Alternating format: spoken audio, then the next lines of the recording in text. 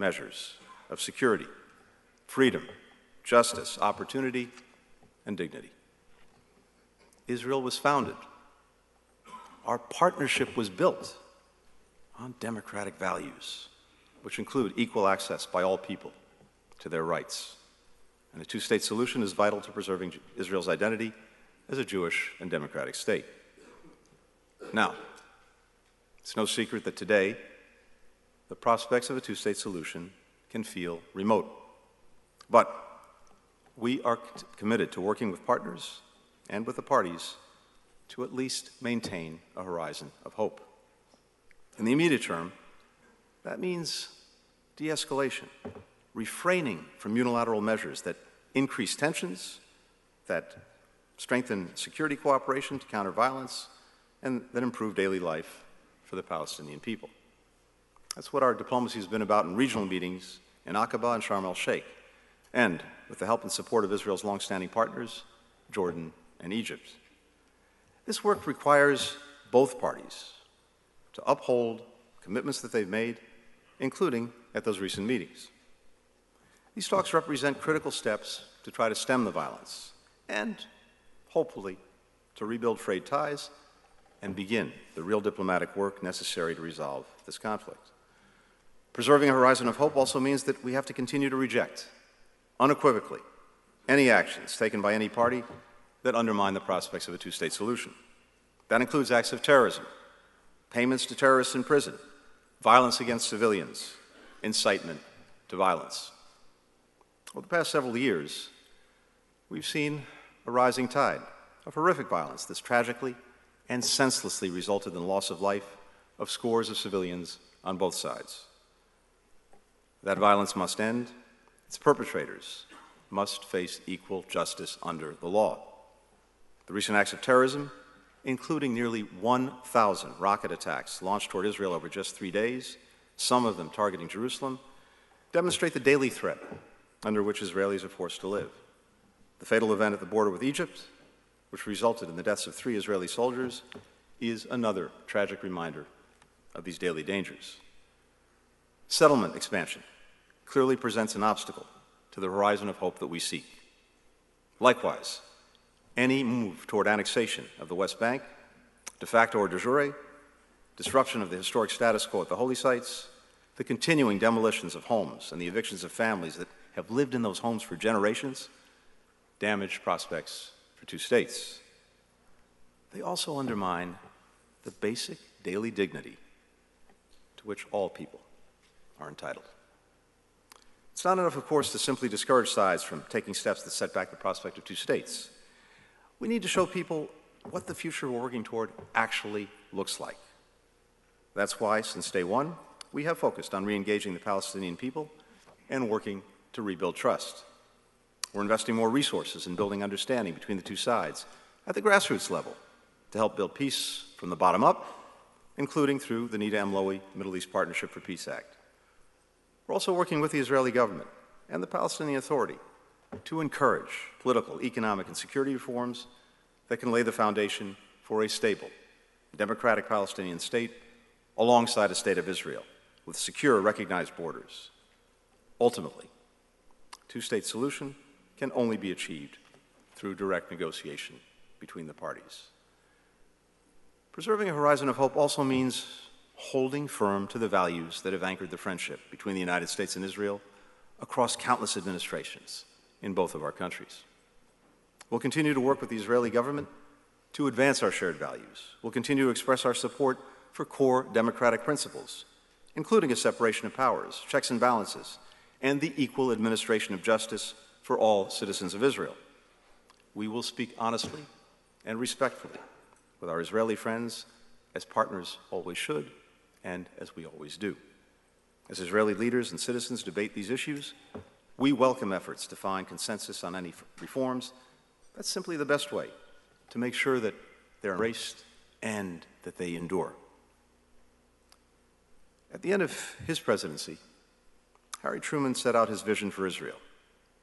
And he said, and I quote, I hope that we shall soon see the day when Israel and her neighbors will sit down at the peace table and will reach a full settlement of all of their differences, so that our friends in the Near East, Arabs and Israelis alike, may enter together upon a new partnership for their mutual advantage and the advantage of all people. Today, our commitment to that future endures. It's reinforced every day by men and women who believe in it, who are willing to do the hard work to make it a reality, who look at the future that others believe is impossible and instead see something that they believe is inevitable. I'm grateful to AIPAC, to each and every one of you who are working to make real this better future. And I'm grateful, as always, for the opportunity to speak to you today. Thank you very much. Thank you. Thank you.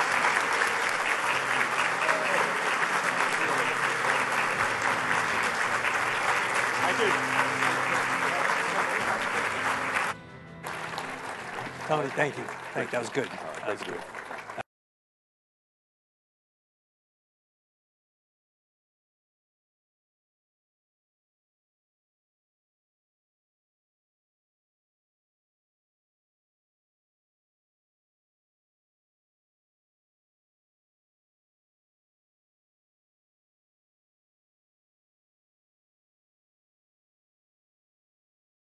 celebrate 75 years of the U.S. Israeli partnership.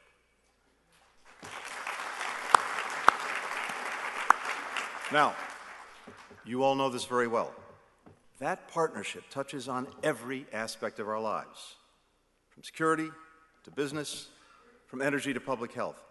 Our ties have not only delivered for one another, but for countries around the world, making deserts bloom, developing the clean energy technologies of the future, producing vaccines, charting the future of space exploration, and so much more. And the depth and breadth of that partnership between our governments is matched only by the strength of the ties between our peoples.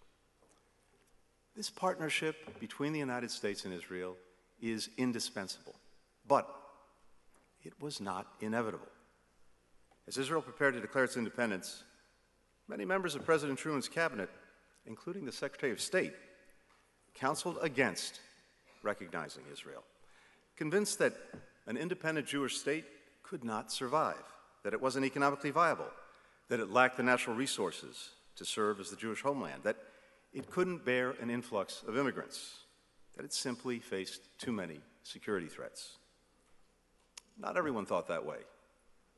My grandfather, Maurice Blinken, who founded the American Palestine Institute after the Second World War, initiated a report before independence that argued that the Jewish state was indeed possible, that it would in fact be easier to support 2 million Jews than the present 600,000.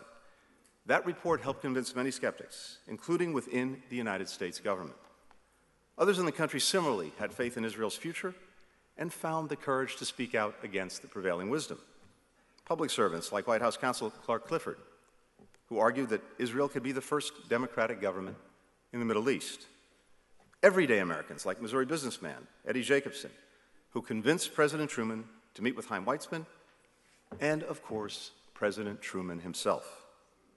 President Truman never wavered in his decision to extend recognition to the new Jewish state.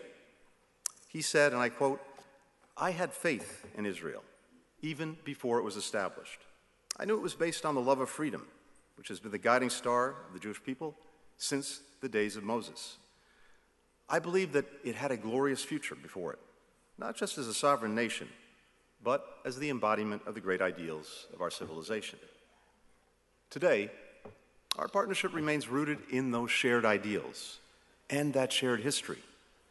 But its success depends on our commitment not just attending it, but renewing that bond and recommitting to the democratic values that are at its heart, and to do that each and every day.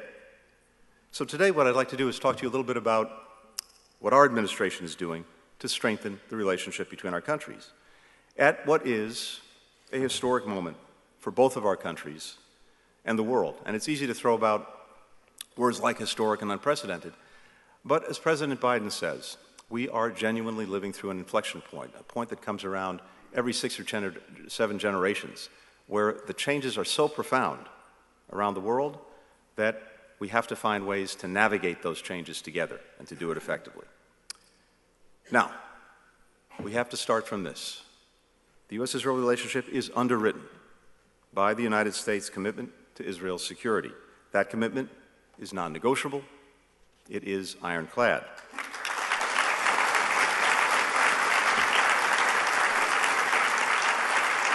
We are, we are providing $3.3 billion in foreign military financing to Israel each year. On top of that, Israel receives $500 million in funding for missile defense, tens of millions more for new counter drone and anti tunneling uh, technologies. That is in keeping with the 2016 Memorandum of Understanding negotiated by the Obama Biden administration, and it is more than at any point in the history of our relationship. We're also delivering an additional $1 billion in funding to replenish supplies for Israel's Iron Dome, the missile defense system that we developed together and that has saved countless lives.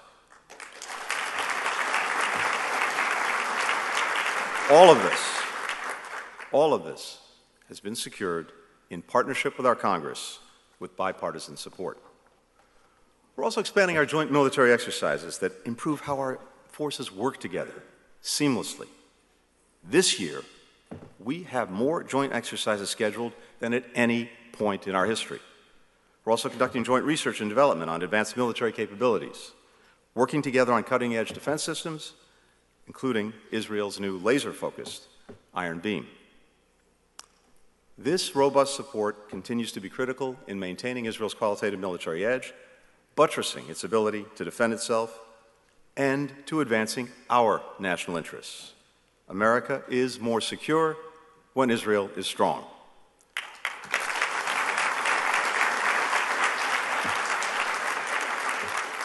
As we support Israel's defense, we are also pushing back, as you've heard, on the consistent, constant efforts to delegitimize Israel, which are aimed at undermining or isolating Israel's rightful place on the international stage. Now, we fully, deeply respect the right of all to freedom of expression. And indeed, every single day we are actively defending that and promoting that around the world. At the same time, we continue to reject the global boycott, divestment, and sanctions movement for unfairly singling out Israel.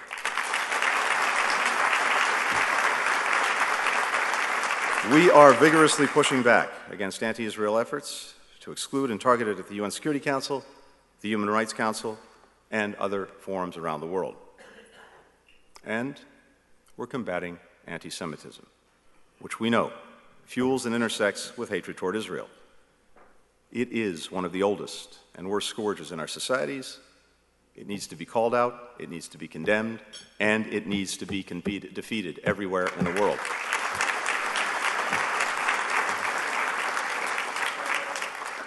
Last month, together with Special Envoy for Monitoring and Combating Anti Semitism, Deborah Lipstadt, the President released the first ever U.S. national strategy to counter anti Semitism, to beat back the rising tide of hate that we see around the world, and yes, in our own country. Now, we're clear eyed about the many dangers that Israel faces in all of their forms. But there is no danger that Israel faces that is graver than the one posed by the Iranian regime. That regime routinely threatens to wipe Israel off the map. It continues to provide weapons to terrorists and proxies like Hezbollah and Hamas, who reject Israel's right to exist. It exports its aggression throughout and even beyond the region, including by arming Russian forces with drones that are being used to kill Ukrainian civilians and destroy its infrastructure. And in turn, Russia is providing sophisticated weaponry to Iran. The pattern of hostile behavior underscores a clear imperative that you heard from Michael. Iran cannot and will not be allowed to acquire a nuclear weapon.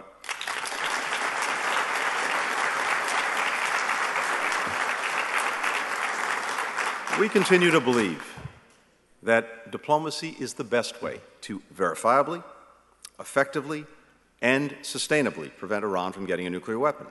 In parallel, economic pressure and deterrence reinforce our diplomacy. If Iran rejects the path of diplomacy, then, as President Biden has repeatedly made clear, all options are on the table to ensure that Iran does not obtain a nuclear weapon.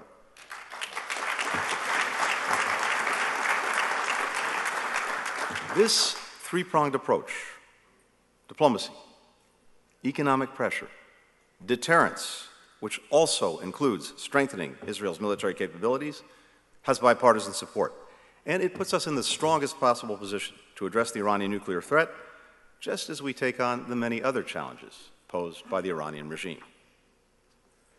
The United States is advancing Israel's security and our own in another critical way by working to deepen Israel's relationships with its neighbors to advance our goal of regional integration and de escalation.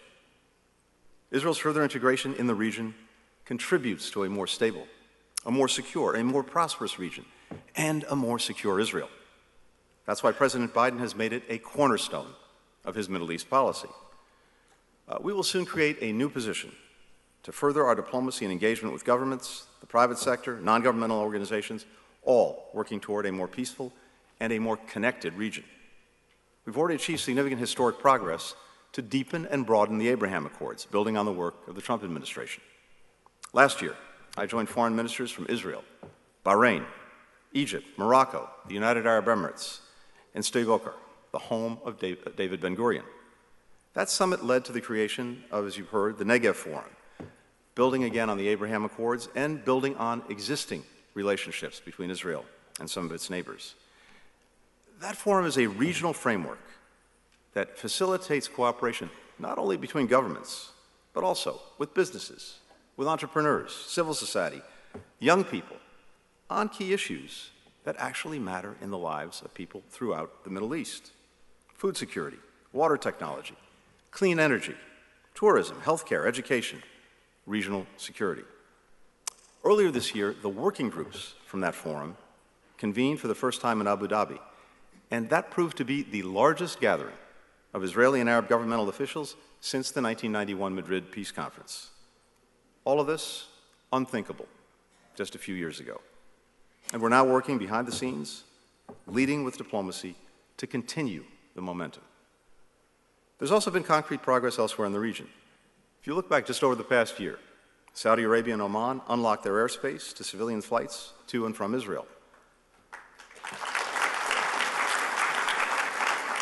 Following intense mediation by the United States, Israel and Lebanon completed a historic agreement last fall to establish their permanent maritime boundary, boundary, something that had been long in the works. That, in turn, lowered the prospect for conflict and also created a greater path for greater energy security in the region. We're helping Israel and Jordan, together with the UAE, implement Project Prosperity to collaborate on water and energy security, which is on track to launch by this year's COP28. And we convened new coalitions like I2U2, which brings together India, Israel, the UAE, the United States to solve fundamental challenges facing our people, starting with food and energy security.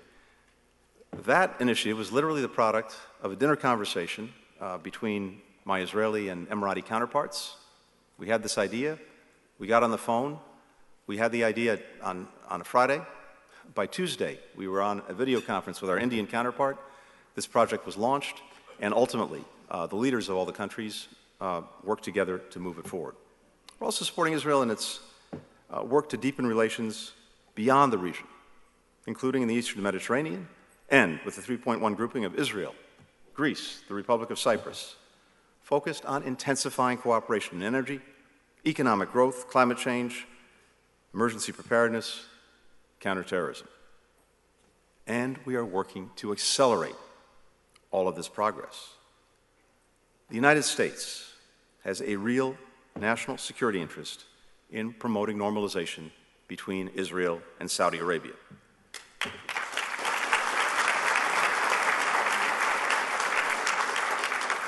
We believe that we can, and indeed we must, play an integral role in advancing it. Now, we have no illusions that this can be done quickly or easily, but we remain committed to working toward that outcome, including uh, on the trip I'm about to take this week to Jeddah and Riyadh for engagements with our Saudi and Gulf counterparts. A more integrated, prosperous, stable region serves the interests of Israel, it serves the interests of our regional partners, it serves the United States. But integration and normalization efforts are not a substitute for progress between Israelis and Palestinians, nor should they come at its expense. Israel's deepened relationships with its partners can and should advance the well being of the Palestinian people and the prospects for a two state solution. As the President said on his recent trip to Israel and the West Bank last summer, a two state solution, based on the 1967 lines with mutually agreed swaps, remains the best way to achieve our goal of Israelis and Palestinians living side by side in peace with equal measures of security, freedom, justice, opportunity, and dignity. Israel was founded. Our partnership was built on democratic values, which include equal access by all people to their rights. And a two state solution is vital to preserving Israel's identity as a Jewish and democratic state. Now, it's no secret that today the prospects of a two state solution can feel remote. But we are committed to working with partners and with the parties to at least maintain a horizon of hope. In the immediate term, that means de escalation, refraining from unilateral measures that increase tensions, that strengthen security cooperation to counter violence, and that improve daily life for the Palestinian people. That's what our diplomacy has been about in regional meetings in Aqaba and Sharm el Sheikh, and with the help and support of Israel's longstanding partners, Jordan and Egypt. This work requires both parties to uphold commitments that they've made, including at those recent meetings. These talks represent critical steps to try to stem the violence and, hopefully, to rebuild frayed ties and begin the real diplomatic work necessary to resolve this conflict. Preserving a horizon of hope also means that we have to continue to reject, unequivocally, any actions taken by any party that undermine the prospects of a two state solution. That includes acts of terrorism, payments to terrorists in prison, violence against civilians, incitement to violence. Over the past several years, we've seen a rising tide of horrific violence that's tragically and senselessly resulted in loss of life of scores of civilians on both sides. That violence must end. Its perpetrators must face equal justice under the law. The recent acts of terrorism, including nearly 1,000 rocket attacks launched toward Israel over just three days, some of them targeting Jerusalem, demonstrate the daily threat under which Israelis are forced to live. The fatal event at the border with Egypt which resulted in the deaths of three Israeli soldiers, is another tragic reminder of these daily dangers. Settlement expansion clearly presents an obstacle to the horizon of hope that we seek. Likewise, any move toward annexation of the West Bank, de facto or de jure, disruption of the historic status quo at the holy sites, the continuing demolitions of homes and the evictions of families that have lived in those homes for generations, damage prospects for two states. They also undermine the basic daily dignity to which all people are entitled. It's not enough, of course, to simply discourage sides from taking steps that set back the prospect of two states. We need to show people what the future we're working toward actually looks like. That's why, since day one, we have focused on re engaging the Palestinian people and working to rebuild trust. We're investing more resources in building understanding between the two sides at the grassroots level to help build peace from the bottom up, including through the Nita M. Lowey Middle East Partnership for Peace Act. We're also working with the Israeli government and the Palestinian Authority to encourage political, economic, and security reforms that can lay the foundation for a stable, democratic Palestinian state alongside a state of Israel with secure, recognized borders. Ultimately, two state solution can only be achieved through direct negotiation between the parties. Preserving a horizon of hope also means holding firm to the values that have anchored the friendship between the United States and Israel across countless administrations in both of our countries. We'll continue to work with the Israeli government to advance our shared values. We'll continue to express our support for core democratic principles, including a separation of powers, checks and balances, and the equal administration of justice for all citizens of Israel. We will speak honestly and respectfully with our Israeli friends, as partners always should, and as we always do. As Israeli leaders and citizens debate these issues, we welcome efforts to find consensus on any reforms. That's simply the best way to make sure that they're embraced and that they endure. At the end of his presidency, Harry Truman set out his vision for Israel.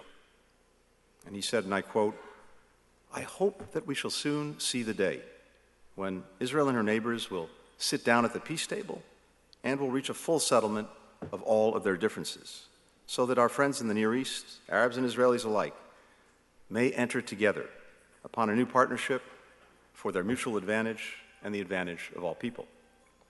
Today, our commitment to that future endures. It's reinforced every day by men and women who believe in it, who are willing to do the hard work to make it a reality, who look at the future that others believe is impossible and instead see something that they believe is inevitable. I'm grateful to AIPAC, to each and every one of you who are working to make real this better future. And I'm grateful, as always, for the opportunity to speak to you today. Thank you very much. Thank you. Thank you.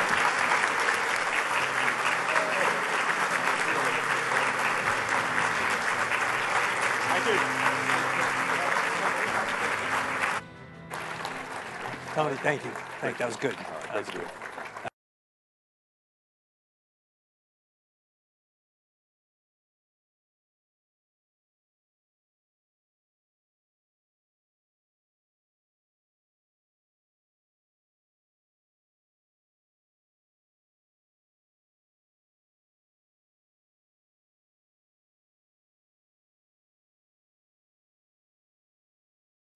75 years of the U.S. Israeli partnership.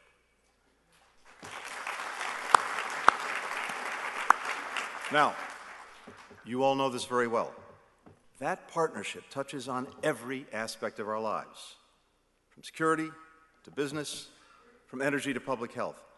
Our ties have not only delivered for one another, but for countries around the world, making deserts bloom, developing the clean energy technologies of the future, producing vaccines, charting the future of space exploration, and so much more.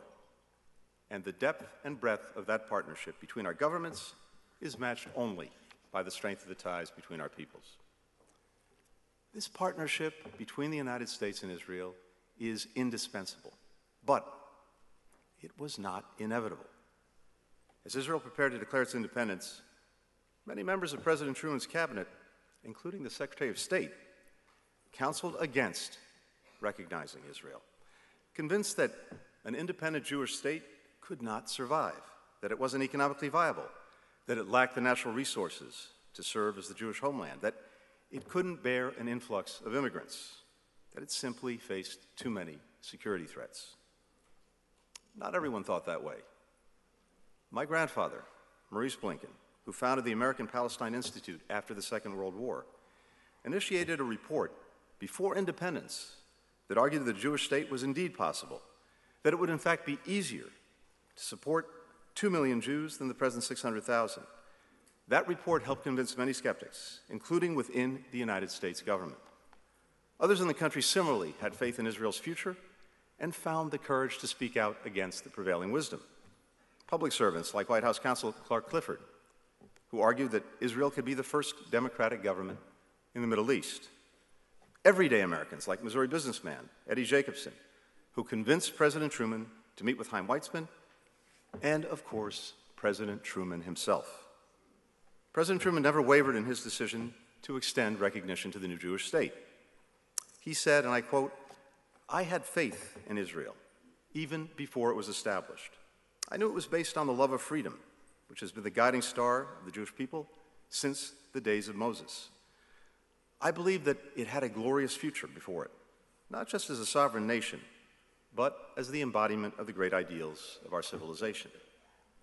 Today, our partnership remains rooted in those shared ideals and that shared history. But its success depends on our commitment not just attending it, but renewing that bond and recommitting to the democratic values that are at its heart, and to do that each and every day. So today what I'd like to do is talk to you a little bit about what our administration is doing to strengthen the relationship between our countries. At what is a historic moment for both of our countries and the world. And it's easy to throw about words like historic and unprecedented. But as President Biden says, we are genuinely living through an inflection point, a point that comes around every six or seven generations, where the changes are so profound around the world that we have to find ways to navigate those changes together and to do it effectively. Now, we have to start from this. The U.S. Israel relationship is underwritten by the United States' commitment to Israel's security. That commitment is non negotiable, it is ironclad.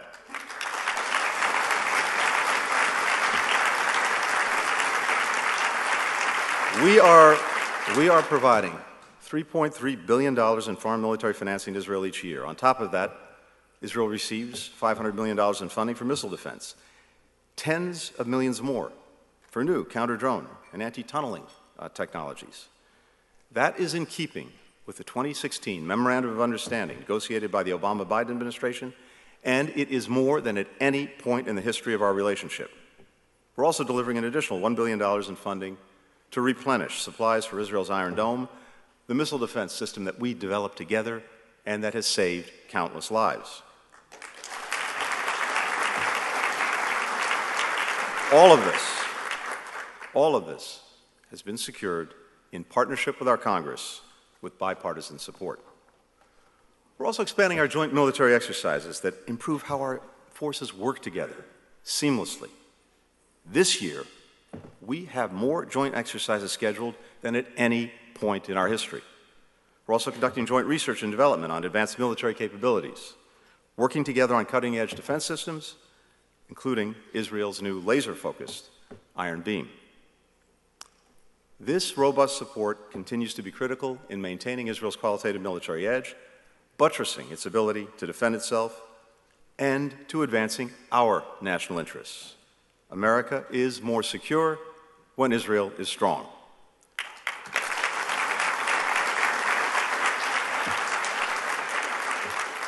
As we support Israel's defense, we are also pushing back, as you've heard, on the consistent, constant efforts to delegitimize Israel, which are aimed at undermining or isolating Israel's rightful place on the international stage. Now, we fully, deeply respect the right of all to freedom of expression. And indeed, every single day we are actively defending that and promoting that around the world. At the same time, we continue to reject the global boycott, divestment, and sanctions movement for unfairly singling out Israel.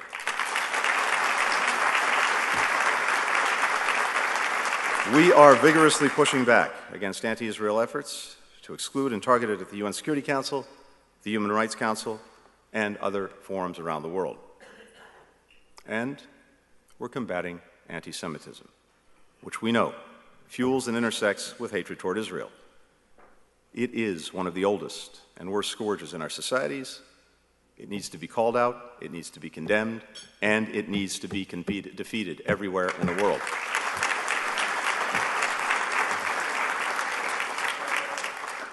Last month, together with Special Envoy for Monitoring and Combating Anti Semitism, Deborah Lipstadt, the President released the first ever U.S. national strategy to counter anti Semitism, to beat back the rising tide of hate that we see around the world, and yes, in our own country.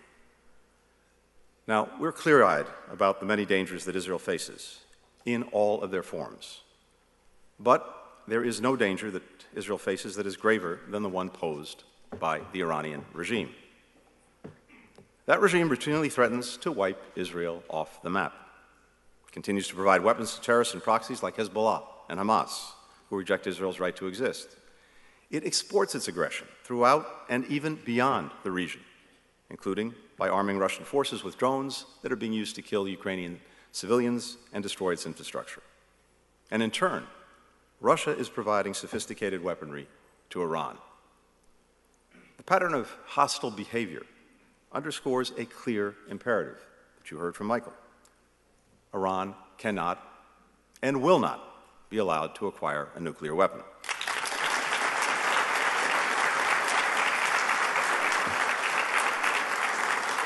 We continue to believe that diplomacy is the best way to verifiably, effectively, and sustainably prevent Iran from getting a nuclear weapon. In parallel, economic pressure and deterrence reinforce our diplomacy. If Iran rejects the path of diplomacy, then, as President Biden has repeatedly made clear, all options are on the table to ensure that Iran does not obtain a nuclear weapon.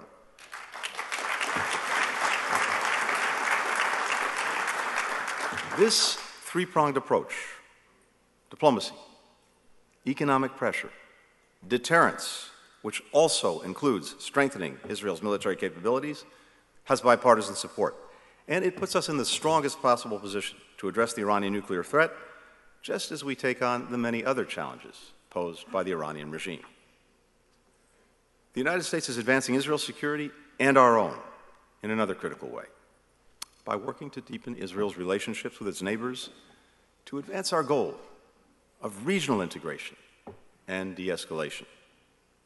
Israel's further integration in the region contributes to a more stable, a more secure, a more prosperous region, and a more secure Israel.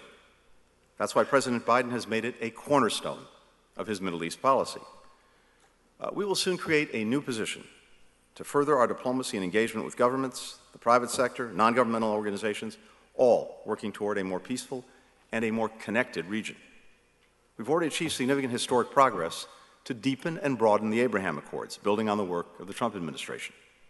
Last year, I joined foreign ministers from Israel, Bahrain, Egypt, Morocco, the United Arab Emirates, and Sde the home of David Ben Gurion. That summit led to the creation of, as you've heard, the Negev Forum, building again on the Abraham Accords, and building on existing relationships between Israel and some of its neighbors. That forum is a regional framework that facilitates cooperation not only between governments, but also with businesses, with entrepreneurs, civil society, young people, on key issues that actually matter in the lives of people throughout the Middle East food security, water technology, clean energy, tourism, healthcare, education, regional security.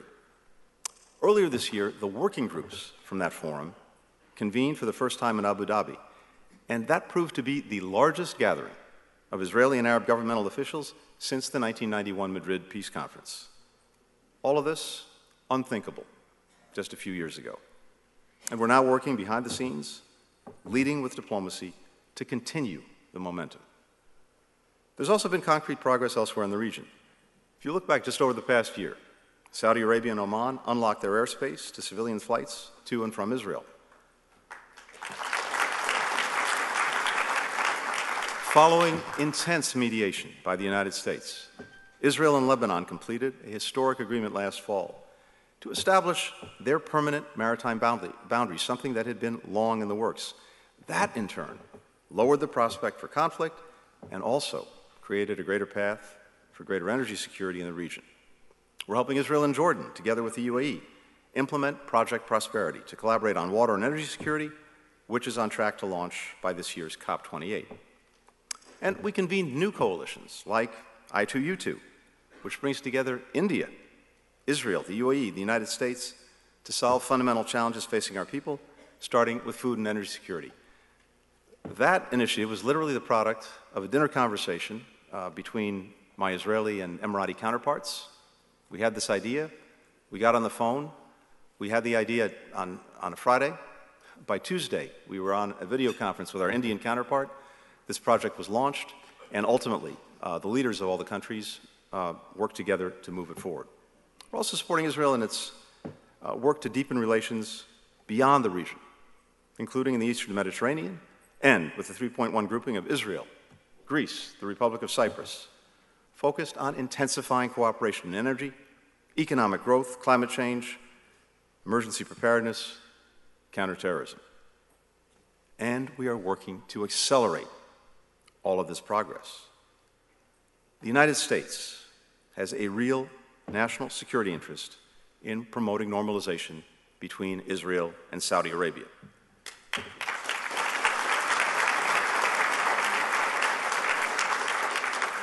We believe that we can, and indeed we must, play an integral role in advancing it.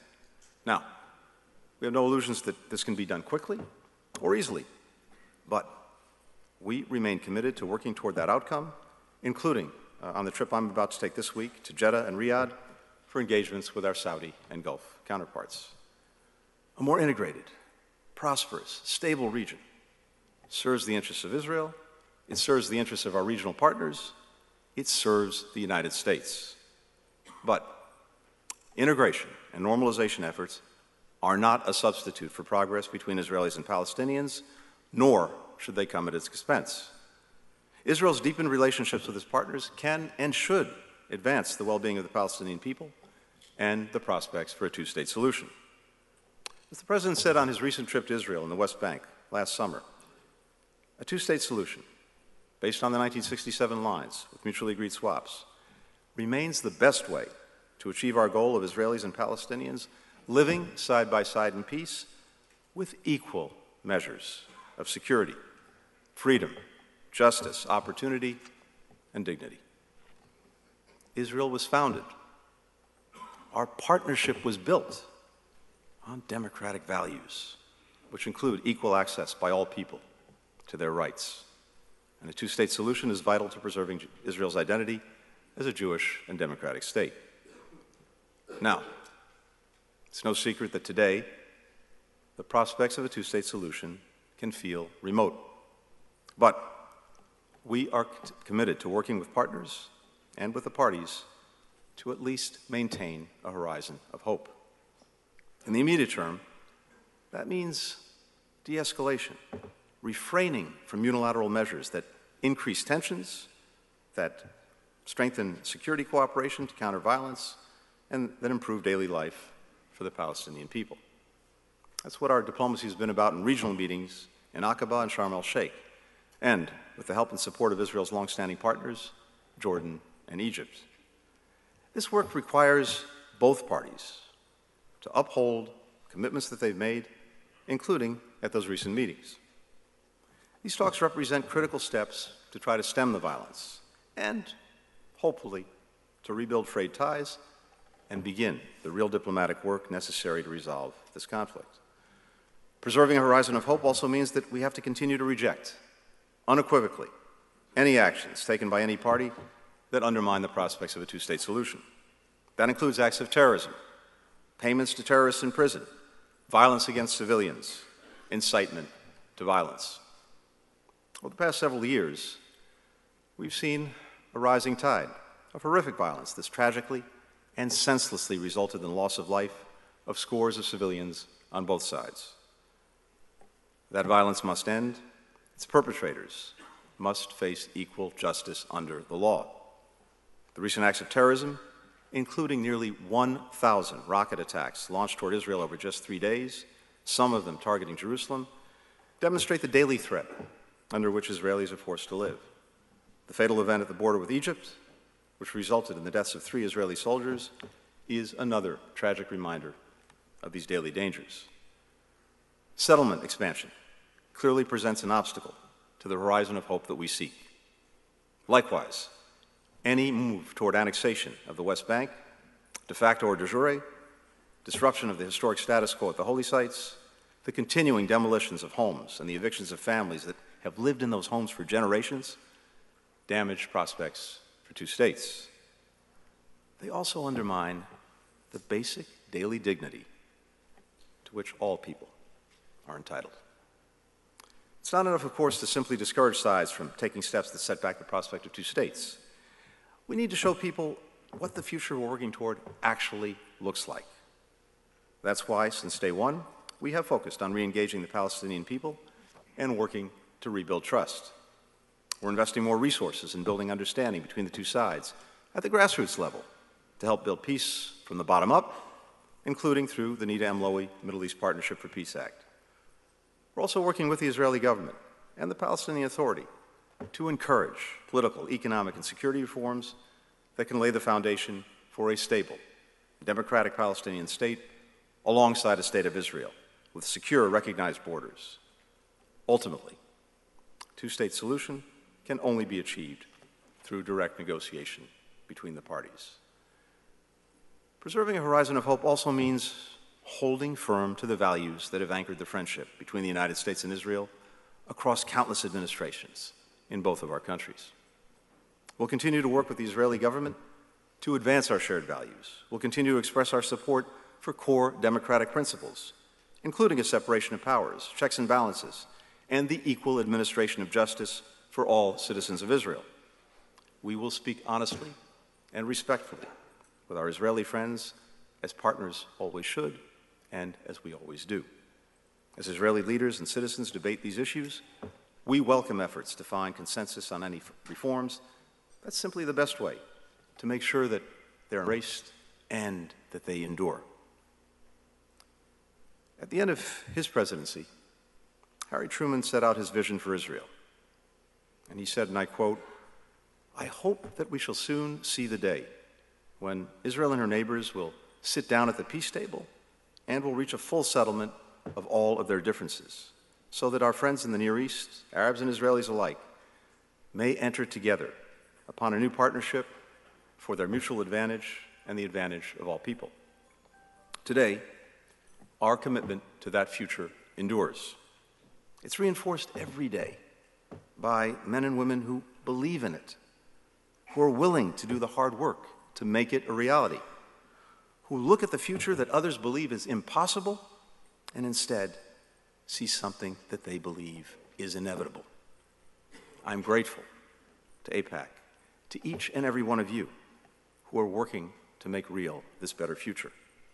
And I'm grateful, as always, for the opportunity to speak to you today. Thank you very much. Thank you. Thank you.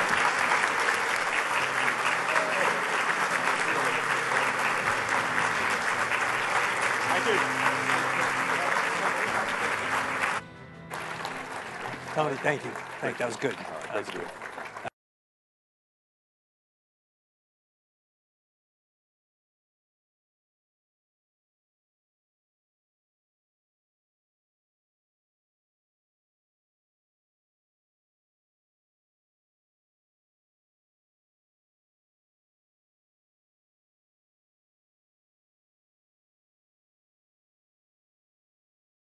Celebrate 75 years of the U.S. Israeli partnership.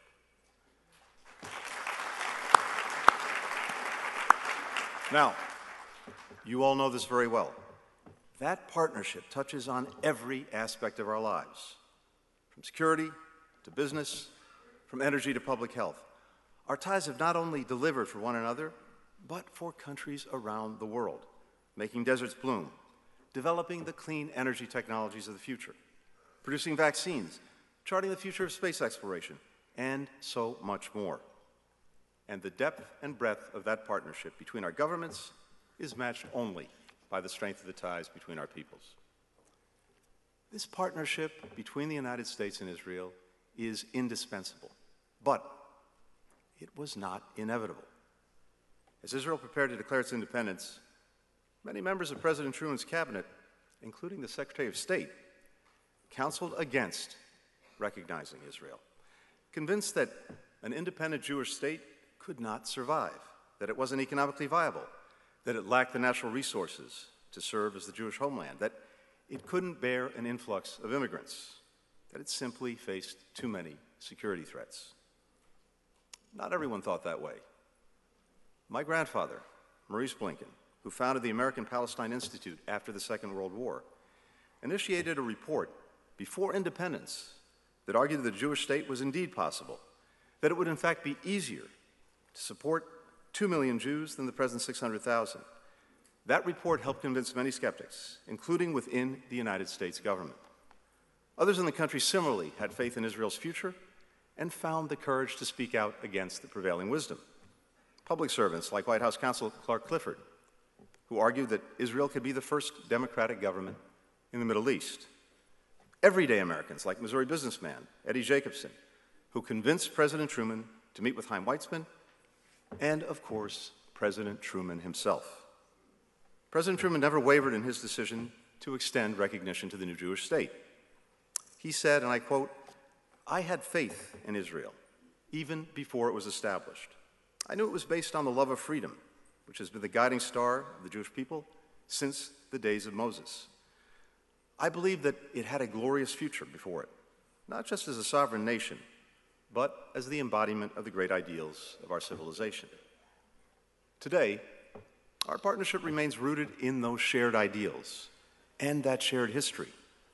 But its success depends on our commitment not just attending it, but renewing that bond and recommitting to the democratic values that are at its heart, and to do that each and every day. So, today, what I'd like to do is talk to you a little bit about what our administration is doing to strengthen the relationship between our countries at what is a historic moment for both of our countries and the world. And it's easy to throw about words like historic and unprecedented. But as President Biden says, we are genuinely living through an inflection point, a point that comes around every six or seven generations, where the changes are so profound around the world that we have to find ways to navigate those changes together and to do it effectively. Now, we have to start from this. The U.S. Israel relationship is underwritten by the United States' commitment to Israel's security. That commitment is non negotiable, it is ironclad.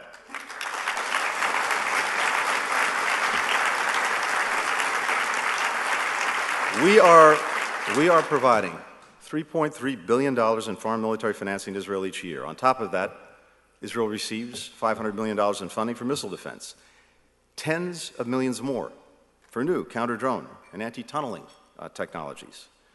That is in keeping with the 2016 Memorandum of Understanding negotiated by the Obama Biden administration, and it is more than at any point in the history of our relationship.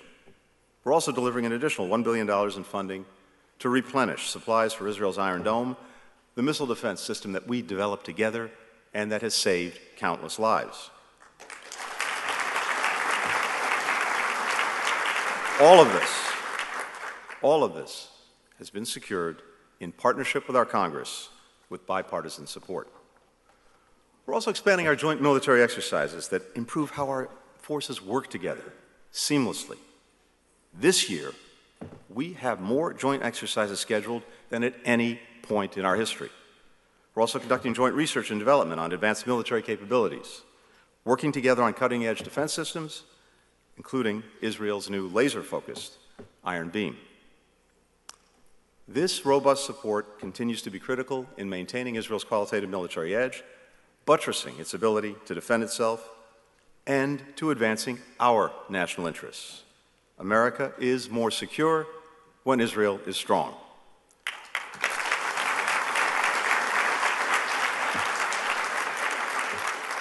As we support Israel's defense, we are also pushing back, as you've heard, on the consistent, constant efforts to delegitimize Israel, which are aimed at undermining or isolating Israel's rightful place on the international stage. Now, we fully, deeply respect the right of all to freedom of expression. And indeed, every single day we are actively defending that and promoting that around the world. At the same time, we continue to reject the global boycott, divestment, and sanctions movement for unfairly singling out Israel.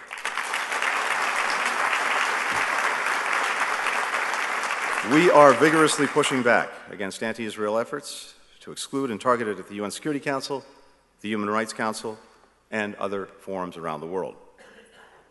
And we're combating anti Semitism, which we know fuels and intersects with hatred toward Israel.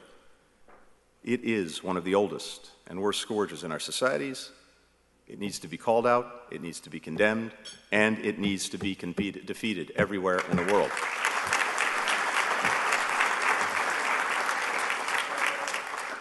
Last month, together with Special Envoy for Monitoring and Combating Anti Semitism, Deborah Lipstadt, President released the first ever U.S. national strategy to counter anti Semitism, to beat back the rising tide of hate that we see around the world, and yes, in our own country. Now, we're clear eyed about the many dangers that Israel faces in all of their forms. But there is no danger that Israel faces that is graver than the one posed by the Iranian regime. That regime routinely threatens to wipe Israel off the map. It continues to provide weapons to terrorists and proxies like Hezbollah and Hamas, who reject Israel's right to exist. It exports its aggression throughout and even beyond the region, including by arming Russian forces with drones that are being used to kill Ukrainian civilians and destroy its infrastructure. And in turn, Russia is providing sophisticated weaponry to Iran. The pattern of hostile behavior underscores a clear imperative that you heard from Michael. Iran cannot and will not be allowed to acquire a nuclear weapon.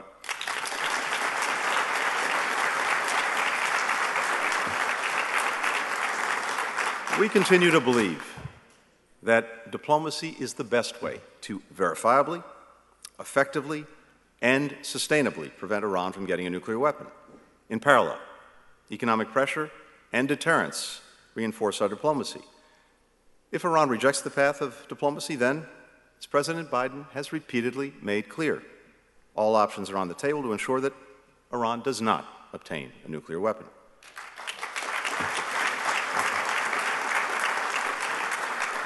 This three pronged approach diplomacy, economic pressure, deterrence, which also includes strengthening Israel's military capabilities, has bipartisan support.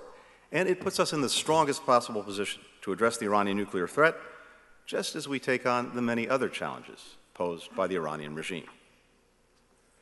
The United States is advancing Israel's security and our own in another critical way by working to deepen Israel's relationships with its neighbors to advance our goal of regional integration and de escalation.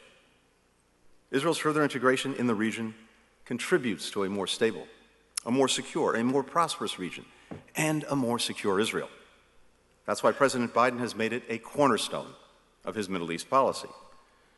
Uh, we will soon create a new position to further our diplomacy and engagement with governments, the private sector, non governmental organizations, all working toward a more peaceful and a more connected region. We've already achieved significant historic progress to deepen and broaden the Abraham Accords, building on the work of the Trump administration. Last year, I joined foreign ministers from Israel, Bahrain, Egypt, Morocco, the United Arab Emirates, and Boker, the home of David Ben Gurion. That summit led to the creation of, as you've heard, the Negev Forum, building again on the Abraham Accords and building on existing relationships between Israel and some of its neighbors. That forum is a regional framework that facilitates cooperation not only between governments, but also with businesses, with entrepreneurs, civil society, young people, on key issues that actually matter in the lives of people throughout the Middle East food security, water technology, clean energy, tourism, healthcare, education, regional security. Earlier this year, the working groups from that forum convened for the first time in Abu Dhabi, and that proved to be the largest gathering of Israeli and Arab governmental officials since the 1991 Madrid Peace Conference. All of this unthinkable just a few years ago. And we're now working behind the scenes, leading with diplomacy to continue the momentum. There's also been concrete progress elsewhere in the region. If you look back just over the past year, Saudi Arabia and Oman unlocked their airspace to civilian flights to and from Israel. Following intense mediation by the United States, Israel and Lebanon completed a historic agreement last fall to establish their permanent maritime boundary, something that had been long in the works. That, in turn, lowered the prospect for conflict and also created a greater path for greater energy security in the region. We're helping Israel and Jordan, together with the UAE, implement Project Prosperity to collaborate on water and energy security, which is on track to launch by this year's COP28. And we convened new coalitions like I2U2, which brings together India, Israel, the UAE, the United States to solve fundamental challenges facing our people, starting with food and energy security. That initiative was literally the product of a dinner conversation uh, between my Israeli and Emirati counterparts. We had this idea.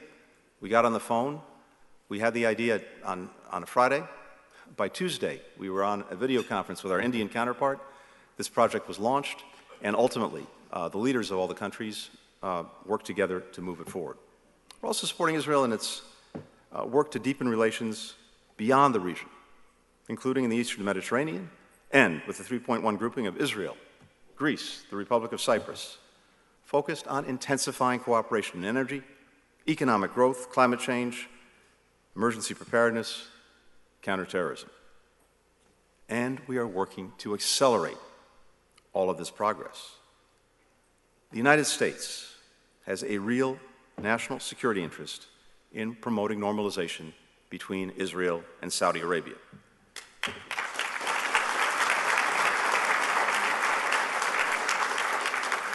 We believe that we can, and indeed we must, play an integral role in advancing it. Now, we have no illusions that this can be done quickly or easily, but we remain committed to working toward that outcome, including uh, on the trip I'm about to take this week to Jeddah and Riyadh for engagements with our Saudi and Gulf counterparts. A more integrated, prosperous, stable region serves the interests of Israel, it serves the interests of our regional partners, it serves the United States. But integration and normalization efforts are not a substitute for progress between Israelis and Palestinians, nor should they come at its expense. Israel's deepened relationships with its partners can and should advance the well being of the Palestinian people and the prospects for a two state solution. As the President said on his recent trip to Israel and the West Bank last summer, a two state solution based on the 1967 lines with mutually agreed swaps, remains the best way to achieve our goal of Israelis and Palestinians living side by side in peace with equal measures of security, freedom, justice, opportunity, and dignity. Israel was founded. Our partnership was built on democratic values, which include equal access by all people to their rights and a two state solution is vital to preserving Israel's identity as a Jewish and democratic state. Now, it's no secret that today the prospects of a two state solution can feel remote. But we are committed to working with partners and with the parties to at least maintain a horizon of hope. In the immediate term, that means de escalation, refraining from unilateral measures that increase tensions, that strengthen security cooperation to counter violence, and that improve daily life for the Palestinian people. That's what our diplomacy has been about in regional meetings in Aqaba and Sharm el Sheikh, and with the help and support of Israel's longstanding partners, Jordan and Egypt. This work requires both parties to uphold commitments that they've made, including at those recent meetings. These talks represent critical steps to try to stem the violence and, hopefully, to rebuild frayed ties and begin the real diplomatic work necessary to resolve this conflict. Preserving a horizon of hope also means that we have to continue to reject, unequivocally, any actions taken by any party that undermine the prospects of a two state solution. That includes acts of terrorism, payments to terrorists in prison, violence against civilians, incitement to violence. Over the past several years, we've seen a rising tide of horrific violence that's tragically and senselessly resulted in the loss of life of scores of civilians on both sides. That violence must end. Its perpetrators must face equal justice under the law. The recent acts of terrorism, including nearly 1,000 rocket attacks launched toward Israel over just three days, some of them targeting Jerusalem, demonstrate the daily threat under which Israelis are forced to live. The fatal event at the border with Egypt, which resulted in the deaths of three Israeli soldiers, is another tragic reminder of these daily dangers.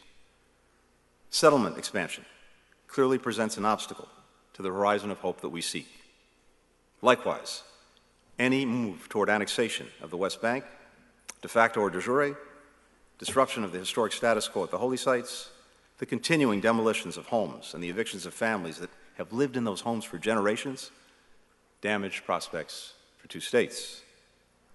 They also undermine the basic daily dignity to which all people are entitled.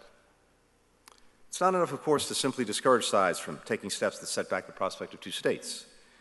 We need to show people what the future we're working toward actually looks like. That's why, since day one, we have focused on re engaging the Palestinian people and working to rebuild trust. We're investing more resources in building understanding between the two sides at the grassroots level to help build peace from the bottom up, including through the Nita M. Lowey Middle East Partnership for Peace Act. We're also working with the Israeli government and the Palestinian Authority to encourage political, economic, and security reforms that can lay the foundation for a stable, democratic Palestinian state alongside a state of Israel with secure, recognized borders. Ultimately, two-state solution can only be achieved through direct negotiation between the parties. Preserving a horizon of hope also means holding firm to the values that have anchored the friendship between the United States and Israel across countless administrations in both of our countries. We'll continue to work with the Israeli government to advance our shared values. We'll continue to express our support for core democratic principles, including a separation of powers, checks and balances, and the equal administration of justice for all citizens of Israel. We will speak honestly and respectfully with our Israeli friends, as partners always should, and as we always do. As Israeli leaders and citizens debate these issues, we welcome efforts to find consensus on any reforms. That's simply the best way to make sure that they're embraced and that they endure. At the end of his presidency, Harry Truman set out his vision for Israel.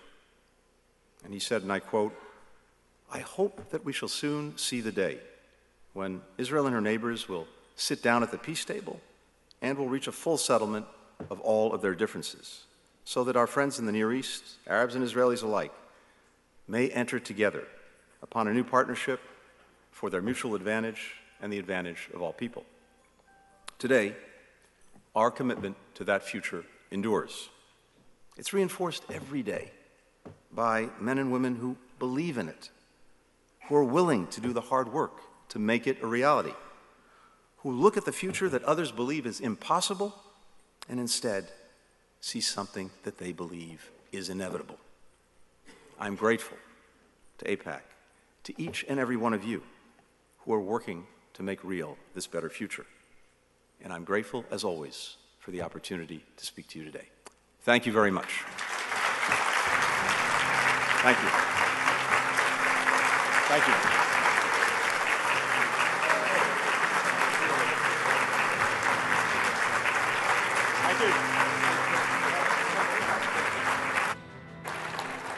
Tony, thank you. Thank, that was good. That was good.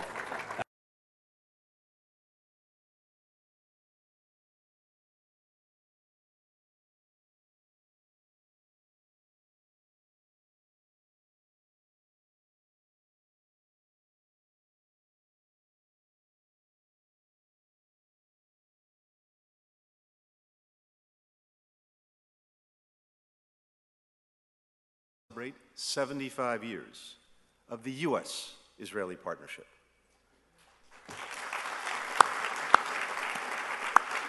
Now, you all know this very well.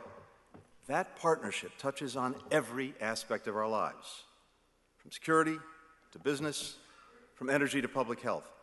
Our ties have not only delivered for one another, but for countries around the world, making deserts bloom, developing the clean energy technologies of the future, producing vaccines charting the future of space exploration, and so much more. And the depth and breadth of that partnership between our governments is matched only by the strength of the ties between our peoples. This partnership between the United States and Israel is indispensable, but it was not inevitable. As Israel prepared to declare its independence, many members of President Truman's cabinet, including the Secretary of State, counseled against recognizing Israel, convinced that an independent Jewish state could not survive, that it wasn't economically viable, that it lacked the natural resources to serve as the Jewish homeland, that it couldn't bear an influx of immigrants, that it simply faced too many security threats. Not everyone thought that way.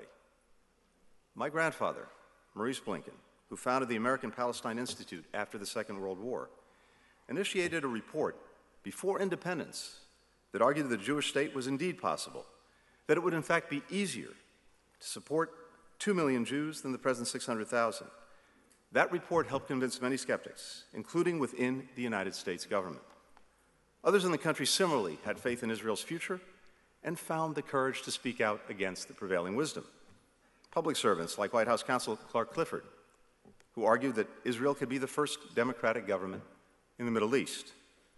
Everyday Americans like Missouri businessman Eddie Jacobson, who convinced President Truman to meet with Chaim Weizmann, and of course, President Truman himself.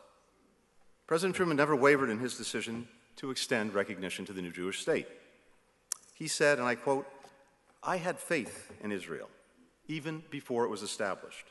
I knew it was based on the love of freedom, which has been the guiding star of the Jewish people since the days of Moses. I believe that it had a glorious future before it, not just as a sovereign nation, but as the embodiment of the great ideals of our civilization. Today, our partnership remains rooted in those shared ideals and that shared history. But its success depends on our commitment not just attending it, but renewing that bond and recommitting to the democratic values that are at its heart, and to do that each and every day. So, today, what I'd like to do is talk to you a little bit about what our administration is doing to strengthen the relationship between our countries at what is a historic moment for both of our countries and the world. And it's easy to throw about words like historic and unprecedented. But as President Biden says, we are genuinely living through an inflection point, a point that comes around every six or ten or seven generations, where the changes are so profound around the world that we have to find ways to navigate those changes together and to do it effectively. Now, we have to start from this. The U.S. Israel relationship is underwritten by the United States' commitment to Israel's security. That commitment is non negotiable, it is ironclad.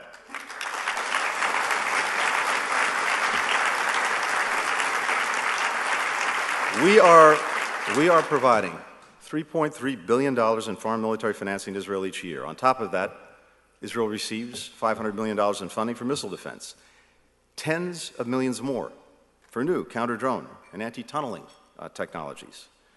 That is in keeping with the 2016 Memorandum of Understanding negotiated by the Obama Biden administration, and it is more than at any point in the history of our relationship.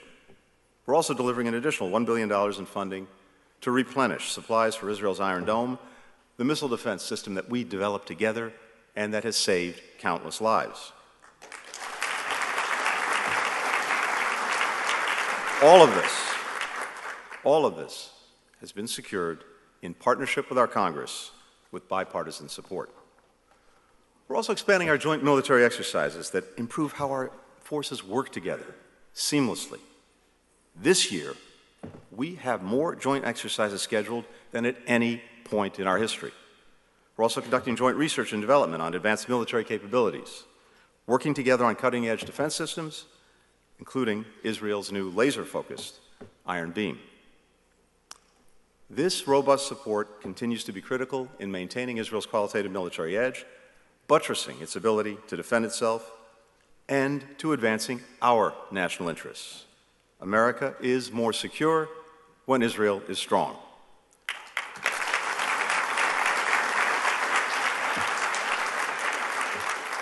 As we support Israel's defense, we are also pushing back, as you've heard, on the consistent, constant efforts to delegitimize Israel, which are aimed at undermining or isolating Israel's rightful place on the international stage. Now, we fully, deeply respect the right of all to freedom of expression, and indeed, every single day we are actively defending that and promoting that around the world. At the same time, we continue to reject the global boycott, divestment, and sanctions movement for unfairly singling out Israel.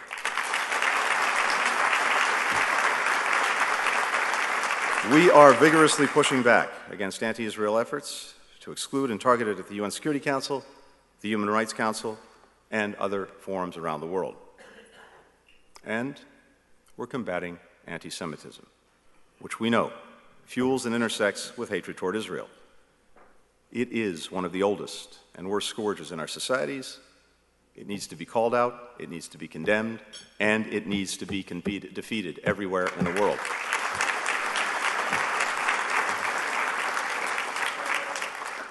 Last month, together with Special Envoy for Monitoring and Combating Anti-Semitism, Deborah Lipstadt, the President released the first ever U.S. national strategy to counter anti-Semitism, to beat back the rising tide of hate that we see around the world, and yes, in our own country. Now, we're clear eyed about the many dangers that Israel faces in all of their forms. But there is no danger that Israel faces that is graver than the one posed by the Iranian regime. That regime routinely threatens to wipe Israel off the map. It continues to provide weapons to terrorists and proxies like Hezbollah and Hamas, who reject Israel's right to exist. It exports its aggression throughout and even beyond the region, including by arming Russian forces with drones that are being used to kill Ukrainian civilians and destroy its infrastructure. And in turn, Russia is providing sophisticated weaponry to Iran. The pattern of hostile behavior underscores a clear imperative that you heard from Michael. Iran cannot and will not be allowed to acquire a nuclear weapon.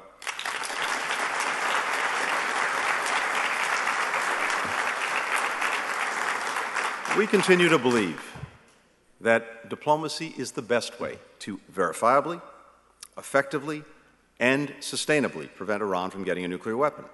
In parallel, economic pressure and deterrence reinforce our diplomacy. If Iran rejects the path of diplomacy, then, as President Biden has repeatedly made clear, all options are on the table to ensure that Iran does not obtain a nuclear weapon.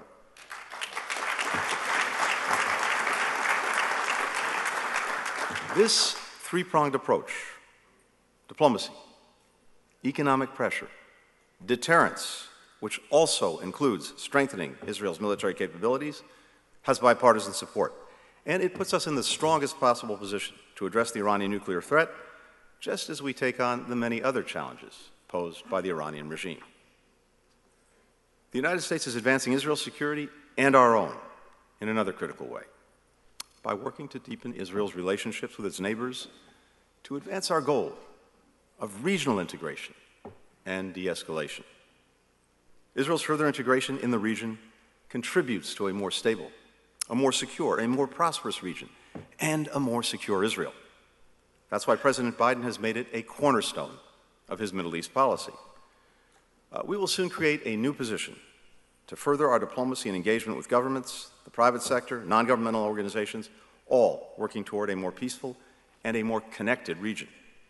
We've already achieved significant historic progress to deepen and broaden the Abraham Accords, building on the work of the Trump administration. Last year, I joined foreign ministers from Israel, Bahrain, Egypt, Morocco, the United Arab Emirates, and Sde Boker, the home of David Ben Gurion. That summit led to the creation of, as you've heard, the Negev Forum, building again on the Abraham Accords and building on existing relationships between Israel and some of its neighbors. That forum is a regional framework that facilitates cooperation not only between governments, but also with businesses, with entrepreneurs, civil society, young people, on key issues that actually matter in the lives of people throughout the Middle East food security, water technology, clean energy, tourism, healthcare, education, regional security. Earlier this year, the working groups from that forum convened for the first time in Abu Dhabi, and that proved to be the largest gathering of Israeli and Arab governmental officials since the 1991 Madrid Peace Conference. All of this unthinkable just a few years ago. And we're now working behind the scenes, leading with diplomacy to continue the momentum. There's also been concrete progress elsewhere in the region. If you look back just over the past year, Saudi Arabia and Oman unlocked their airspace to civilian flights to and from Israel. Following intense mediation by the United States, Israel and Lebanon completed a historic agreement last fall to establish their permanent maritime boundary, boundary, something that had been long in the works. That, in turn, lowered the prospect for conflict and also created a greater path for greater energy security in the region. We're helping Israel and Jordan, together with the UAE, implement Project Prosperity to collaborate on water and energy security, which is on track to launch by this year's COP28. And we convened new coalitions like I2U2, which brings together India, Israel, the UAE, the United States, to solve fundamental challenges facing our people, starting with food and energy security. That initiative was literally the product of a dinner conversation uh, between my Israeli and Emirati counterparts. We had this idea. We got on the phone. We had the idea on, on a Friday. By Tuesday, we were on a video conference with our Indian counterpart. This project was launched, and ultimately, uh, the leaders of all the countries uh, worked together to move it forward.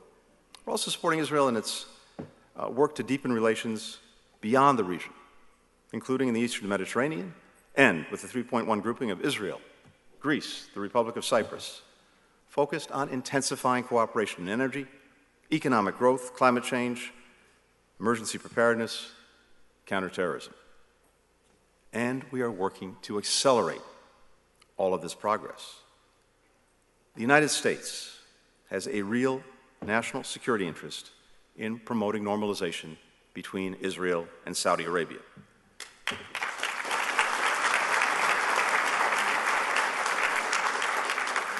We believe that we can, and indeed we must, play an integral role in advancing it. Now, we have no illusions that this can be done quickly or easily, but we remain committed to working toward that outcome, including uh, on the trip I'm about to take this week to Jeddah and Riyadh for engagements with our Saudi and Gulf counterparts. A more integrated, prosperous, stable region serves the interests of Israel, it serves the interests of our regional partners, it serves the United States. But integration and normalization efforts are not a substitute for progress between Israelis and Palestinians, nor should they come at its expense. Israel's deepened relationships with its partners can and should advance the well being of the Palestinian people and the prospects for a two state solution. As the President said on his recent trip to Israel and the West Bank last summer, a two state solution based on the 1967 lines with mutually agreed swaps remains the best way to achieve our goal of Israelis and Palestinians living side by side in peace with equal measures of security, freedom, justice, opportunity, and dignity. Israel was founded. Our partnership was built on democratic values, which include equal access by all people to their rights. And a two state solution is vital to preserving Israel's identity as a Jewish and democratic state. Now, it's no secret that today the prospects of a two state solution can feel remote. But we are committed to working with partners and with the parties to at least maintain a horizon of hope. In the immediate term, that means de escalation, refraining from unilateral measures that increase tensions, that strengthen security cooperation to counter violence, and that improve daily life for the Palestinian people. That's what our diplomacy has been about in regional meetings in Aqaba and Sharm el Sheikh, and with the help and support of Israel's longstanding partners, Jordan and Egypt. This work requires both parties to uphold commitments that they've made, including at those recent meetings. These talks represent critical steps to try to stem the violence and, hopefully, to rebuild frayed ties and begin the real diplomatic work necessary to resolve this conflict. Preserving a horizon of hope also means that we have to continue to reject, unequivocally, any actions taken by any party that undermine the prospects of a two state solution. That includes acts of terrorism, payments to terrorists in prison, violence against civilians, incitement to violence. Over the past several years, we've seen a rising tide of horrific violence that's tragically and senselessly resulted in the loss of life of scores of civilians on both sides. That violence must end. Its perpetrators must face equal justice under the law. The recent acts of terrorism, including nearly 1,000 rocket attacks launched toward Israel over just three days, some of them targeting Jerusalem, demonstrate the daily threat under which Israelis are forced to live. The fatal event at the border with Egypt, which resulted in the deaths of three Israeli soldiers, is another tragic reminder of these daily dangers. Settlement expansion clearly presents an obstacle to the horizon of hope that we seek. Likewise, any move toward annexation of the West Bank de facto or de jure, disruption of the historic status quo at the holy sites, the continuing demolitions of homes and the evictions of families that have lived in those homes for generations, damage prospects for two states. They also undermine the basic daily dignity to which all people are entitled. It's not enough, of course, to simply discourage sides from taking steps that set back the prospect of two states. We need to show people what the future we're working toward actually looks like.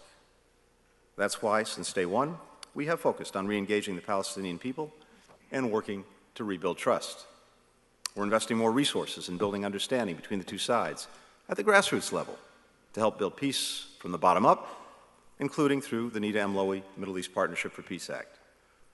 We're also working with the Israeli government and the Palestinian Authority to encourage political, economic, and security reforms that can lay the foundation for a stable, democratic Palestinian state alongside a state of Israel with secure, recognized borders. Ultimately, two-state solution can only be achieved through direct negotiation between the parties. Preserving a horizon of hope also means holding firm to the values that have anchored the friendship between the United States and Israel across countless administrations in both of our countries. We'll continue to work with the Israeli government to advance our shared values. We'll continue to express our support for core democratic principles, including a separation of powers, checks and balances, and the equal administration of justice for all citizens of Israel. We will speak honestly and respectfully with our Israeli friends, as partners always should, and as we always do. As Israeli leaders and citizens debate these issues, we welcome efforts to find consensus on any reforms. That's simply the best way to make sure that they're embraced and that they endure. At the end of his presidency, Harry Truman set out his vision for Israel.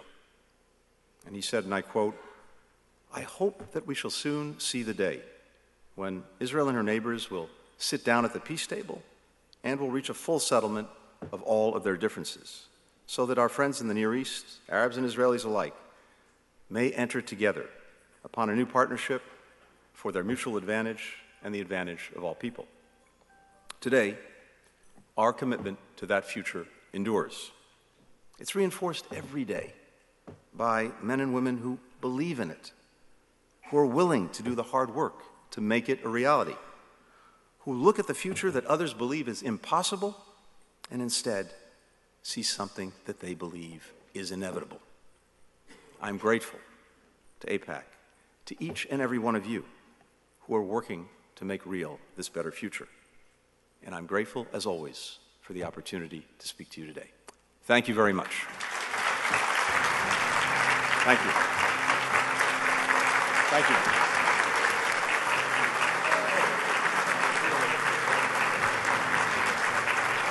Thank you. Tony, thank you. Thank, that was good. That was good.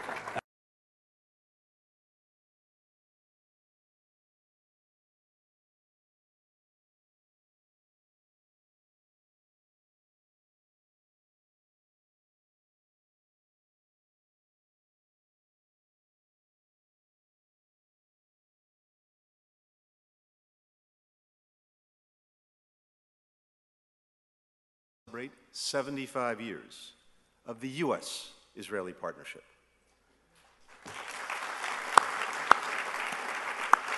Now, you all know this very well. That partnership touches on every aspect of our lives, from security to business, from energy to public health. Our ties have not only delivered for one another, but for countries around the world, making deserts bloom, developing the clean energy technologies of the future, producing vaccines, charting the future of space exploration, and so much more. And the depth and breadth of that partnership between our governments is matched only by the strength of the ties between our peoples. This partnership between the United States and Israel is indispensable, but it was not inevitable. As Israel prepared to declare its independence, many members of President Truman's cabinet, including the Secretary of State, counseled against recognizing Israel, convinced that an independent Jewish state could not survive. that it wasn't economically viable, that it lacked the natural resources to serve as the Jewish homeland, that it couldn't bear an influx of immigrants, that it simply faced too many security threats.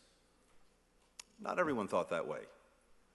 My grandfather, Maurice Blinken, who founded the American Palestine Institute after the Second World War, initiated a report before independence that argued that the Jewish state was indeed possible, that it would in fact be easier to support 2 million Jews than the present 600,000.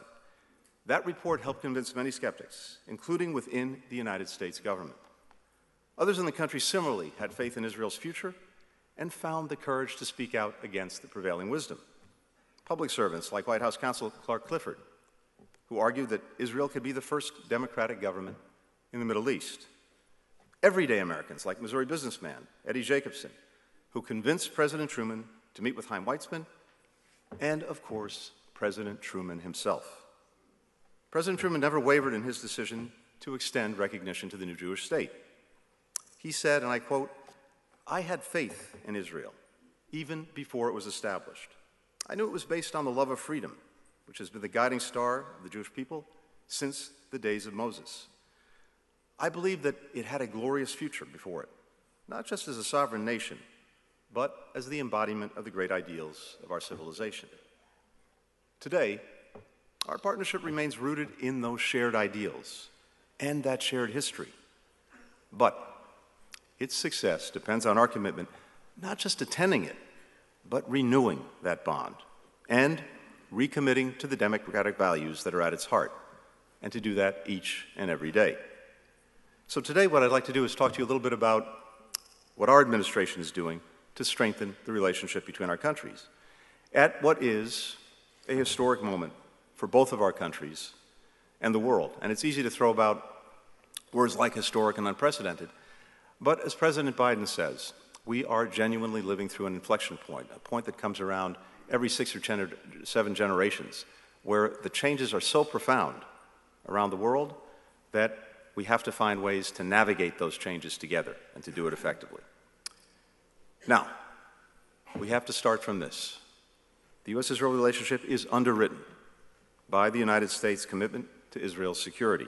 That commitment is non negotiable, it is ironclad.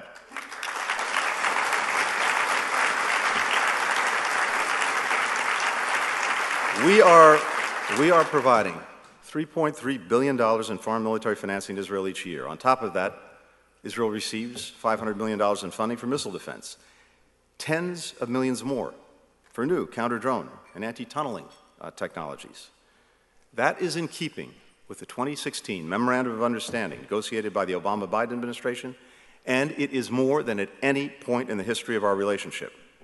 We're also delivering an additional $1 billion in funding to replenish supplies for Israel's Iron Dome, the missile defense system that we developed together and that has saved countless lives.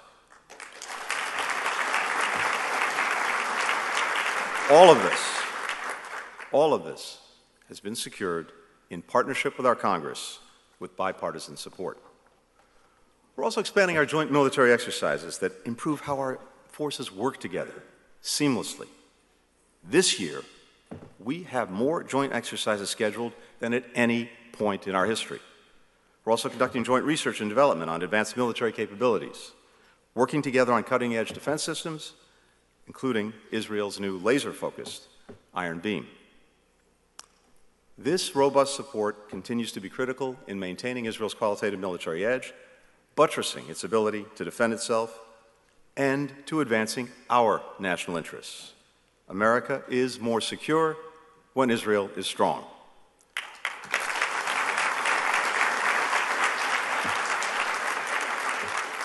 As we support Israel's defense, we are also pushing back, as you've heard, on the consistent, constant efforts to delegitimize Israel, which are aimed at undermining or isolating Israel's rightful place on the international stage. Now, we fully, deeply respect the right of all to freedom of expression. And indeed, every single day we are actively defending that and promoting that around the world. At the same time, we continue to reject the global boycott, divestment, and sanctions movement for unfairly singling out Israel.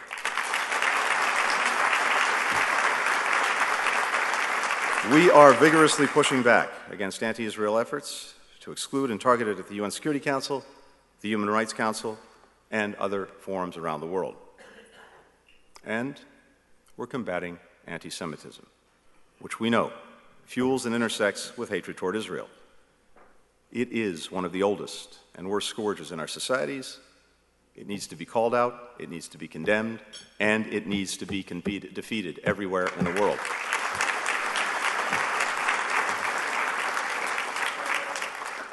Last month, together with Special Envoy for Monitoring and Combating Anti-Semitism, Deborah Lipstadt, the President released the first ever U.S. national strategy to counter anti-Semitism, to beat back the rising tide of hate that we see around the world, and yes, in our own country. Now, we're clear eyed about the many dangers that Israel faces in all of their forms. But there is no danger that Israel faces that is graver than the one posed by the Iranian regime.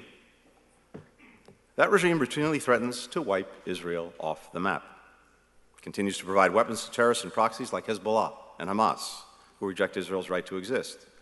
It exports its aggression throughout and even beyond the region, including by arming Russian forces with drones that are being used to kill Ukrainian civilians and destroy its infrastructure. And in turn, Russia is providing sophisticated weaponry to Iran. The pattern of hostile behavior underscores a clear imperative that you heard from Michael. Iran cannot and will not be allowed to acquire a nuclear weapon.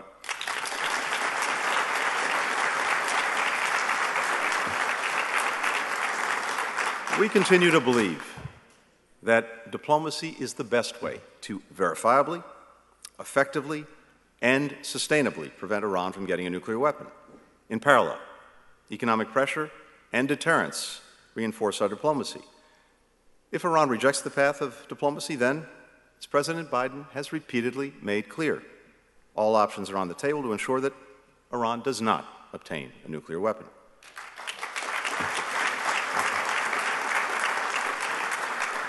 This three pronged approach diplomacy, economic pressure, deterrence, which also includes strengthening Israel's military capabilities, has bipartisan support.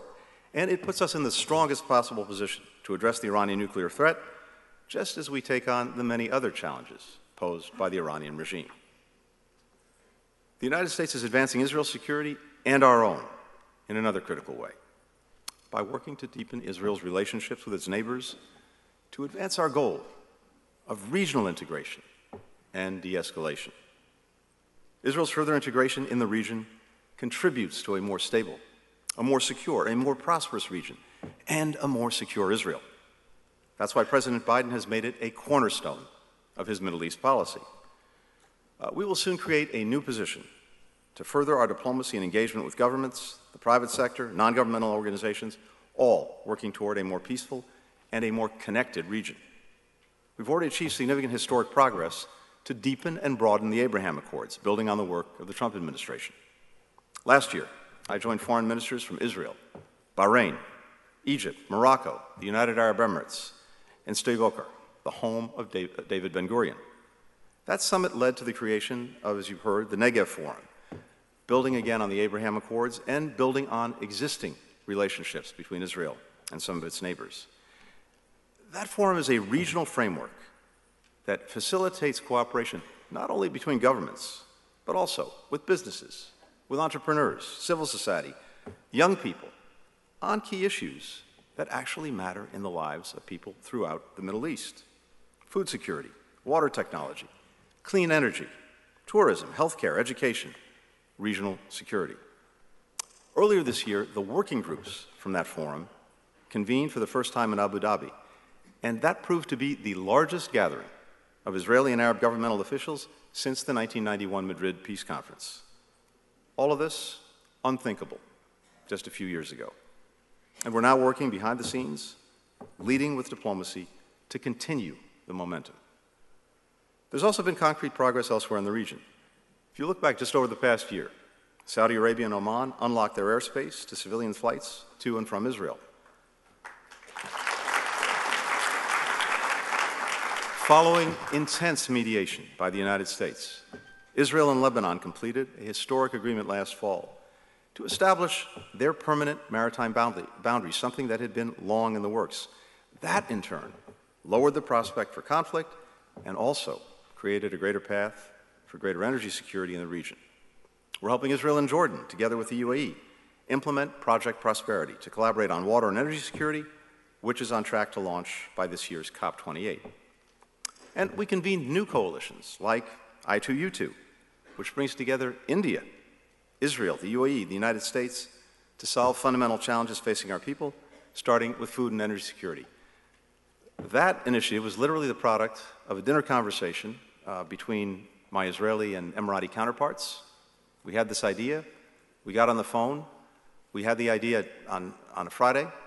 By Tuesday, we were on a video conference with our Indian counterpart. This project was launched, and ultimately, uh, the leaders of all the countries uh, worked together to move it forward. We're also supporting Israel in its uh, work to deepen relations beyond the region, including in the eastern Mediterranean and with the 3.1 grouping of Israel, Greece, the Republic of Cyprus, focused on intensifying cooperation in energy, economic growth, climate change, emergency preparedness, counterterrorism. And we are working to accelerate all of this progress. The United States has a real national security interest in promoting normalization between Israel and Saudi Arabia.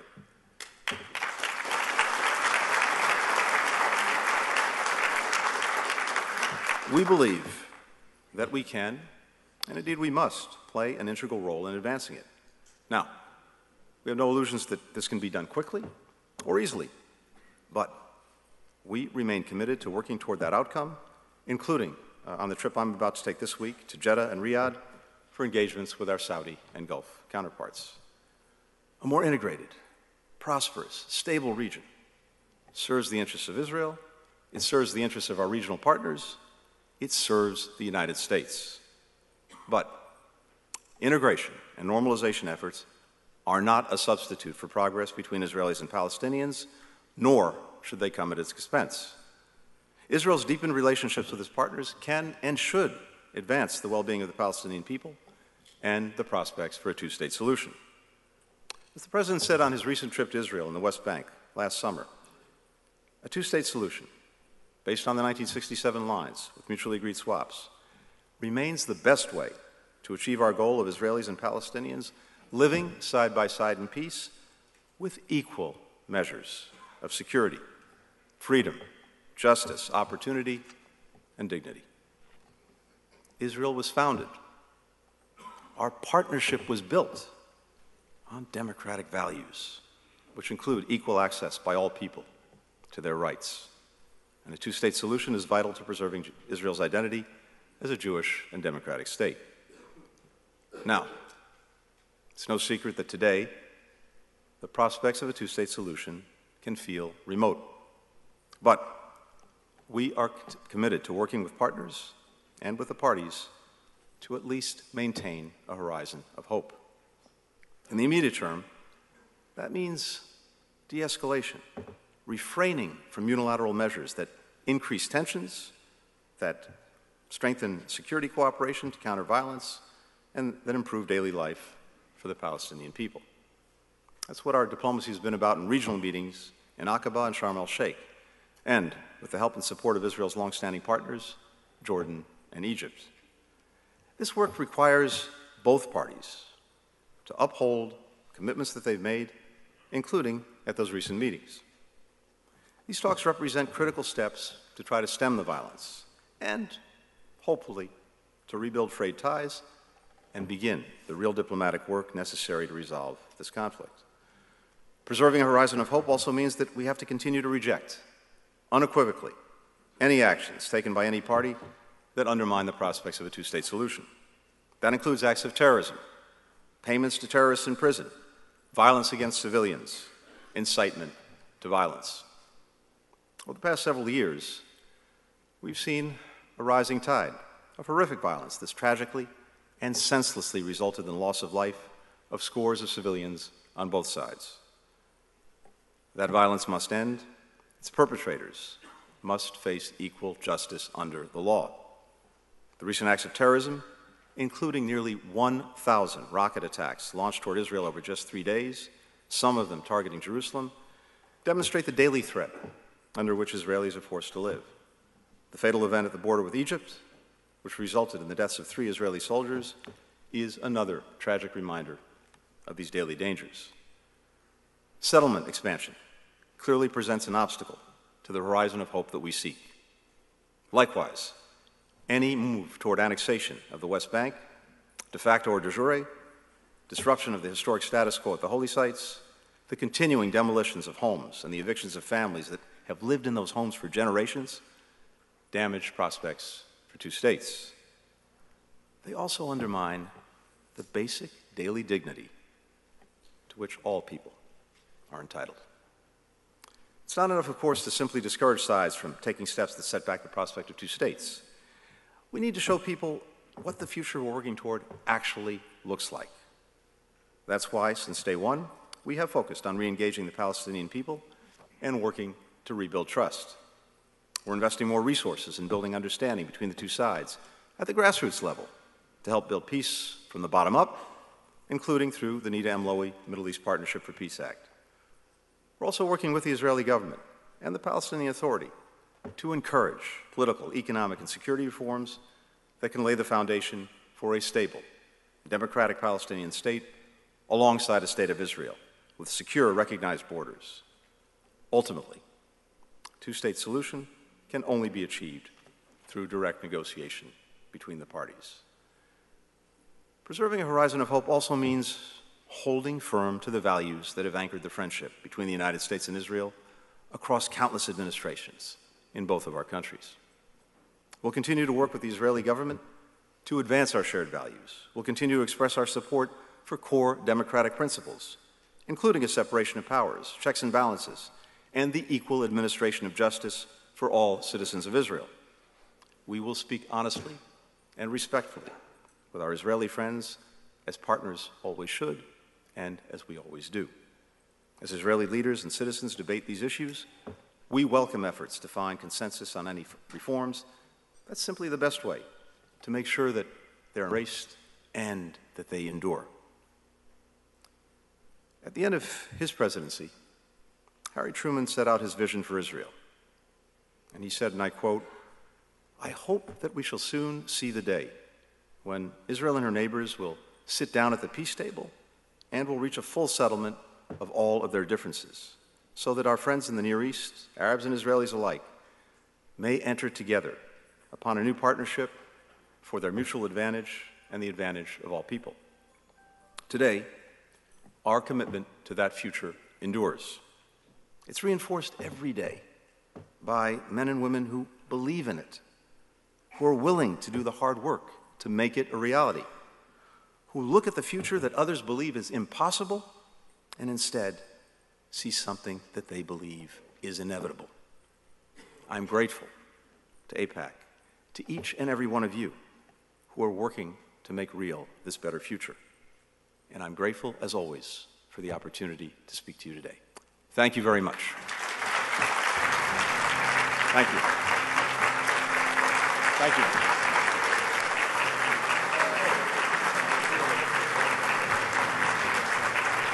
Thank you. Tony, thank you. Thank you. That was good. That was good.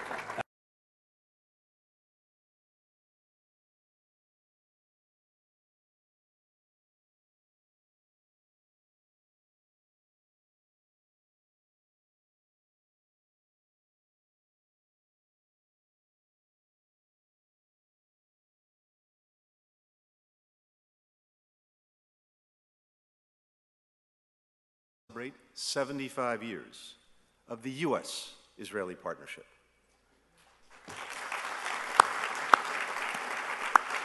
Now, you all know this very well. That partnership touches on every aspect of our lives, from security to business, from energy to public health. Our ties have not only delivered for one another, but for countries around the world, making deserts bloom, developing the clean energy technologies of the future, producing vaccines charting the future of space exploration, and so much more. And the depth and breadth of that partnership between our governments is matched only by the strength of the ties between our peoples. This partnership between the United States and Israel is indispensable, but it was not inevitable. As Israel prepared to declare its independence, many members of President Truman's cabinet, including the Secretary of State, counseled against recognizing Israel, convinced that an independent Jewish state could not survive, that it wasn't economically viable, that it lacked the natural resources to serve as the Jewish homeland, that it couldn't bear an influx of immigrants, that it simply faced too many security threats. Not everyone thought that way. My grandfather, Maurice Blinken, who founded the American Palestine Institute after the Second World War, initiated a report before independence that argued that the Jewish state was indeed possible, that it would in fact be easier to support 2 million Jews than the present 600,000. That report helped convince many skeptics, including within the United States government. Others in the country similarly had faith in Israel's future and found the courage to speak out against the prevailing wisdom. Public servants like White House counsel Clark Clifford, who argued that Israel could be the first democratic government in the Middle East. Everyday Americans like Missouri businessman Eddie Jacobson, who convinced President Truman to meet with Chaim Weizmann, and of course, President Truman himself. President Truman never wavered in his decision to extend recognition to the new Jewish state. He said, and I quote, I had faith in Israel even before it was established. I knew it was based on the love of freedom, which has been the guiding star of the Jewish people since the days of Moses.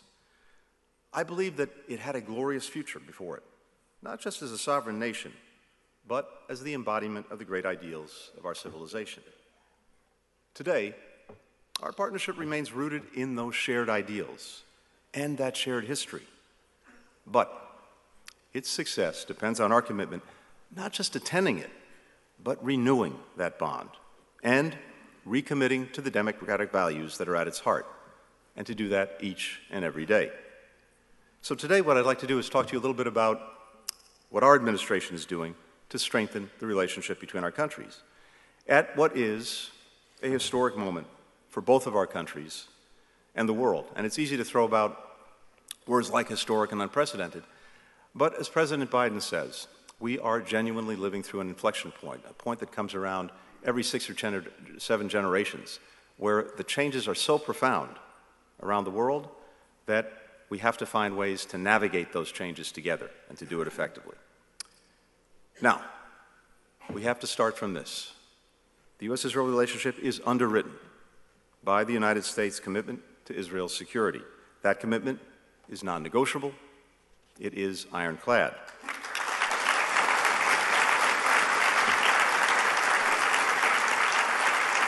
We are, we are providing $3.3 billion in foreign military financing to Israel each year. On top of that, Israel receives $500 million in funding for missile defense, tens of millions more for new counter drone and anti tunneling uh, technologies.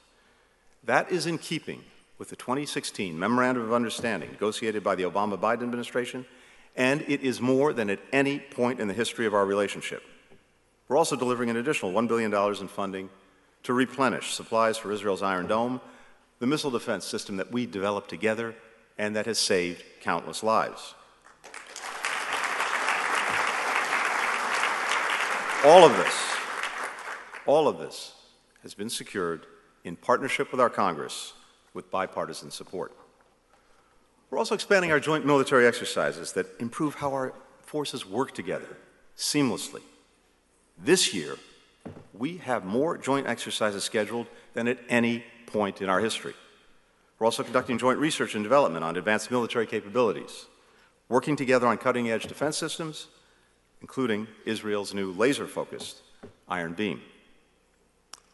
This robust support continues to be critical in maintaining Israel's qualitative military edge, buttressing its ability to defend itself, and to advancing our national interests. America is more secure when Israel is strong.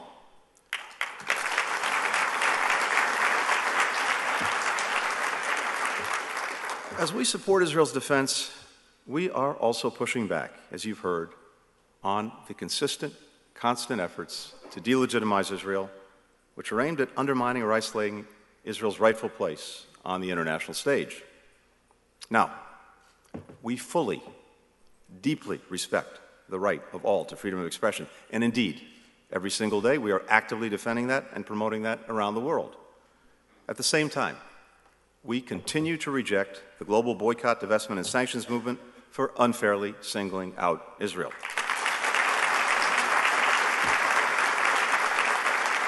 We are vigorously pushing back against anti Israel efforts to exclude and target it at the UN Security Council, the Human Rights Council, and other forums around the world. And we're combating anti Semitism, which we know fuels and intersects with hatred toward Israel. It is one of the oldest and worst scourges in our societies. It needs to be called out, it needs to be condemned, and it needs to be defeated everywhere in the world.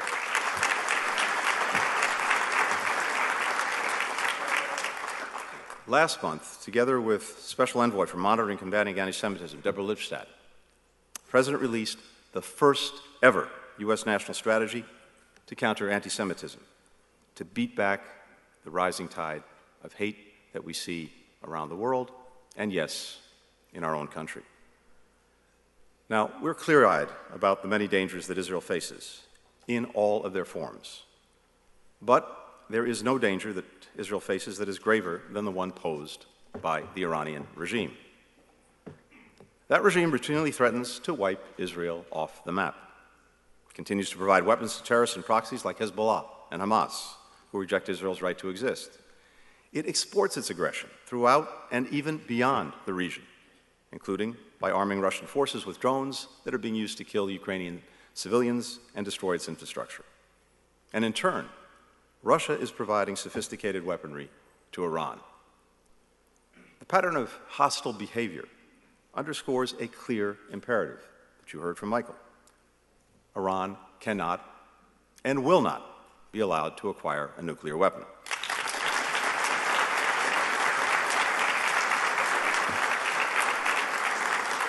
We continue to believe that diplomacy is the best way to verifiably, effectively, and sustainably prevent Iran from getting a nuclear weapon. In parallel, economic pressure and deterrence reinforce our diplomacy. If Iran rejects the path of diplomacy, then, as President Biden has repeatedly made clear, all options are on the table to ensure that Iran does not obtain a nuclear weapon.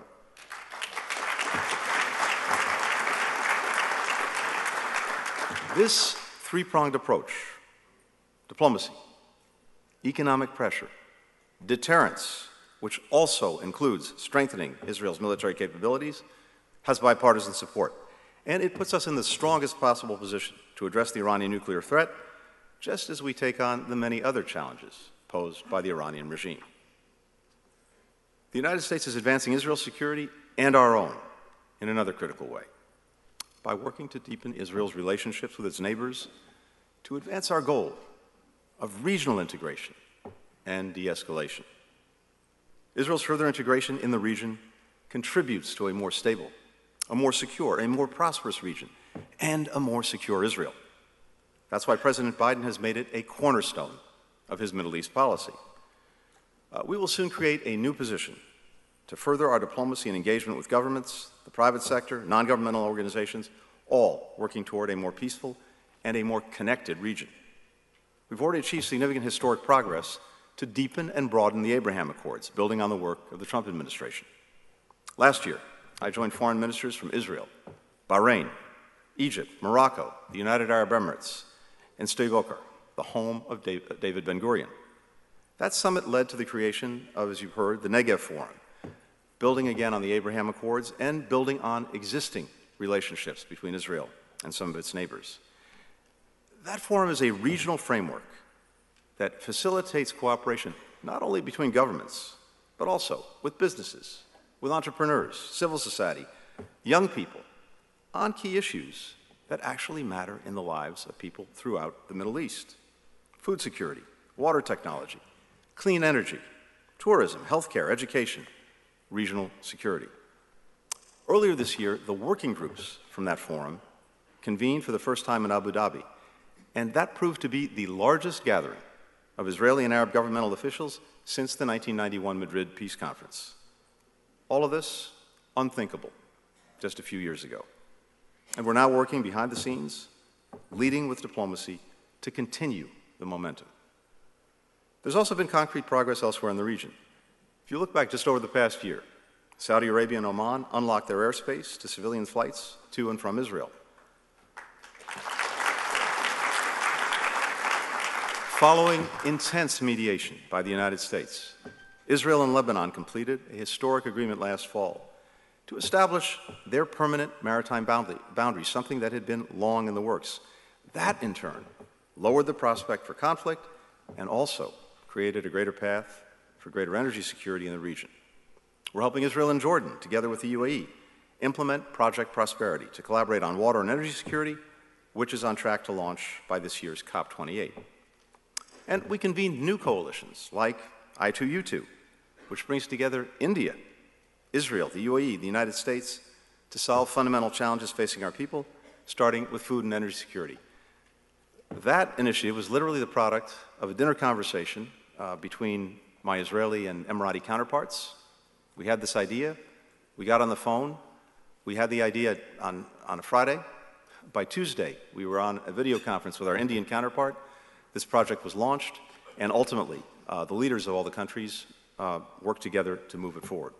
We're also supporting Israel in its uh, work to deepen relations beyond the region, including in the eastern Mediterranean and with the 3.1 grouping of Israel, Greece, the Republic of Cyprus, focused on intensifying cooperation in energy, economic growth, climate change, emergency preparedness, counterterrorism. And we are working to accelerate all of this progress. The United States has a real national security interest in promoting normalization between Israel and Saudi Arabia.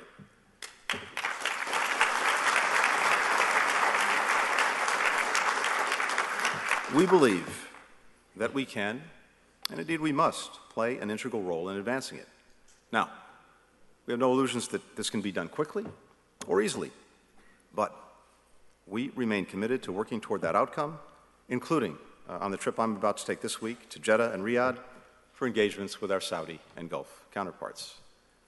A more integrated, prosperous, stable region serves the interests of Israel, it serves the interests of our regional partners, it serves the United States. But integration and normalization efforts are not a substitute for progress between Israelis and Palestinians, nor should they come at its expense. Israel's deepened relationships with its partners can and should advance the well being of the Palestinian people and the prospects for a two state solution. As the President said on his recent trip to Israel and the West Bank last summer, a two state solution, based on the 1967 lines with mutually agreed swaps, remains the best way to achieve our goal of Israelis and Palestinians living side by side in peace with equal measures of security freedom, justice, opportunity, and dignity. Israel was founded. Our partnership was built on democratic values, which include equal access by all people to their rights. And a two state solution is vital to preserving Israel's identity as a Jewish and democratic state. Now, it's no secret that today the prospects of a two state solution can feel remote. But we are committed to working with partners and with the parties to at least maintain a horizon of hope. In the immediate term, that means de escalation, refraining from unilateral measures that increase tensions, that strengthen security cooperation to counter violence, and that improve daily life for the Palestinian people. That's what our diplomacy has been about in regional meetings in Aqaba and Sharm el Sheikh, and with the help and support of Israel's longstanding partners, Jordan and Egypt. This work requires both parties to uphold commitments that they've made, including at those recent meetings. These talks represent critical steps to try to stem the violence and, hopefully, to rebuild frayed ties and begin the real diplomatic work necessary to resolve this conflict. Preserving a horizon of hope also means that we have to continue to reject, unequivocally, any actions taken by any party that undermine the prospects of a two state solution. That includes acts of terrorism, payments to terrorists in prison, violence against civilians, incitement to violence. Over the past several years, we've seen a rising tide of horrific violence that's tragically and senselessly resulted in the loss of life of scores of civilians on both sides. That violence must end. Its perpetrators must face equal justice under the law.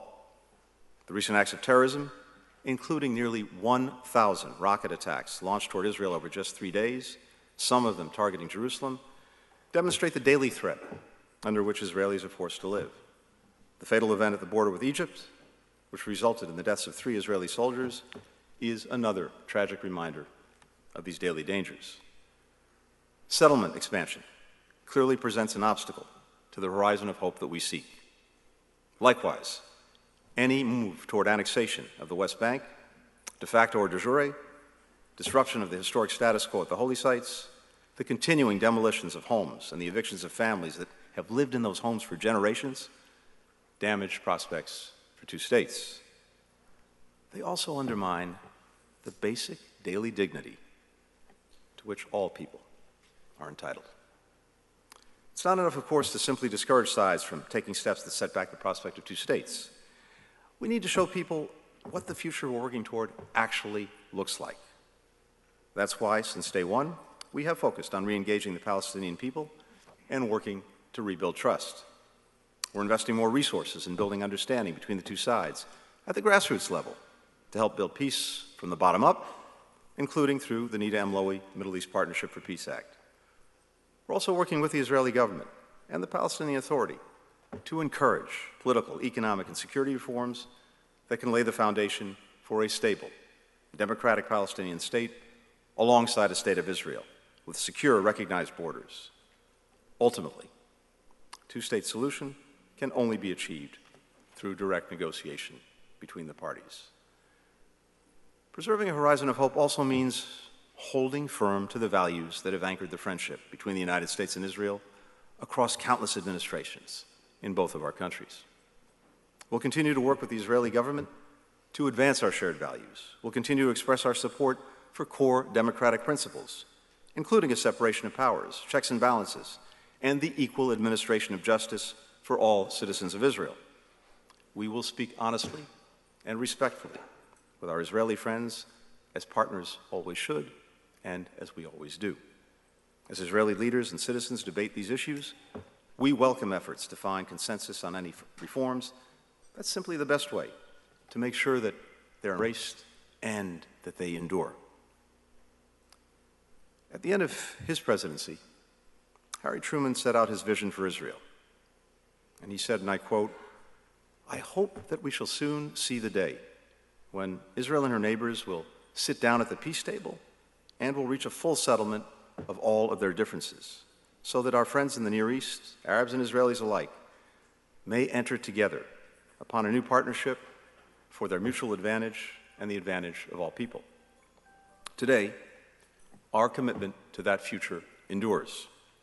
It's reinforced every day by men and women who believe in it, who are willing to do the hard work to make it a reality who look at the future that others believe is impossible and instead see something that they believe is inevitable. I'm grateful to AIPAC, to each and every one of you who are working to make real this better future. And I'm grateful, as always, for the opportunity to speak to you today. Thank you very much. Thank you. Thank you.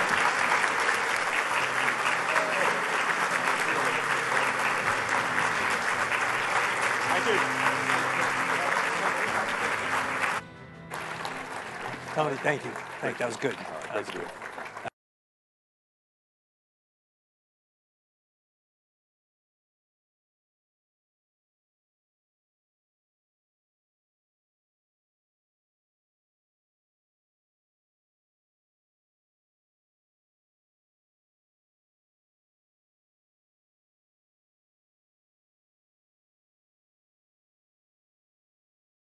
Celebrate 75 years of the U.S. Israeli partnership.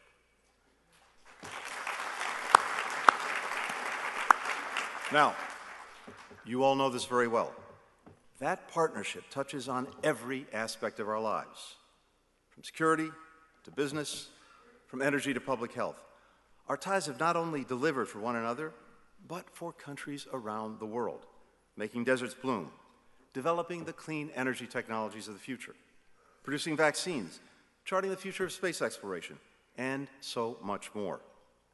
And the depth and breadth of that partnership between our governments is matched only by the strength of the ties between our peoples. This partnership between the United States and Israel is indispensable, but it was not inevitable. As Israel prepared to declare its independence, many members of President Truman's cabinet, including the Secretary of State, counseled against recognizing Israel, convinced that an independent Jewish state could not survive, that it wasn't economically viable, that it lacked the natural resources to serve as the Jewish homeland, that it couldn't bear an influx of immigrants, that it simply faced too many security threats. Not everyone thought that way. My grandfather, Maurice Blinken, who founded the American Palestine Institute after the Second World War, initiated a report before independence that argued that the Jewish state was indeed possible, that it would in fact be easier to support 2 million Jews than the present 600,000. That report helped convince many skeptics, including within the United States government. Others in the country similarly had faith in Israel's future and found the courage to speak out against the prevailing wisdom. Public servants like White House counsel Clark Clifford, who argued that Israel could be the first democratic government in the Middle East. Everyday Americans like Missouri businessman Eddie Jacobson, who convinced President Truman to meet with Chaim Weizmann and, of course, President Truman himself. President Truman never wavered in his decision to extend recognition to the new Jewish state. He said, and I quote, I had faith in Israel even before it was established. I knew it was based on the love of freedom, which has been the guiding star of the Jewish people since the days of Moses. I believe that it had a glorious future before it, not just as a sovereign nation, but as the embodiment of the great ideals of our civilization. Today, our partnership remains rooted in those shared ideals and that shared history. But its success depends on our commitment not just attending it, but renewing that bond and recommitting to the democratic values that are at its heart, and to do that each and every day. So, today, what I'd like to do is talk to you a little bit about what our administration is doing to strengthen the relationship between our countries at what is a historic moment for both of our countries and the world. And it's easy to throw about words like historic and unprecedented. But as President Biden says, we are genuinely living through an inflection point, a point that comes around every six or seven generations, where the changes are so profound around the world that we have to find ways to navigate those changes together and to do it effectively. Now, we have to start from this. The U.S. Israel relationship is underwritten by the United States' commitment to Israel's security. That commitment is non negotiable, it is ironclad.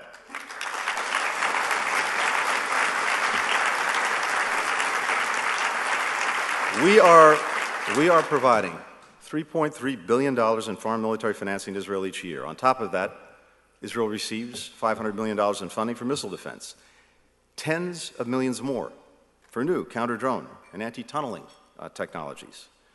That is in keeping with the 2016 Memorandum of Understanding negotiated by the Obama Biden administration, and it is more than at any point in the history of our relationship. We're also delivering an additional $1 billion in funding to replenish supplies for Israel's Iron Dome, the missile defense system that we developed together and that has saved countless lives. All of this, all of this has been secured in partnership with our Congress with bipartisan support. We're also expanding our joint military exercises that improve how our forces work together seamlessly. This year, we have more joint exercises scheduled than at any point in our history. We're also conducting joint research and development on advanced military capabilities. working together on cutting edge defense systems, including Israel's new laser focused Iron Beam. This robust support continues to be critical in maintaining Israel's qualitative military edge, buttressing its ability to defend itself, and to advancing our national interests. America is more secure when Israel is strong.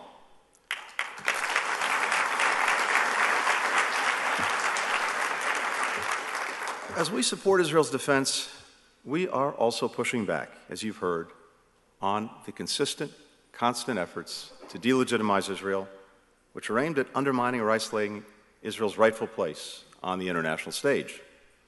Now, we fully, deeply respect the right of all to freedom of expression, and indeed, every single day we are actively defending that and promoting that around the world. At the same time, we continue to reject the global boycott, divestment, and sanctions movement for unfairly singling out Israel.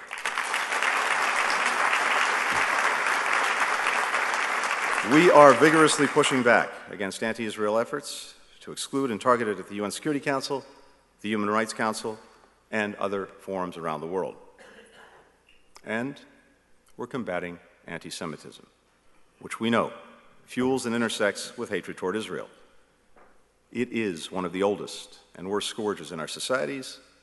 It needs to be called out, it needs to be condemned, and it needs to be defeated everywhere in the world.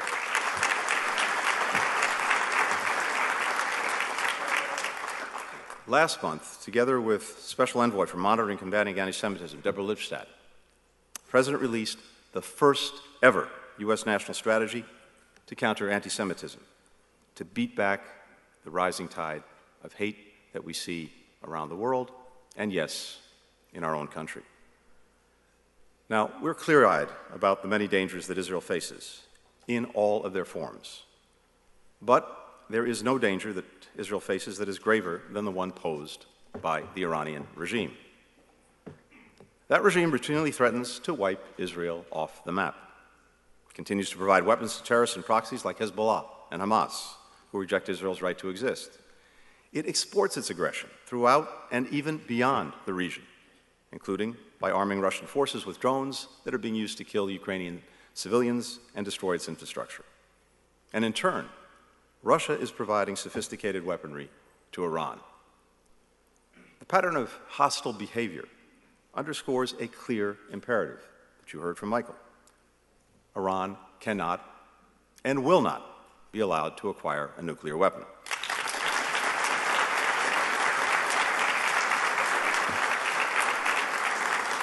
We continue to believe that diplomacy is the best way to verifiably, effectively, and sustainably prevent Iran from getting a nuclear weapon.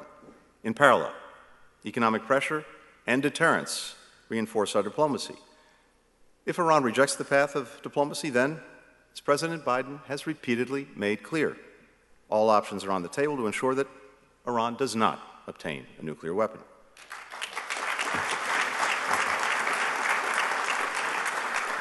This three pronged approach diplomacy, economic pressure, deterrence, which also includes strengthening Israel's military capabilities, has bipartisan support. And it puts us in the strongest possible position to address the Iranian nuclear threat, just as we take on the many other challenges posed by the Iranian regime. The United States is advancing Israel's security and our own in another critical way by working to deepen Israel's relationships with its neighbors to advance our goal of regional integration and de escalation. Israel's further integration in the region contributes to a more stable, a more secure, a more prosperous region, and a more secure Israel. That's why President Biden has made it a cornerstone of his Middle East policy. Uh, we will soon create a new position to further our diplomacy and engagement with governments, the private sector, non governmental organizations, all working toward a more peaceful and a more connected region. We've already achieved significant historic progress to deepen and broaden the Abraham Accords, building on the work of the Trump administration. Last year, I joined foreign ministers from Israel, Bahrain, Egypt, Morocco, the United Arab Emirates, and Sde Boker, the home of David Ben Gurion. That summit led to the creation of, as you've heard, the Negev Forum, building again on the Abraham Accords, and building on existing relationships between Israel and some of its neighbors. That forum is a regional framework that facilitates cooperation not only between governments, but also with businesses, with entrepreneurs, civil society, young people, on key issues that actually matter in the lives of people throughout the Middle East food security, water technology, clean energy, tourism, healthcare, education, regional security. Earlier this year, the working groups from that forum convened for the first time in Abu Dhabi, and that proved to be the largest gathering of Israeli and Arab governmental officials since the 1991 Madrid Peace Conference. All of this unthinkable just a few years ago. And we're now working behind the scenes, leading with diplomacy to continue the momentum. There's also been concrete progress elsewhere in the region. If you look back just over the past year, Saudi Arabia and Oman unlocked their airspace to civilian flights to and from Israel. Following intense mediation by the United States, Israel and Lebanon completed a historic agreement last fall to establish their permanent maritime boundary, boundary, something that had been long in the works. That, in turn, lowered the prospect for conflict and also created a greater path for greater energy security in the region. We're helping Israel and Jordan, together with the UAE, implement Project Prosperity to collaborate on water and energy security, which is on track to launch by this year's COP28. And we convened new coalitions like I2U2, which brings together India, Israel, the UAE, the United States to solve fundamental challenges facing our people, starting with food and energy security. That initiative was literally the product of a dinner conversation uh, between my Israeli and Emirati counterparts. We had this idea, we got on the phone, we had the idea on, on a Friday. By Tuesday, we were on a video conference with our Indian counterpart this project was launched, and ultimately, uh, the leaders of all the countries uh, worked together to move it forward. We're also supporting Israel in its uh, work to deepen relations beyond the region, including in the eastern Mediterranean and with the 3.1 grouping of Israel, Greece, the Republic of Cyprus, focused on intensifying cooperation in energy, economic growth, climate change, emergency preparedness, counterterrorism. And we are working to accelerate all of this progress. The United States has a real national security interest in promoting normalization between Israel and Saudi Arabia.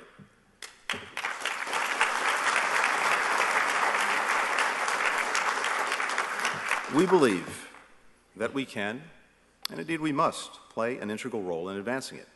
Now, we have no illusions that this can be done quickly or easily, but we remain committed to working toward that outcome, including uh, on the trip I'm about to take this week to Jeddah and Riyadh for engagements with our Saudi and Gulf counterparts. A more integrated, prosperous, stable region serves the interests of Israel, it serves the interests of our regional partners, it serves the United States. But integration and normalization efforts are not a substitute for progress between Israelis and Palestinians, nor should they come at its expense.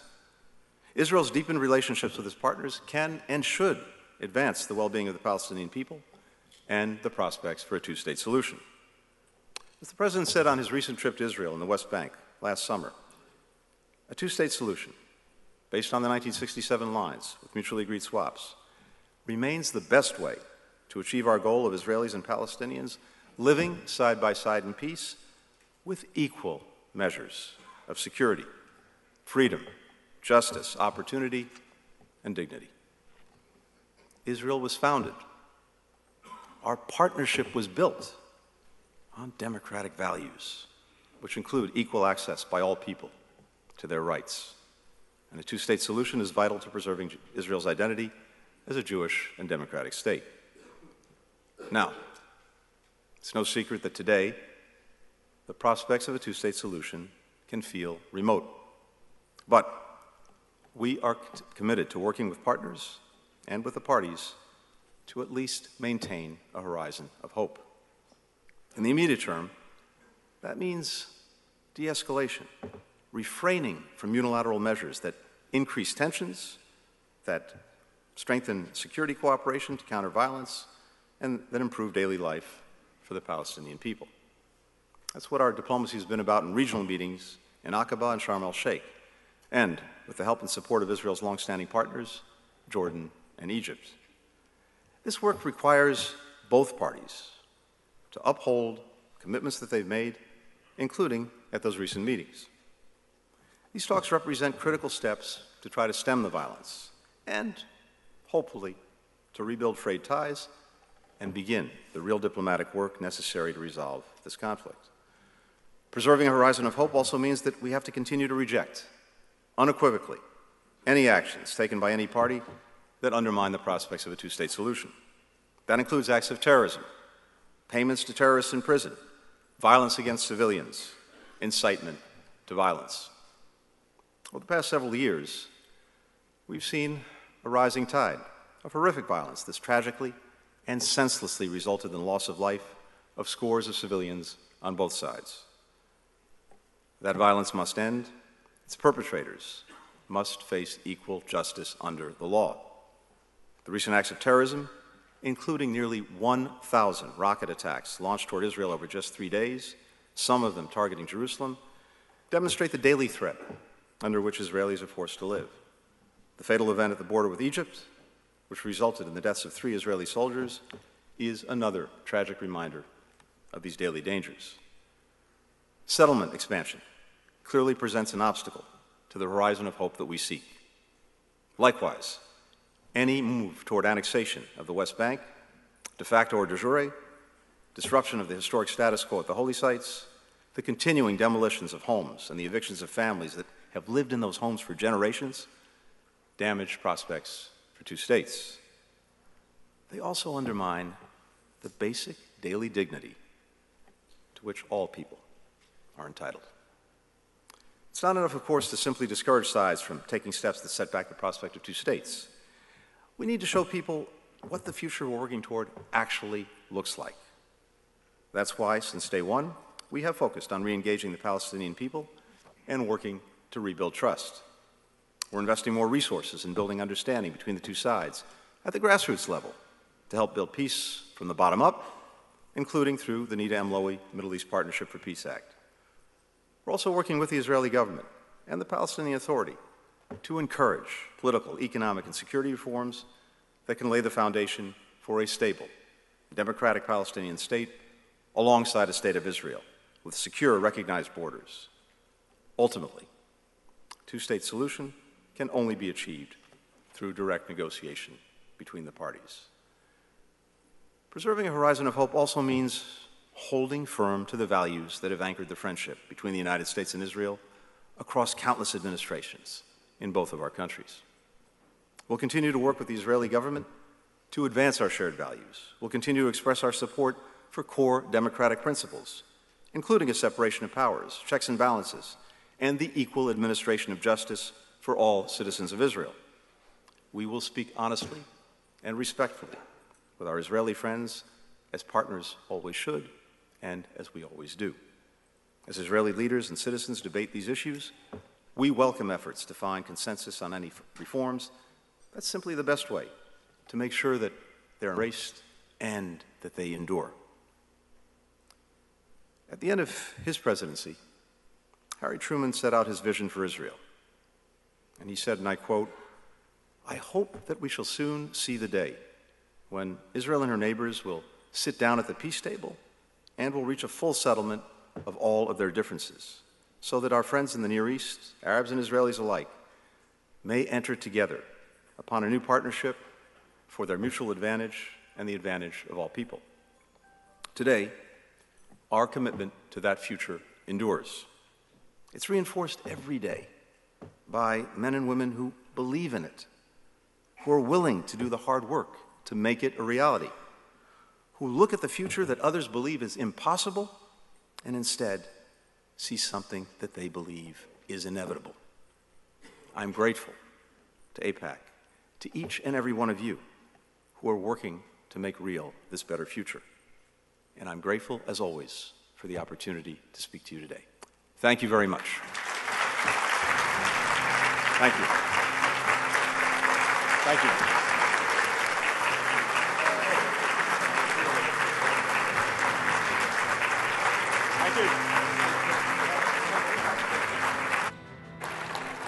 Tony, thank you. Thank, that was good. That was good.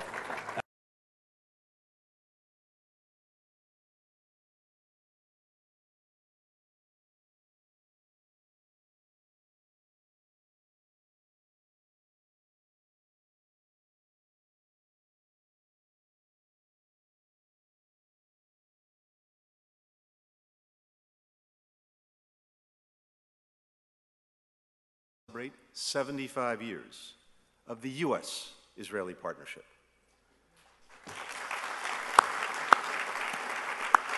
Now, you all know this very well. That partnership touches on every aspect of our lives, from security to business, from energy to public health.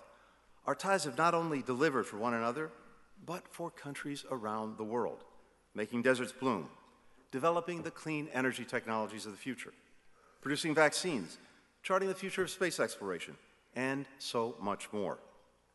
And the depth and breadth of that partnership between our governments is matched only by the strength of the ties between our peoples.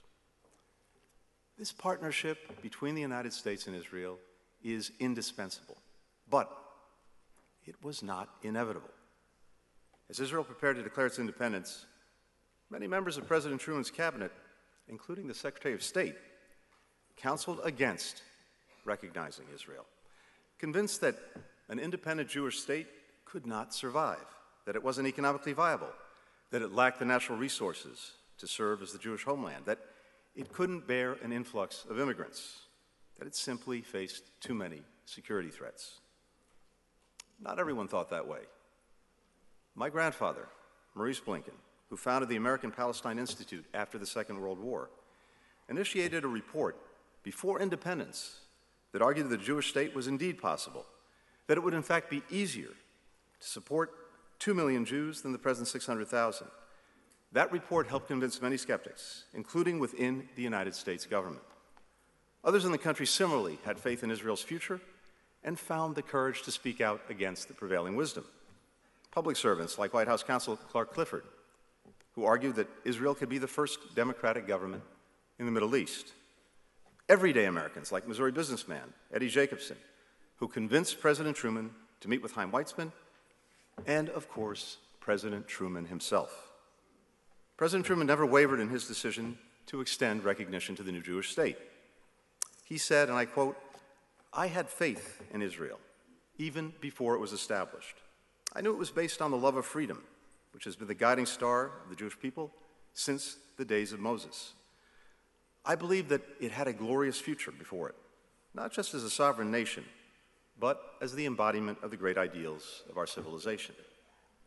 Today, our partnership remains rooted in those shared ideals and that shared history. But its success depends on our commitment not just attending it, but renewing that bond and recommitting to the democratic values that are at its heart, and to do that each and every day.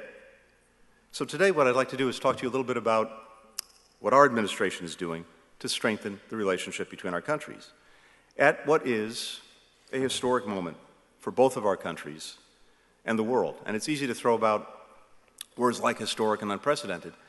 But as President Biden says, we are genuinely living through an inflection point, a point that comes around every six or seven generations, where the changes are so profound around the world that we have to find ways to navigate those changes together and to do it effectively. Now, we have to start from this. The U.S. Israel relationship is underwritten by the United States' commitment to Israel's security. That commitment is non negotiable, it is ironclad.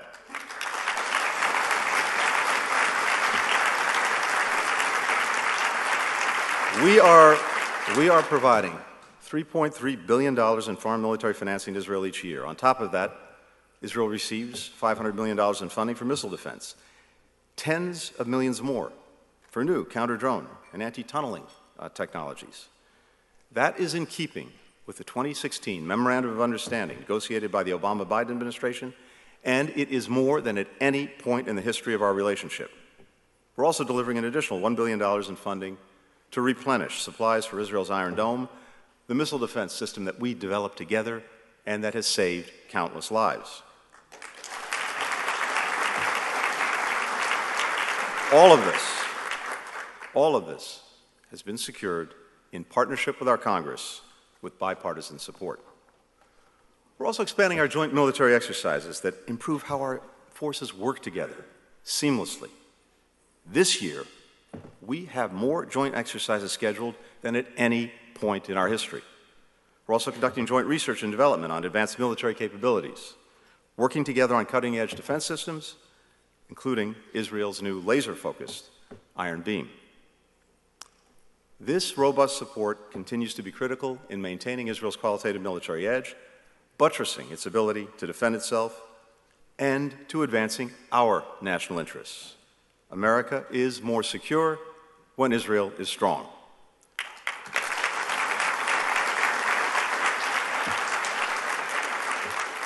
As we support Israel's defense, we are also pushing back, as you've heard, on the consistent, constant efforts to delegitimize Israel, which are aimed at undermining or isolating Israel's rightful place on the international stage. Now, we fully, deeply respect the right of all to freedom of expression, and indeed, every single day we are actively defending that and promoting that around the world. At the same time, we continue to reject the global boycott, divestment, and sanctions movement for unfairly singling out Israel.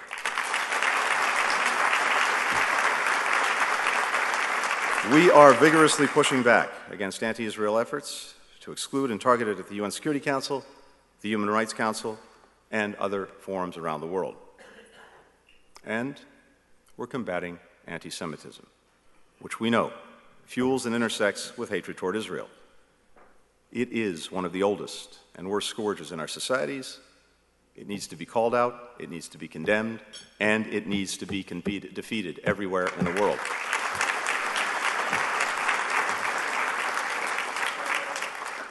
Last month, together with Special Envoy for Monitoring and Combating Anti Semitism, Deborah Lipstadt, the President released the first ever U.S. national strategy to counter anti Semitism, to beat back the rising tide of hate that we see around the world, and yes, in our own country. Now, we're clear eyed about the many dangers that Israel faces in all of their forms. But there is no danger that Israel faces that is graver than the one posed by the Iranian regime. That regime routinely threatens to wipe Israel off the map, it continues to provide weapons to terrorists and proxies like Hezbollah and Hamas, who reject Israel's right to exist. It exports its aggression throughout and even beyond the region including by arming Russian forces with drones that are being used to kill Ukrainian civilians and destroy its infrastructure. And in turn, Russia is providing sophisticated weaponry to Iran. The pattern of hostile behavior underscores a clear imperative that you heard from Michael. Iran cannot and will not be allowed to acquire a nuclear weapon.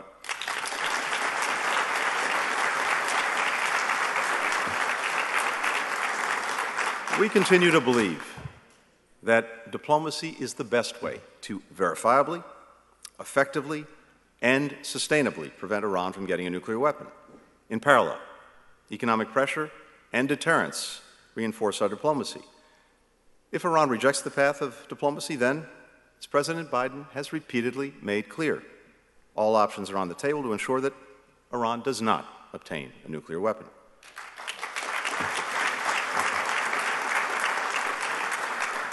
This three pronged approach diplomacy, economic pressure, deterrence, which also includes strengthening Israel's military capabilities, has bipartisan support. And it puts us in the strongest possible position to address the Iranian nuclear threat, just as we take on the many other challenges posed by the Iranian regime. The United States is advancing Israel's security and our own in another critical way by working to deepen Israel's relationships with its neighbors to advance our goal of regional integration and de escalation. Israel's further integration in the region contributes to a more stable, a more secure, a more prosperous region, and a more secure Israel. That's why President Biden has made it a cornerstone of his Middle East policy. Uh, we will soon create a new position to further our diplomacy and engagement with governments, the private sector, non governmental organizations, all working toward a more peaceful and a more connected region. We've already achieved significant historic progress to deepen and broaden the Abraham Accords, building on the work of the Trump administration. Last year, I joined foreign ministers from Israel, Bahrain, Egypt, Morocco, the United Arab Emirates, and Sde the home of David Ben Gurion. That summit led to the creation of, as you've heard, the Negev Forum, building again on the Abraham Accords and building on existing relationships between Israel and some of its neighbors. That forum is a regional framework that facilitates cooperation not only between governments, but also with businesses, with entrepreneurs, civil society, young people, on key issues that actually matter in the lives of people throughout the Middle East food security, water technology, clean energy, tourism, healthcare, education, regional security. Earlier this year, the working groups from that forum convened for the first time in Abu Dhabi, and that proved to be the largest gathering of Israeli and Arab governmental officials since the 1991 Madrid Peace Conference. All of this unthinkable just a few years ago. And we're now working behind the scenes, leading with diplomacy to continue the momentum. There's also been concrete progress elsewhere in the region. If you look back just over the past year, Saudi Arabia and Oman unlocked their airspace to civilian flights to and from Israel. Following intense mediation by the United States, Israel and Lebanon completed a historic agreement last fall to establish their permanent maritime boundary, something that had been long in the works. That, in turn, lowered the prospect for conflict and also created a greater path for greater energy security in the region. We're helping Israel and Jordan, together with the UAE, implement Project Prosperity to collaborate on water and energy security, which is on track to launch by this year's COP28. And we convened new coalitions like I2U2, which brings together India, Israel, the UAE, the United States, to solve fundamental challenges facing our people, starting with food and energy security. That initiative was literally the product of a dinner conversation uh, between my Israeli and Emirati counterparts. We had this idea. We got on the phone. We had the idea on, on a Friday. By Tuesday, we were on a video conference with our Indian counterpart. This project was launched, and ultimately, uh, the leaders of all the countries uh, worked together to move it forward. We're also supporting Israel in its uh, work to deepen relations beyond the region, including in the eastern Mediterranean and with the 3.1 grouping of Israel, Greece, the Republic of Cyprus, focused on intensifying cooperation in energy, economic growth, climate change, emergency preparedness, counterterrorism. And we are working to accelerate all of this progress. The United States has a real national security interest in promoting normalization between Israel and Saudi Arabia.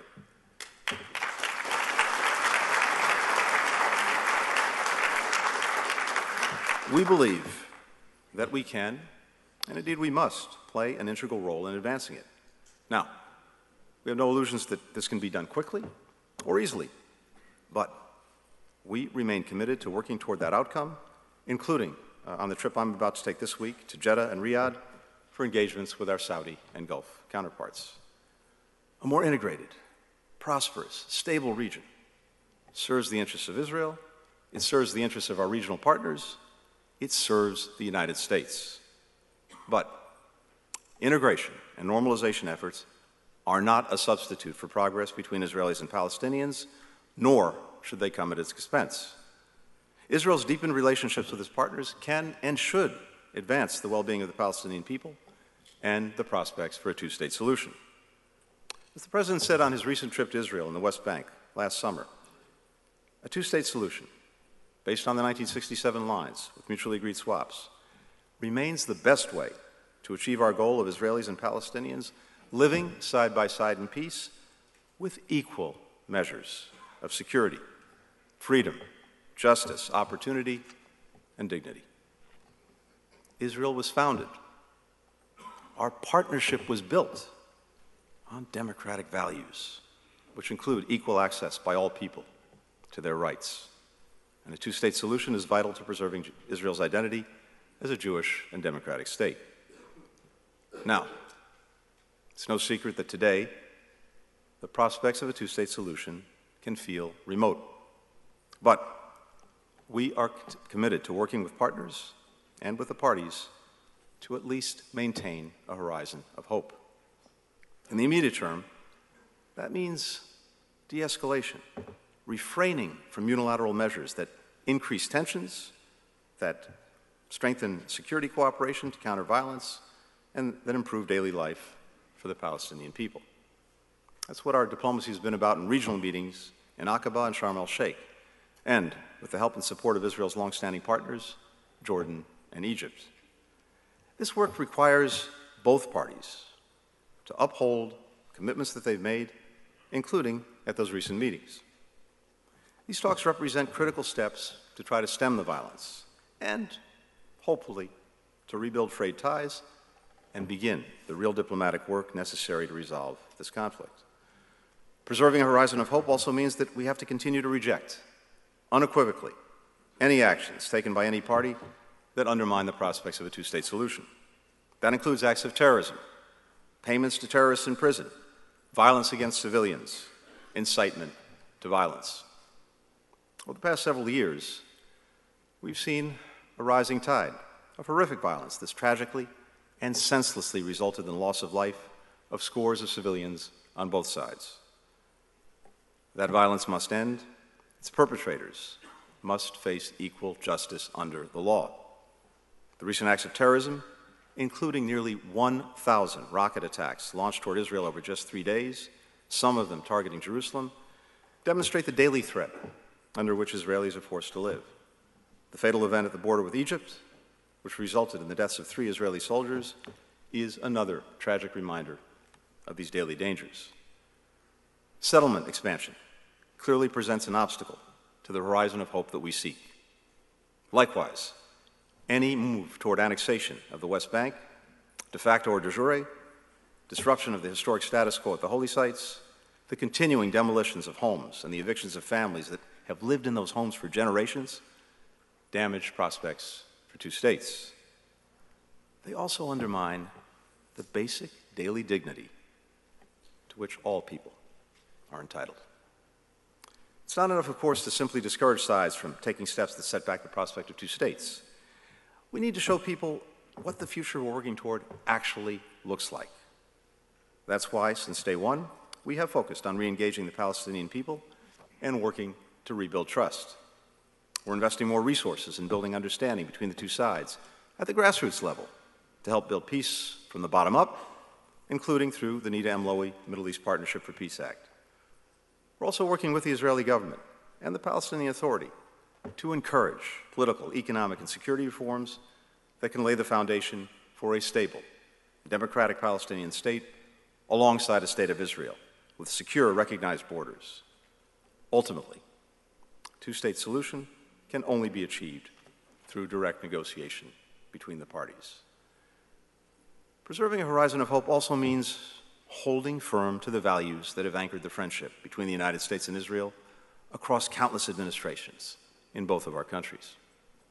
We'll continue to work with the Israeli government to advance our shared values. We'll continue to express our support for core democratic principles, including a separation of powers, checks and balances, and the equal administration of justice for all citizens of Israel.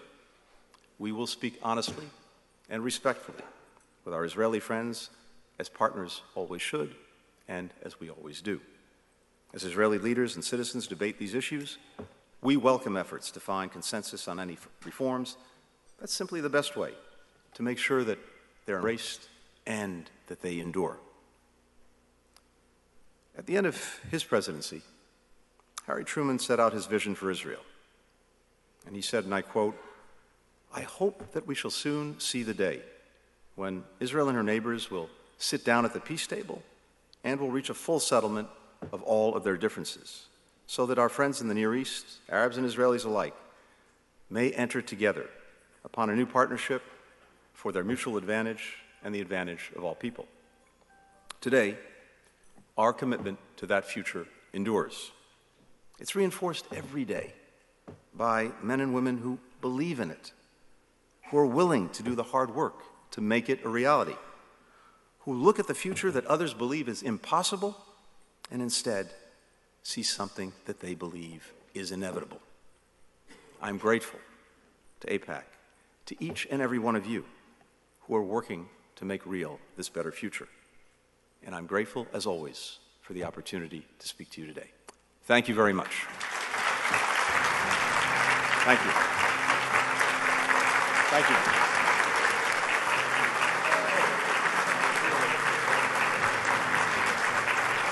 Thank Tony, thank you. Thank, you. that was good. That was good.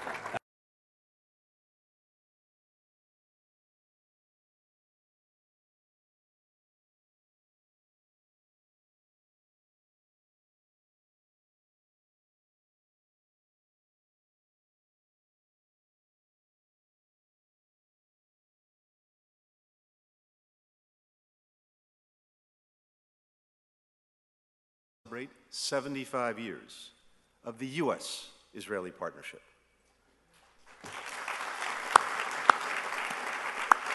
Now, you all know this very well.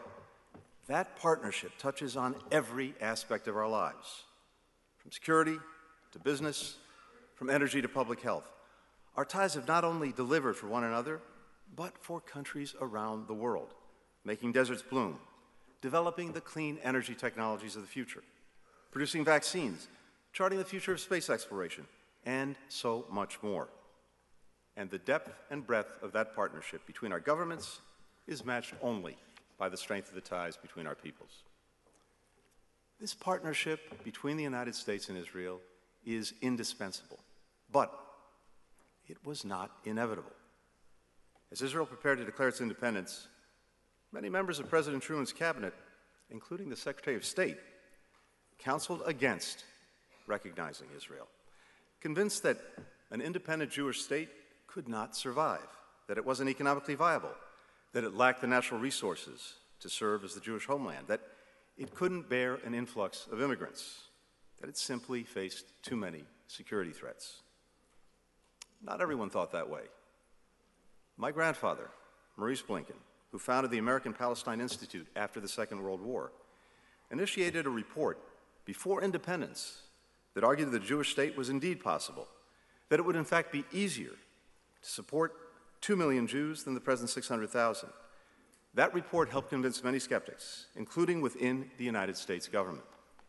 Others in the country similarly had faith in Israel's future and found the courage to speak out against the prevailing wisdom. Public servants like White House counsel Clark Clifford, who argued that Israel could be the first democratic government in the Middle East everyday Americans like Missouri businessman Eddie Jacobson, who convinced President Truman to meet with Chaim Weizmann, and of course, President Truman himself. President Truman never wavered in his decision to extend recognition to the new Jewish state. He said, and I quote, I had faith in Israel even before it was established. I knew it was based on the love of freedom, which has been the guiding star of the Jewish people since the days of Moses. I believe that it had a glorious future before it, not just as a sovereign nation, but as the embodiment of the great ideals of our civilization. Today, our partnership remains rooted in those shared ideals and that shared history. But its success depends on our commitment not just attending it, but renewing that bond and recommitting to the democratic values that are at its heart, and to do that each and every day. So today what I'd like to do is talk to you a little bit about what our administration is doing to strengthen the relationship between our countries at what is a historic moment for both of our countries and the world. And it's easy to throw about words like historic and unprecedented. But as President Biden says, we are genuinely living through an inflection point, a point that comes around every six or ten or seven generations, where the changes are so profound around the world that we have to find ways to navigate those changes together and to do it effectively. Now, we have to start from this. The U.S. Israel relationship is underwritten by the United States' commitment to Israel's security. That commitment is non negotiable, it is ironclad.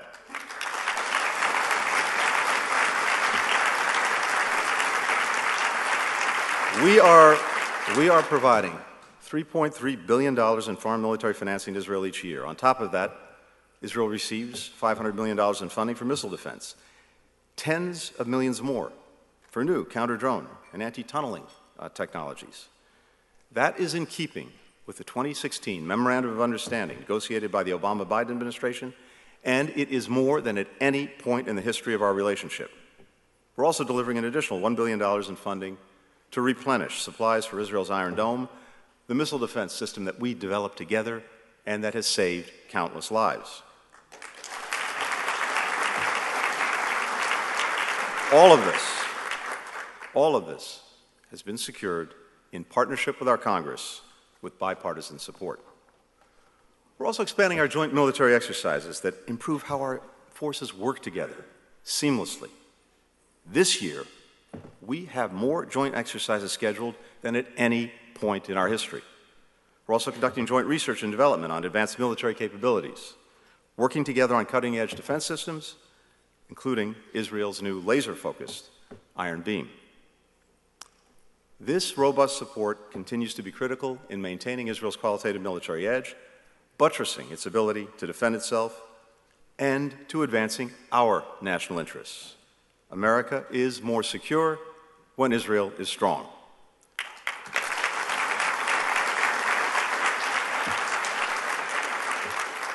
As we support Israel's defense, we are also pushing back, as you've heard, on the consistent, constant efforts to delegitimize Israel, which are aimed at undermining or isolating Israel's rightful place on the international stage.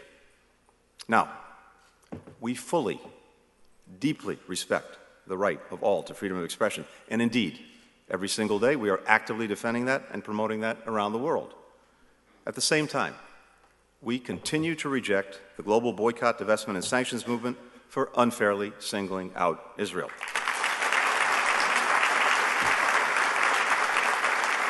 We are vigorously pushing back against anti Israel efforts to exclude and target it at the UN Security Council, the Human Rights Council, and other forums around the world. And we're combating anti Semitism, which we know fuels and intersects with hatred toward Israel. It is one of the oldest and worst scourges in our societies. It needs to be called out, it needs to be condemned, and it needs to be defeated everywhere in the world.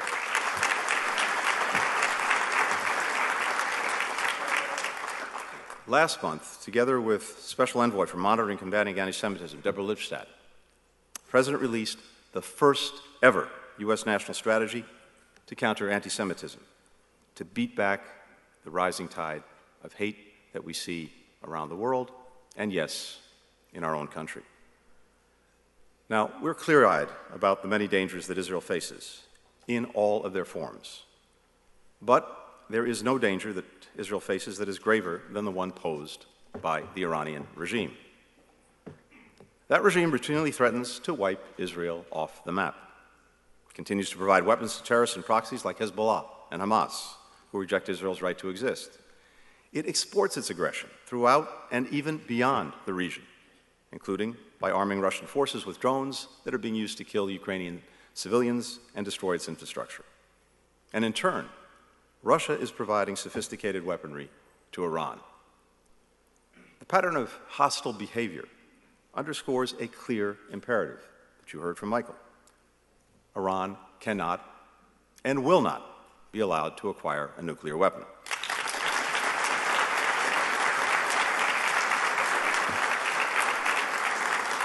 We continue to believe that diplomacy is the best way to verifiably, effectively, and sustainably prevent Iran from getting a nuclear weapon. In parallel, economic pressure and deterrence reinforce our diplomacy. If Iran rejects the path of diplomacy, then, as President Biden has repeatedly made clear, all options are on the table to ensure that Iran does not obtain a nuclear weapon.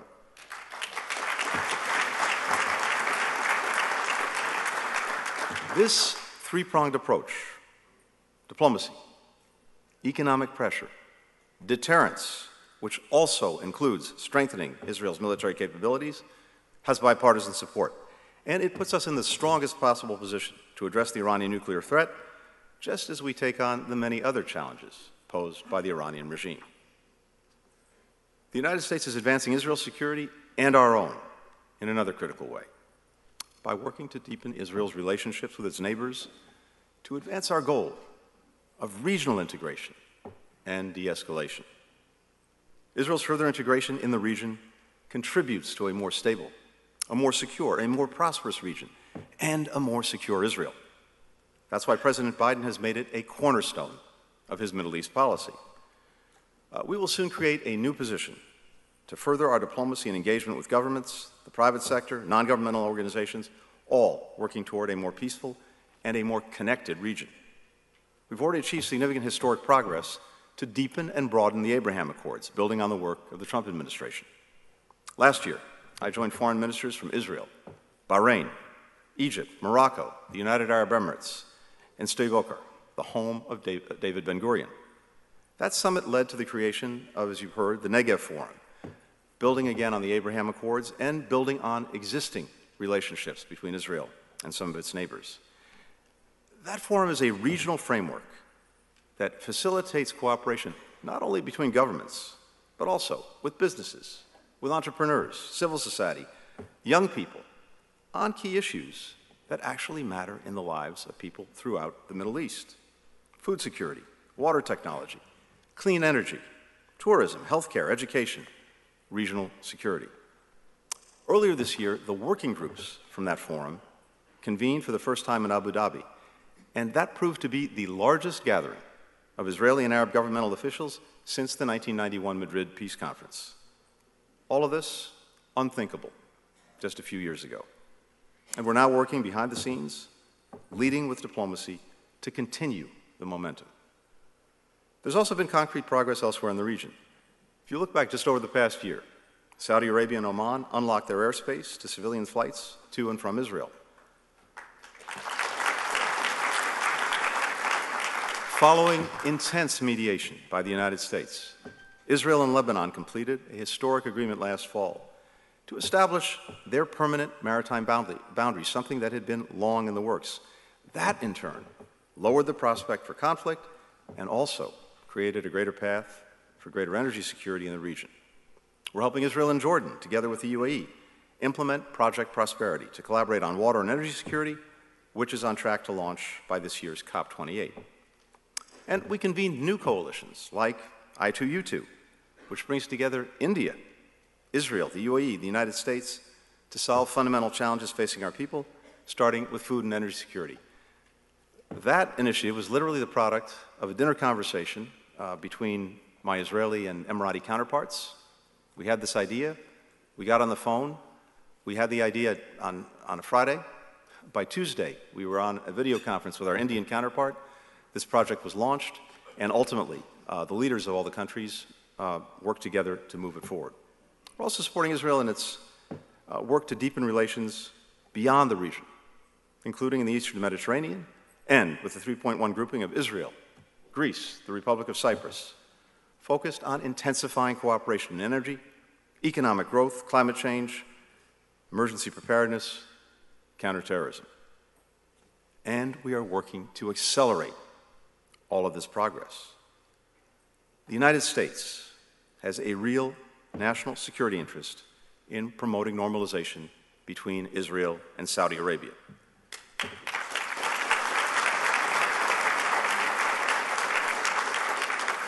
We believe that we can, and indeed we must, play an integral role in advancing it. Now, we have no illusions that this can be done quickly or easily, but we remain committed to working toward that outcome, including uh, on the trip I'm about to take this week to Jeddah and Riyadh for engagements with our Saudi and Gulf counterparts.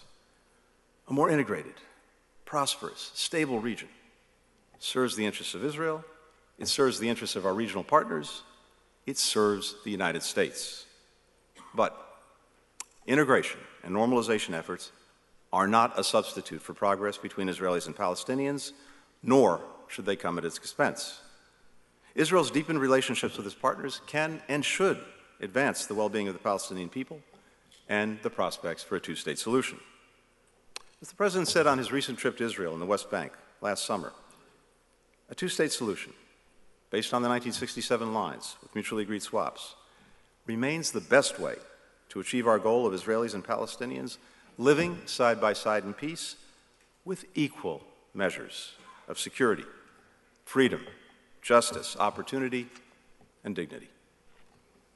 Israel was founded.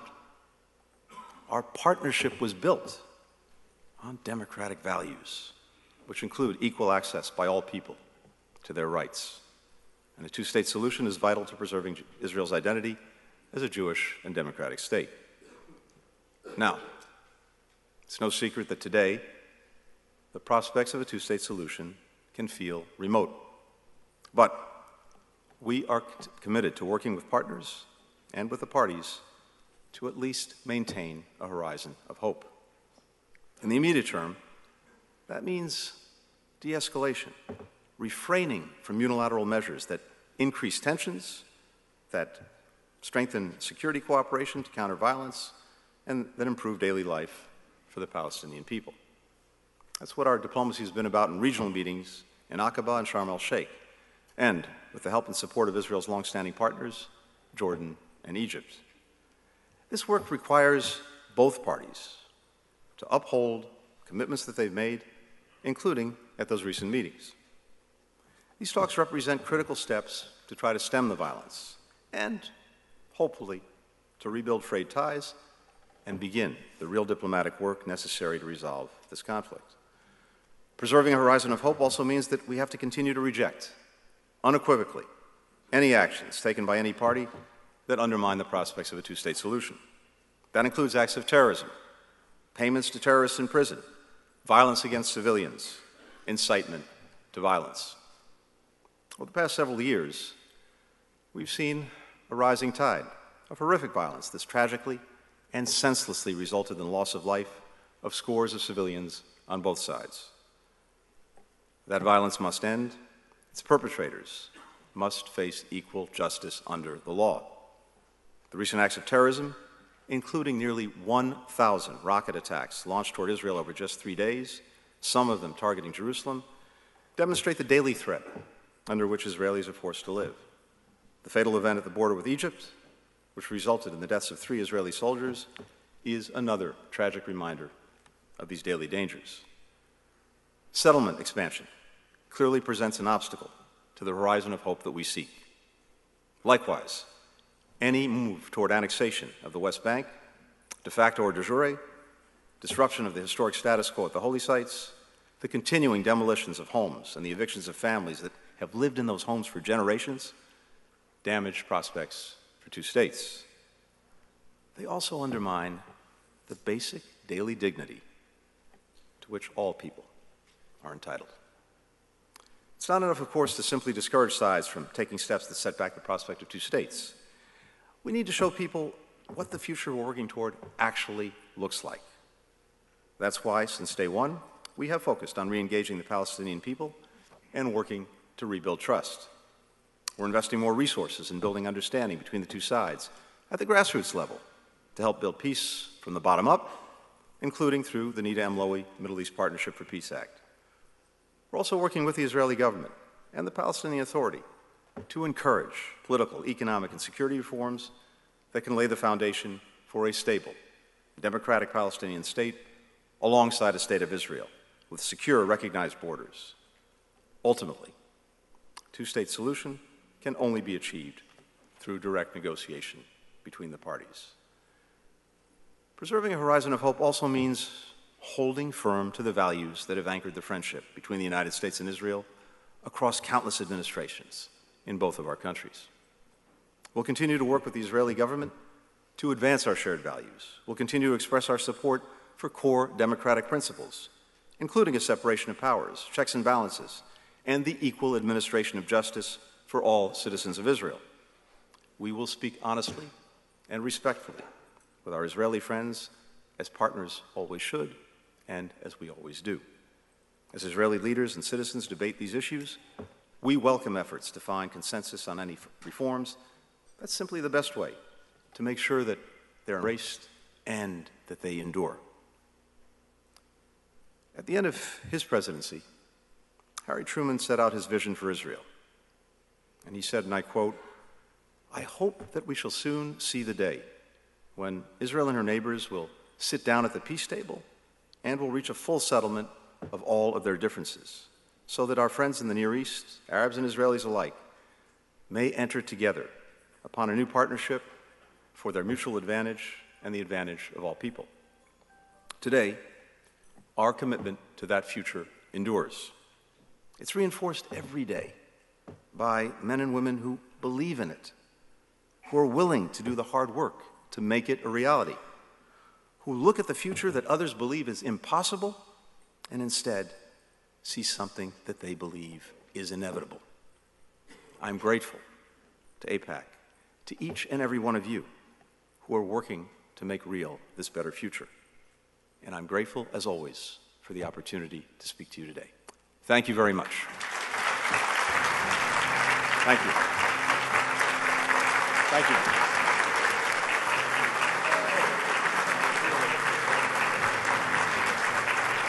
Thank you. Tony, thank you. Thank, that was good. That was good.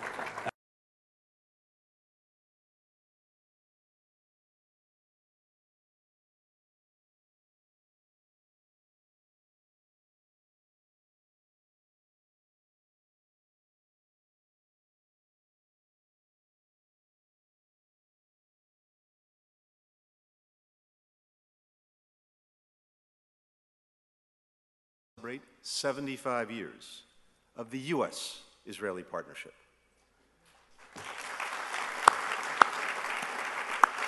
Now, you all know this very well.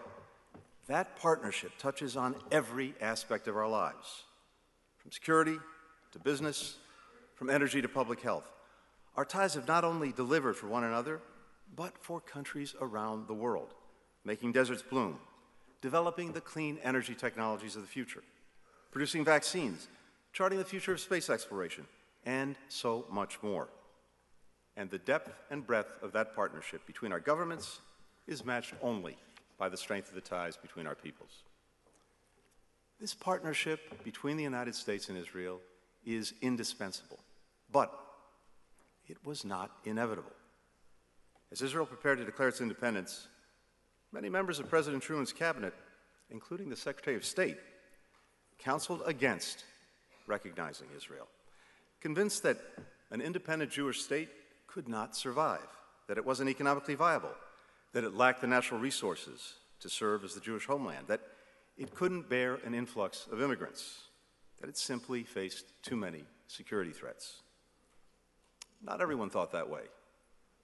My grandfather, Maurice Blinken, who founded the American Palestine Institute after the Second World War, initiated a report before independence that argued that the Jewish state was indeed possible, that it would in fact be easier to support 2 million Jews than the present 600,000. That report helped convince many skeptics, including within the United States government. Others in the country similarly had faith in Israel's future and found the courage to speak out against the prevailing wisdom.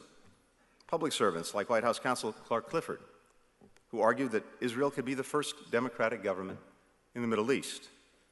Everyday Americans like Missouri businessman Eddie Jacobson, who convinced President Truman to meet with Chaim Weizmann, and of course, President Truman himself.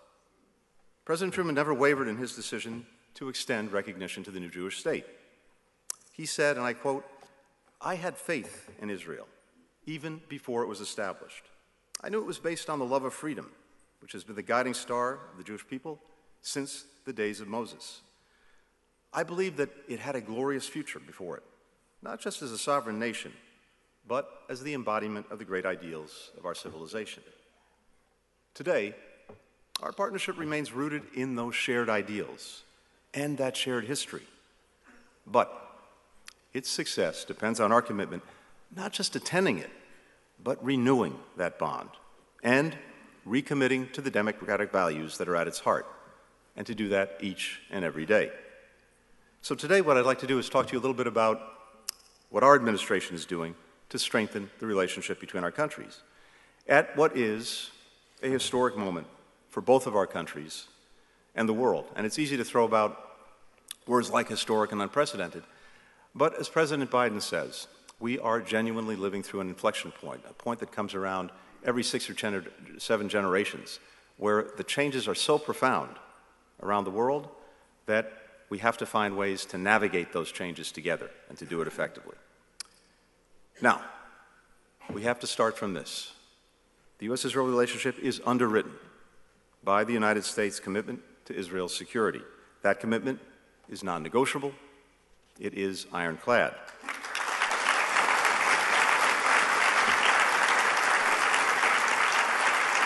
We are, we are providing $3.3 billion in foreign military financing to Israel each year. On top of that, Israel receives $500 million in funding for missile defense, tens of millions more for new counter drone and anti tunneling uh, technologies. That is in keeping with the 2016 Memorandum of Understanding negotiated by the Obama Biden administration, and it is more than at any point in the history of our relationship.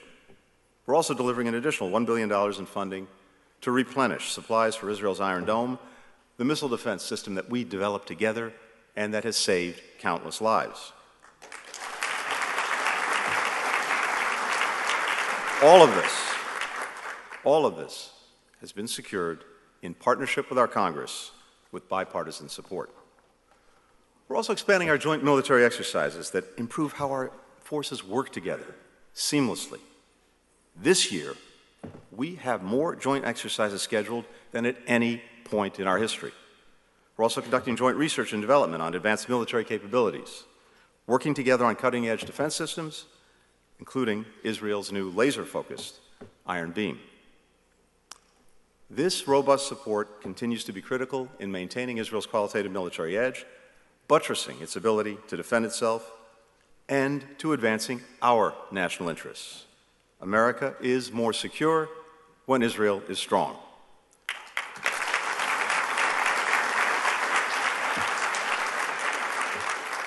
As we support Israel's defense, we are also pushing back, as you've heard, on the consistent, constant efforts to delegitimize Israel, which are aimed at undermining or isolating Israel's rightful place on the international stage. Now, we fully, deeply respect the right of all to freedom of expression. And indeed, every single day we are actively defending that and promoting that around the world. At the same time, we continue to reject the global boycott, divestment, and sanctions movement for unfairly singling out Israel.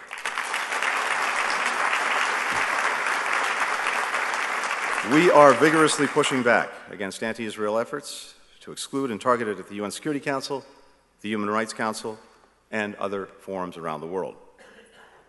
And we're combating anti Semitism, which we know fuels and intersects with hatred toward Israel.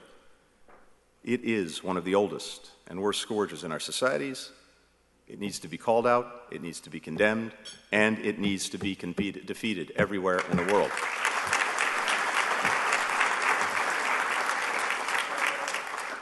Last month, together with Special Envoy for Monitoring and Combating Anti Semitism, Deborah Lipstadt, the President released the first ever U.S. national strategy to counter anti Semitism, to beat back the rising tide of hate that we see around the world, and yes, in our own country.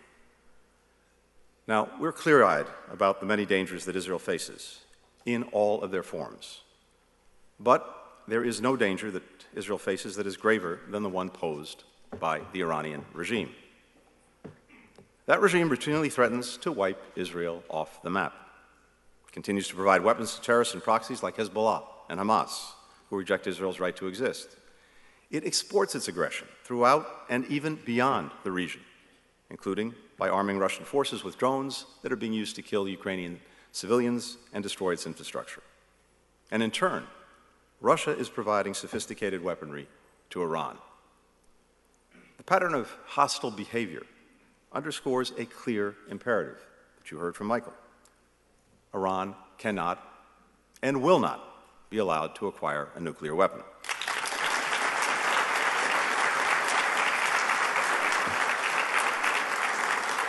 We continue to believe that diplomacy is the best way to verifiably, effectively, and sustainably prevent Iran from getting a nuclear weapon.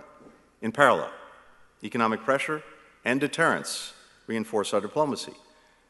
If Iran rejects the path of diplomacy, then, as President Biden has repeatedly made clear, all options are on the table to ensure that Iran does not obtain a nuclear weapon.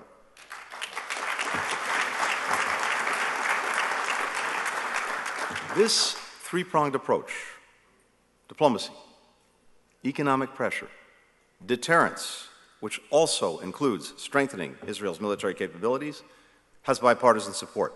And it puts us in the strongest possible position to address the Iranian nuclear threat, just as we take on the many other challenges posed by the Iranian regime. The United States is advancing Israel's security and our own in another critical way by working to deepen Israel's relationships with its neighbors to advance our goal of regional integration and de escalation. Israel's further integration in the region contributes to a more stable, a more secure, a more prosperous region, and a more secure Israel. That's why President Biden has made it a cornerstone of his Middle East policy. Uh, we will soon create a new position to further our diplomacy and engagement with governments, the private sector, non governmental organizations, all working toward a more peaceful and a more connected region. We've already achieved significant historic progress to deepen and broaden the Abraham Accords, building on the work of the Trump administration. Last year, I joined foreign ministers from Israel, Bahrain, Egypt, Morocco, the United Arab Emirates, and Sde the home of David Ben Gurion. That summit led to the creation of, as you've heard, the Negev Forum, building again on the Abraham Accords and building on existing relationships between Israel and some of its neighbors. That forum is a regional framework that facilitates cooperation not only between governments, but also with businesses, with entrepreneurs, civil society, young people, on key issues that actually matter in the lives of people throughout the Middle East food security, water technology, clean energy, tourism, healthcare, education, regional security. Earlier this year, the working groups from that forum convened for the first time in Abu Dhabi, and that proved to be the largest gathering of Israeli and Arab governmental officials since the 1991 Madrid Peace Conference. All of this unthinkable just a few years ago. And we're now working behind the scenes, leading with diplomacy to continue the momentum. There's also been concrete progress elsewhere in the region. If you look back just over the past year, Saudi Arabia and Oman unlocked their airspace to civilian flights to and from Israel. Following intense mediation by the United States, Israel and Lebanon completed a historic agreement last fall to establish their permanent maritime boundary, boundary, something that had been long in the works. That, in turn, lowered the prospect for conflict and also created a greater path for greater energy security in the region. We're helping Israel and Jordan, together with the UAE, implement Project Prosperity to collaborate on water and energy security, which is on track to launch by this year's COP28. And we convened new coalitions like I2U2, which brings together India, Israel, the UAE, the United States to solve fundamental challenges facing our people, starting with food and energy security. That initiative was literally the product of a dinner conversation uh, between my Israeli and Emirati counterparts. We had this idea, we got on the phone, we had the idea on, on a Friday. By Tuesday, we were on a video conference with our Indian counterpart this project was launched, and ultimately, uh, the leaders of all the countries uh, worked together to move it forward. We're also supporting Israel in its uh, work to deepen relations beyond the region, including in the eastern Mediterranean and with the 3.1 grouping of Israel, Greece, the Republic of Cyprus, focused on intensifying cooperation in energy, economic growth, climate change, emergency preparedness, counterterrorism. And we are working to accelerate all of this progress. The United States has a real national security interest in promoting normalization between Israel and Saudi Arabia.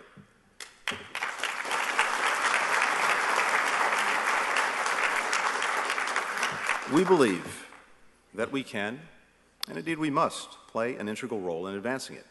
Now, we have no illusions that this can be done quickly or easily, but we remain committed to working toward that outcome, including uh, on the trip I'm about to take this week to Jeddah and Riyadh for engagements with our Saudi and Gulf counterparts. A more integrated, prosperous, stable region serves the interests of Israel, it serves the interests of our regional partners, it serves the United States. But integration and normalization efforts are not a substitute for progress between Israelis and Palestinians, nor should they come at its expense. Israel's deepened relationships with its partners can and should advance the well being of the Palestinian people and the prospects for a two state solution.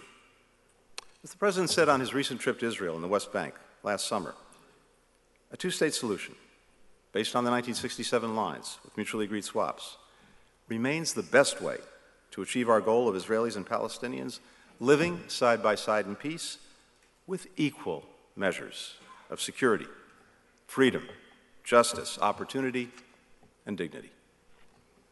Israel was founded. Our partnership was built on democratic values, which include equal access by all people to their rights. And a two state solution is vital to preserving Israel's identity as a Jewish and democratic state. Now, it's no secret that today the prospects of a two state solution can feel remote. But we are committed to working with partners and with the parties to at least maintain a horizon of hope. In the immediate term, that means de escalation, refraining from unilateral measures that increase tensions, that strengthen security cooperation to counter violence, and that improve daily life for the Palestinian people. That's what our diplomacy has been about in regional meetings in Aqaba and Sharm el Sheikh, and with the help and support of Israel's longstanding partners, Jordan and Egypt. This work requires both parties to uphold commitments that they've made, including at those recent meetings. These talks represent critical steps to try to stem the violence and, hopefully, to rebuild frayed ties and begin the real diplomatic work necessary to resolve this conflict. Preserving a horizon of hope also means that we have to continue to reject, unequivocally, any actions taken by any party that undermine the prospects of a two state solution. That includes acts of terrorism, payments to terrorists in prison, violence against civilians, incitement to violence. Over the past several years, we've seen a rising tide of horrific violence that's tragically and senselessly resulted in loss of life of scores of civilians on both sides. That violence must end. Its perpetrators must face equal justice under the law. The recent acts of terrorism, including nearly 1,000 rocket attacks launched toward Israel over just three days, some of them targeting Jerusalem, demonstrate the daily threat under which Israelis are forced to live. The fatal event at the border with Egypt which resulted in the deaths of three Israeli soldiers, is another tragic reminder of these daily dangers. Settlement expansion clearly presents an obstacle to the horizon of hope that we seek. Likewise, any move toward annexation of the West Bank, de facto or de jure, disruption of the historic status quo at the holy sites, the continuing demolitions of homes and the evictions of families that have lived in those homes for generations, damage prospects for two states. They also undermine the basic daily dignity to which all people are entitled. It's not enough, of course, to simply discourage sides from taking steps that set back the prospect of two states. We need to show people what the future we're working toward actually looks like. That's why, since day one, we have focused on re engaging the Palestinian people and working to rebuild trust. We're investing more resources in building understanding between the two sides at the grassroots level to help build peace from the bottom up, including through the Nita M. Lowey Middle East Partnership for Peace Act. We're also working with the Israeli government and the Palestinian Authority to encourage political, economic, and security reforms that can lay the foundation for a stable, democratic Palestinian state alongside a state of Israel with secure, recognized borders. Ultimately, two state solution can only be achieved through direct negotiation between the parties. Preserving a horizon of hope also means holding firm to the values that have anchored the friendship between the United States and Israel across countless administrations in both of our countries. We'll continue to work with the Israeli government to advance our shared values. We'll continue to express our support for core democratic principles, including a separation of powers, checks and balances, and the equal administration of justice for all citizens of Israel. We will speak honestly and respectfully with our Israeli friends, as partners always should, and as we always do. As Israeli leaders and citizens debate these issues, we welcome efforts to find consensus on any reforms. That's simply the best way to make sure that they're embraced and that they endure.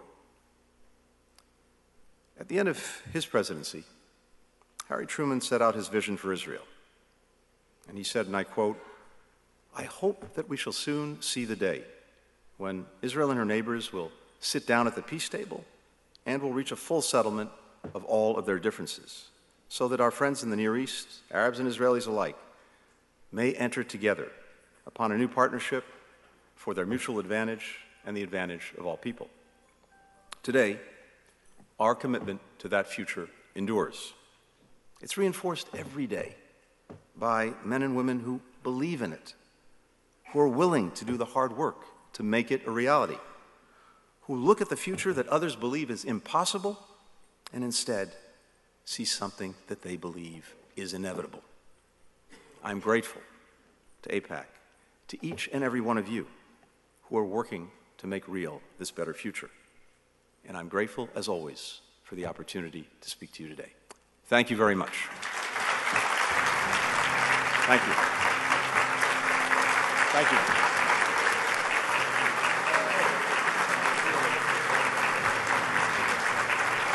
Thank you.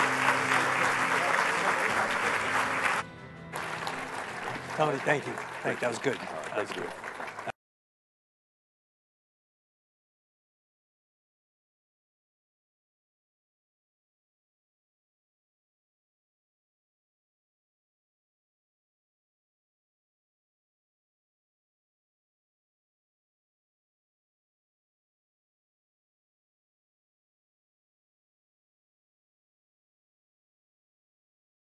Celebrate 75 years of the U.S. Israeli partnership.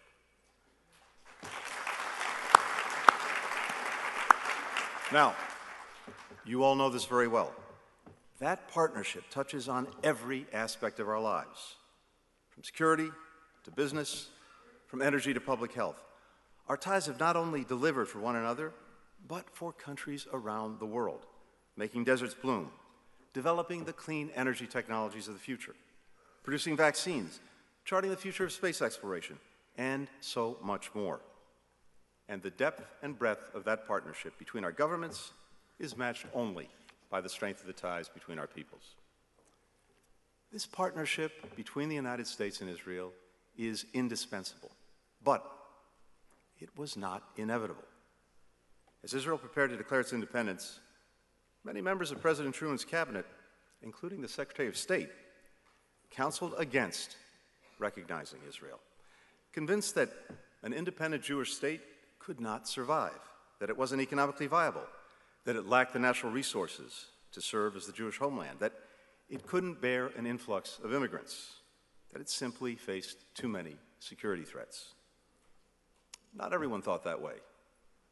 My grandfather, Maurice Blinken, who founded the American Palestine Institute after the Second World War, initiated a report before independence that argued that the Jewish state was indeed possible, that it would in fact be easier to support 2 million Jews than the present 600,000. That report helped convince many skeptics, including within the United States government. Others in the country similarly had faith in Israel's future and found the courage to speak out against the prevailing wisdom. Public servants like White House counsel Clark Clifford, who argued that Israel could be the first democratic government in the Middle East. Everyday Americans like Missouri businessman Eddie Jacobson, who convinced President Truman to meet with Chaim Weizmann, and of course, President Truman himself. President Truman never wavered in his decision to extend recognition to the new Jewish state. He said, and I quote, I had faith in Israel even before it was established. I knew it was based on the love of freedom, which has been the guiding star of the Jewish people since the days of Moses. I believe that it had a glorious future before it, not just as a sovereign nation, but as the embodiment of the great ideals of our civilization. Today, our partnership remains rooted in those shared ideals, and that shared history. But its success depends on our commitment not just attending it, but renewing that bond and recommitting to the democratic values that are at its heart, and to do that each and every day. So today what I'd like to do is talk to you a little bit about what our administration is doing to strengthen the relationship between our countries at what is a historic moment for both of our countries and the world. And it's easy to throw about words like historic and unprecedented. But as President Biden says, we are genuinely living through an inflection point, a point that comes around every six or ten or seven generations, where the changes are so profound around the world that we have to find ways to navigate those changes together and to do it effectively. Now, we have to start from this. The U.S. Israel relationship is underwritten by the United States' commitment to Israel's security. That commitment is non negotiable, it is ironclad.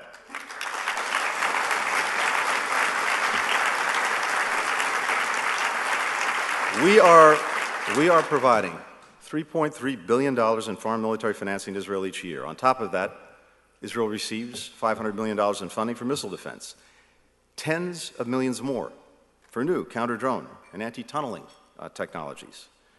That is in keeping with the 2016 Memorandum of Understanding negotiated by the Obama Biden administration, and it is more than at any point in the history of our relationship. We're also delivering an additional $1 billion in funding to replenish supplies for Israel's Iron Dome the missile defense system that we developed together and that has saved countless lives.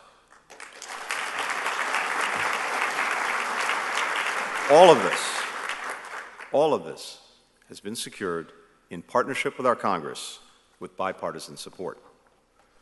We're also expanding our joint military exercises that improve how our forces work together seamlessly. This year, we have more joint exercises scheduled than at any point in our history. We're also conducting joint research and development on advanced military capabilities, working together on cutting edge defense systems, including Israel's new laser focused Iron Beam. This robust support continues to be critical in maintaining Israel's qualitative military edge, buttressing its ability to defend itself, and to advancing our national interests. America is more secure when Israel is strong.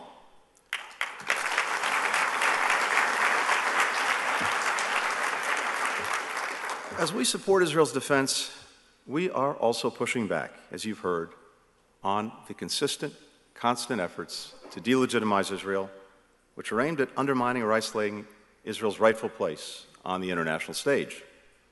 Now, we fully, deeply respect the right of all to freedom of expression, and indeed, every single day we are actively defending that and promoting that around the world.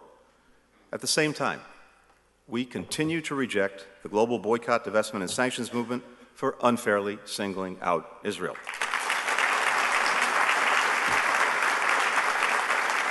We are vigorously pushing back against anti Israel efforts to exclude and target it at the UN Security Council, the Human Rights Council, and other forums around the world. And we're combating anti Semitism, which we know fuels and intersects with hatred toward Israel. It is one of the oldest and worst scourges in our societies. It needs to be called out, it needs to be condemned, and it needs to be defeated everywhere in the world.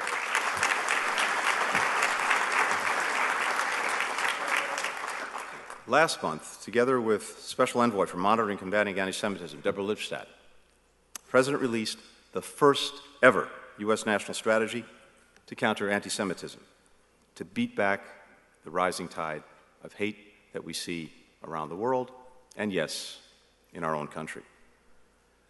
Now, we're clear eyed about the many dangers that Israel faces in all of their forms. But there is no danger that Israel faces that is graver than the one posed by the Iranian regime. That regime routinely threatens to wipe Israel off the map. It continues to provide weapons to terrorists and proxies like Hezbollah and Hamas, who reject Israel's right to exist.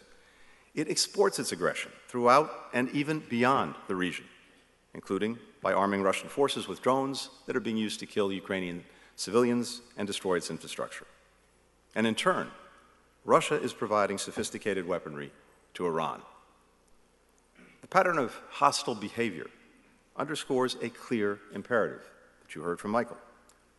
Iran cannot and will not be allowed to acquire a nuclear weapon.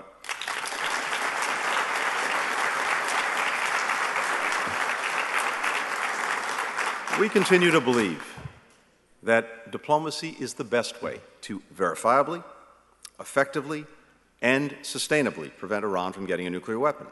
In parallel, economic pressure and deterrence reinforce our diplomacy. If Iran rejects the path of diplomacy, then, as President Biden has repeatedly made clear, all options are on the table to ensure that Iran does not obtain a nuclear weapon.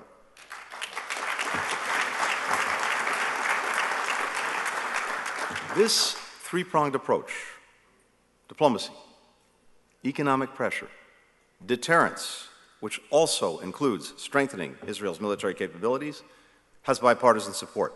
And it puts us in the strongest possible position to address the Iranian nuclear threat, just as we take on the many other challenges posed by the Iranian regime. The United States is advancing Israel's security and our own in another critical way by working to deepen Israel's relationships with its neighbors to advance our goal of regional integration and de escalation. Israel's further integration in the region contributes to a more stable, a more secure, a more prosperous region, and a more secure Israel. That's why President Biden has made it a cornerstone of his Middle East policy. Uh, we will soon create a new position to further our diplomacy and engagement with governments, the private sector, non governmental organizations, all working toward a more peaceful and a more connected region. We've already achieved significant historic progress to deepen and broaden the Abraham Accords, building on the work of the Trump administration. Last year, I joined foreign ministers from Israel, Bahrain, Egypt, Morocco, the United Arab Emirates, and Sde the home of David Ben Gurion. That summit led to the creation of, as you've heard, the Negev Forum, building again on the Abraham Accords and building on existing relationships between Israel and some of its neighbors. That forum is a regional framework that facilitates cooperation not only between governments, but also with businesses, with entrepreneurs, civil society, young people, on key issues that actually matter in the lives of people throughout the Middle East food security, water technology, clean energy, tourism, healthcare, education, regional security. Earlier this year, the working groups from that forum convened for the first time in Abu Dhabi, and that proved to be the largest gathering of Israeli and Arab governmental officials since the 1991 Madrid Peace Conference. All of this unthinkable just a few years ago. And we're now working behind the scenes, leading with diplomacy to continue the momentum. There's also been concrete progress elsewhere in the region. If you look back just over the past year, Saudi Arabia and Oman unlocked their airspace to civilian flights to and from Israel. Following intense mediation by the United States, Israel and Lebanon completed a historic agreement last fall to establish their permanent maritime boundary, boundary, something that had been long in the works. That, in turn, lowered the prospect for conflict and also created a greater path for greater energy security in the region. We're helping Israel and Jordan, together with the UAE, implement Project Prosperity to collaborate on water and energy security, which is on track to launch by this year's COP28. And we convened new coalitions like I2U2, which brings together India, Israel, the UAE, the United States to solve fundamental challenges facing our people, starting with food and energy security. That initiative was literally the product of a dinner conversation uh, between my Israeli and Emirati counterparts. We had this idea. We got on the phone. We had the idea on, on a Friday. By Tuesday, we were on a video conference with our Indian counterpart. This project was launched, and ultimately, uh, the leaders of all the countries uh, worked together to move it forward. We're also supporting Israel in its uh, work to deepen relations beyond the region, including in the eastern Mediterranean and with the 3.1 grouping of Israel, Greece, the Republic of Cyprus, focused on intensifying cooperation in energy, economic growth, climate change, emergency preparedness, counterterrorism. And we are working to accelerate all of this progress. The United States has a real national security interest in promoting normalization between Israel and Saudi Arabia.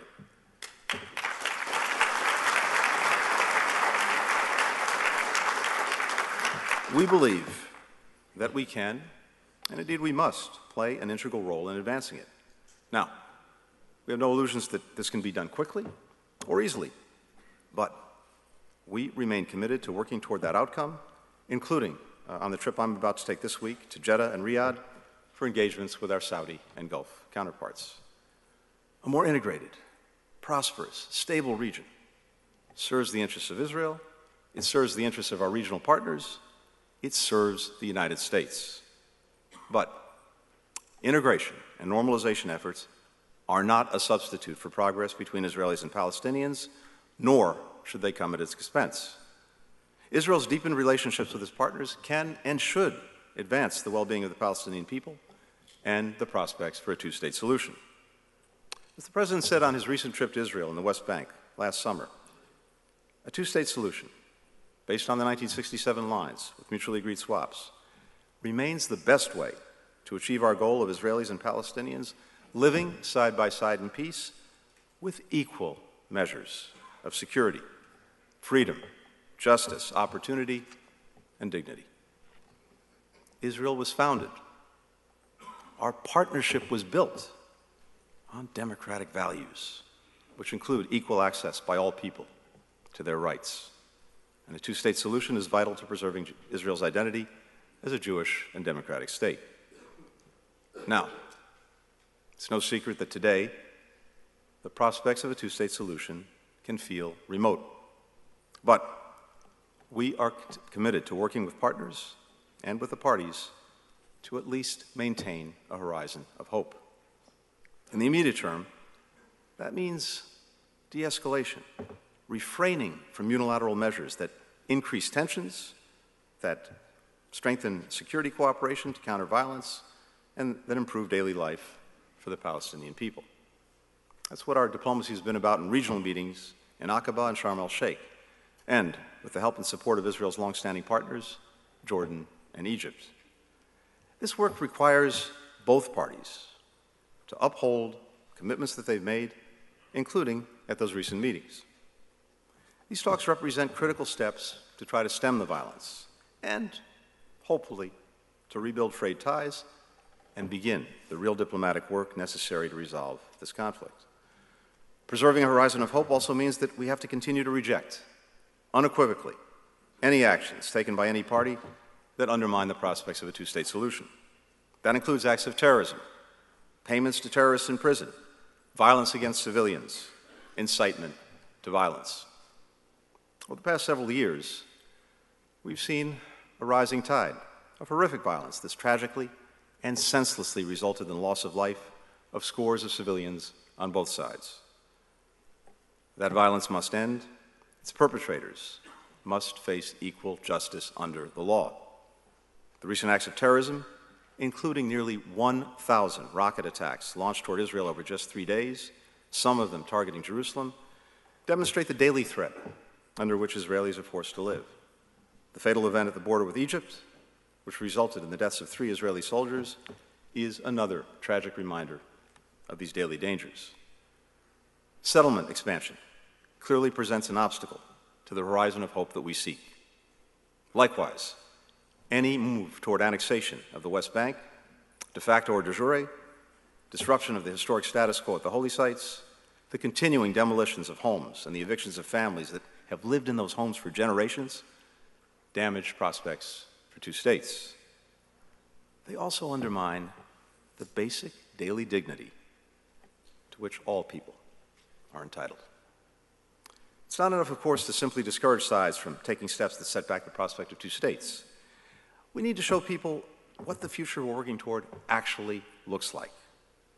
That's why, since day one, we have focused on re engaging the Palestinian people and working to rebuild trust.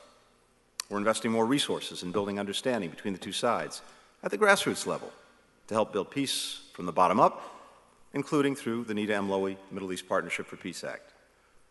We're also working with the Israeli government and the Palestinian Authority to encourage political, economic, and security reforms that can lay the foundation for a stable, democratic Palestinian state alongside a state of Israel with secure, recognized borders. Ultimately, two state solution can only be achieved through direct negotiation between the parties. Preserving a horizon of hope also means holding firm to the values that have anchored the friendship between the United States and Israel across countless administrations in both of our countries. We'll continue to work with the Israeli government to advance our shared values. We'll continue to express our support for core democratic principles, including a separation of powers, checks and balances, and the equal administration of justice for all citizens of Israel. We will speak honestly and respectfully with our Israeli friends, as partners always should, and as we always do. As Israeli leaders and citizens debate these issues, we welcome efforts to find consensus on any reforms. That's simply the best way to make sure that they're embraced and that they endure. At the end of his presidency, Harry Truman set out his vision for Israel. And he said, and I quote, I hope that we shall soon see the day when Israel and her neighbors will sit down at the peace table and will reach a full settlement of all of their differences, so that our friends in the Near East, Arabs and Israelis alike, may enter together upon a new partnership for their mutual advantage and the advantage of all people. Today, our commitment to that future endures.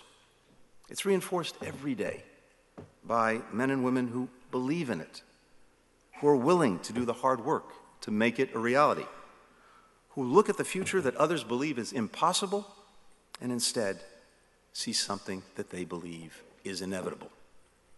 I'm grateful to AIPAC, to each and every one of you who are working to make real this better future.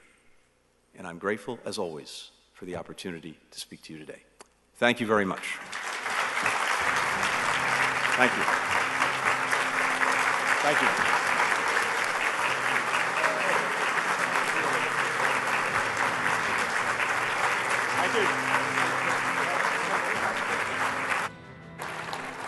Tony, thank you.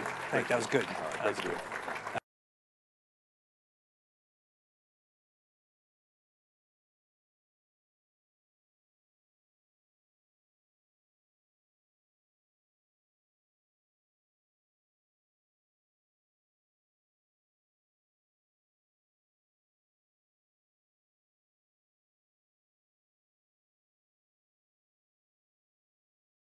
celebrate 75 years of the U.S. Israeli partnership.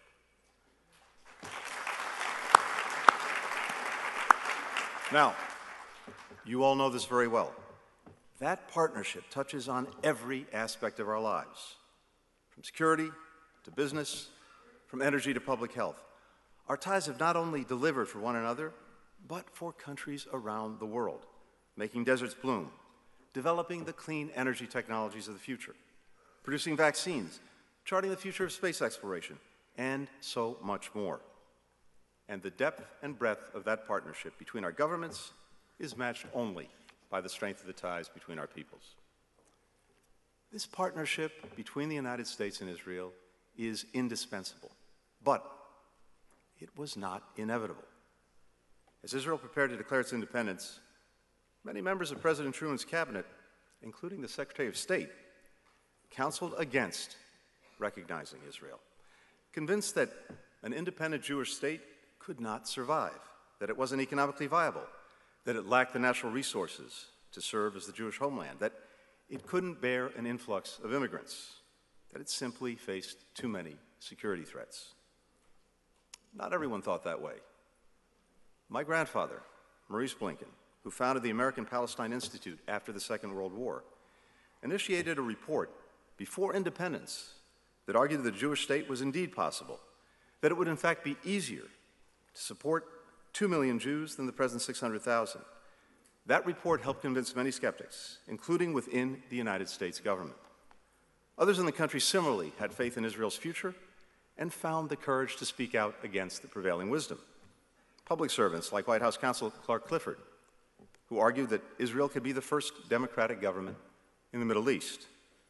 Everyday Americans like Missouri businessman Eddie Jacobson, who convinced President Truman to meet with Chaim Weizmann, and of course, President Truman himself. President Truman never wavered in his decision to extend recognition to the new Jewish state. He said, and I quote, I had faith in Israel even before it was established. I knew it was based on the love of freedom, which has been the guiding star of the Jewish people since the days of Moses. I believe that it had a glorious future before it, not just as a sovereign nation, but as the embodiment of the great ideals of our civilization. Today, our partnership remains rooted in those shared ideals and that shared history. But its success depends on our commitment not just attending it, but renewing that bond and recommitting to the democratic values that are at its heart, and to do that each and every day. So, today, what I'd like to do is talk to you a little bit about what our administration is doing to strengthen the relationship between our countries at what is a historic moment for both of our countries and the world. And it's easy to throw about words like historic and unprecedented. But as President Biden says, we are genuinely living through an inflection point, a point that comes around every six or seven generations, where the changes are so profound around the world that we have to find ways to navigate those changes together and to do it effectively. Now, we have to start from this. The U.S. Israel relationship is underwritten by the United States' commitment to Israel's security. That commitment is non negotiable, it is ironclad.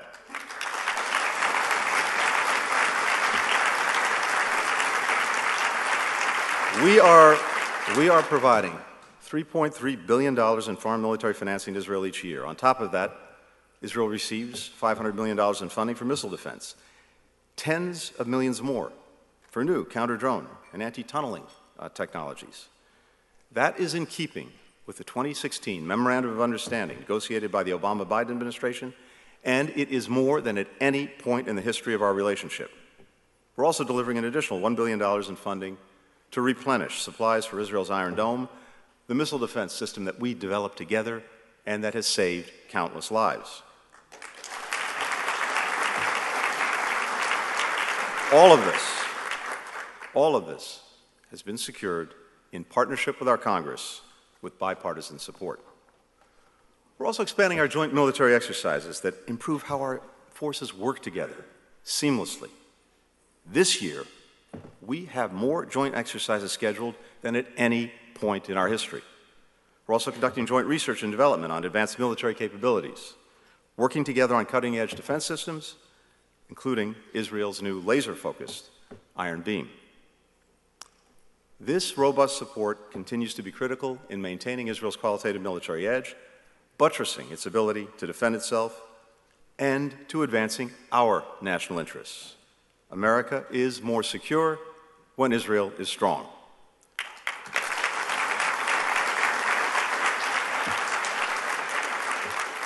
As we support Israel's defense, we are also pushing back, as you've heard, on the consistent, constant efforts to delegitimize Israel, which are aimed at undermining or isolating Israel's rightful place on the international stage.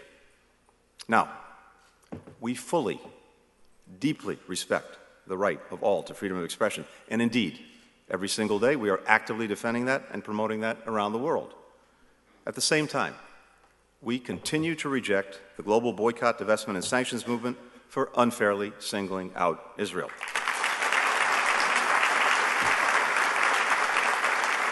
We are vigorously pushing back against anti Israel efforts to exclude and target it at the UN Security Council, the Human Rights Council, and other forums around the world. And we're combating anti Semitism, which we know fuels and intersects with hatred toward Israel. It is one of the oldest and worst scourges in our societies. It needs to be called out, it needs to be condemned, and it needs to be defeated everywhere in the world.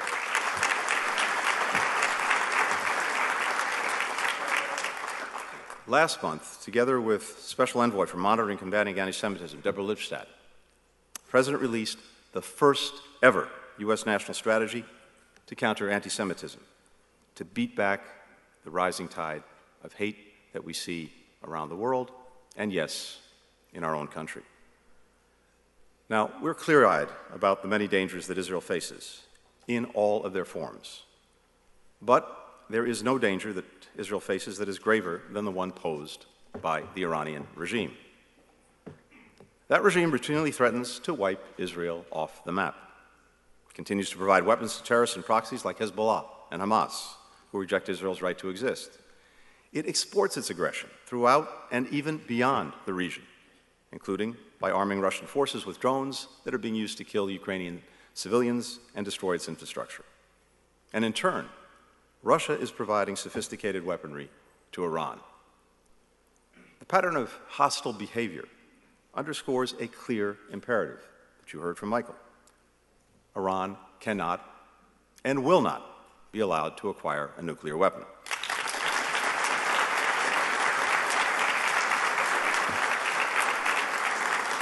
We continue to believe that diplomacy is the best way to verifiably, effectively, and sustainably prevent Iran from getting a nuclear weapon. In parallel, economic pressure and deterrence reinforce our diplomacy. If Iran rejects the path of diplomacy, then, as President Biden has repeatedly made clear, all options are on the table to ensure that Iran does not obtain a nuclear weapon.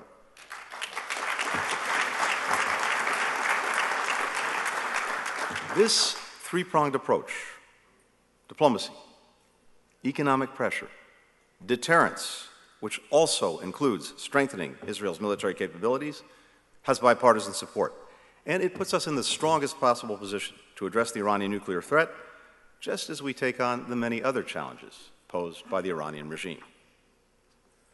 The United States is advancing Israel's security and our own in another critical way by working to deepen Israel's relationships with its neighbors to advance our goal of regional integration and de escalation. Israel's further integration in the region contributes to a more stable, a more secure, a more prosperous region, and a more secure Israel. That's why President Biden has made it a cornerstone of his Middle East policy. Uh, we will soon create a new position to further our diplomacy and engagement with governments, the private sector, non governmental organizations, all working toward a more peaceful and a more connected region. We've already achieved significant historic progress to deepen and broaden the Abraham Accords, building on the work of the Trump administration. Last year, I joined foreign ministers from Israel, Bahrain, Egypt, Morocco, the United Arab Emirates, and Sde Boker, the home of David Ben Gurion. That summit led to the creation of, as you've heard, the Negev Forum, building again on the Abraham Accords, and building on existing relationships between Israel and some of its neighbors. That forum is a regional framework that facilitates cooperation not only between governments, but also with businesses, with entrepreneurs, civil society, young people, on key issues that actually matter in the lives of people throughout the Middle East food security, water technology, clean energy, tourism, healthcare, education, regional security.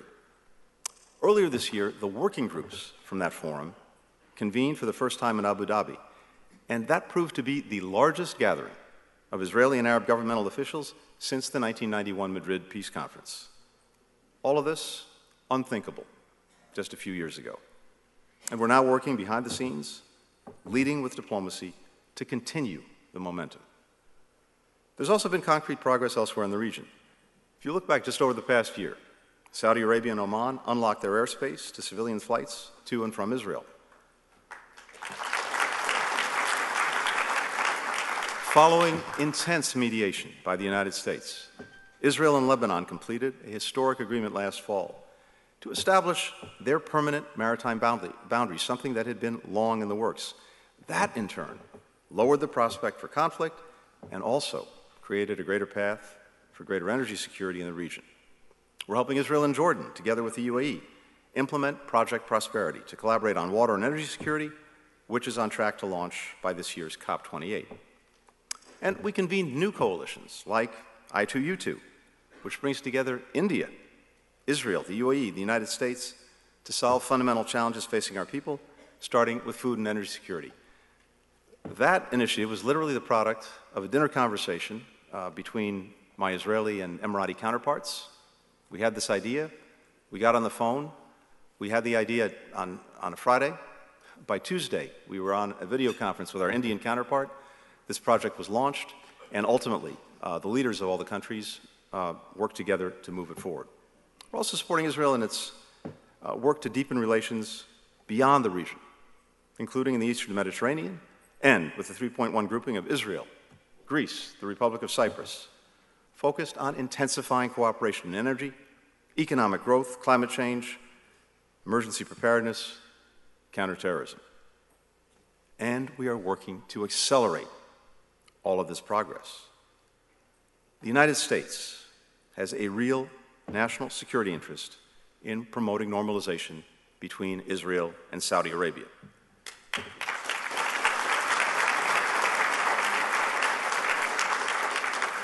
We believe that we can, and indeed we must, play an integral role in advancing it. Now, we have no illusions that this can be done quickly or easily, but we remain committed to working toward that outcome, including uh, on the trip I'm about to take this week to Jeddah and Riyadh for engagements with our Saudi and Gulf counterparts. A more integrated, prosperous, stable region serves the interests of Israel, it serves the interests of our regional partners, it serves the United States. But integration and normalization efforts are not a substitute for progress between Israelis and Palestinians, nor should they come at its expense. Israel's deepened relationships with its partners can and should advance the well being of the Palestinian people and the prospects for a two state solution. As the President said on his recent trip to Israel and the West Bank last summer, a two state solution based on the 1967 lines with mutually agreed swaps, remains the best way to achieve our goal of Israelis and Palestinians living side by side in peace with equal measures of security, freedom, justice, opportunity, and dignity. Israel was founded.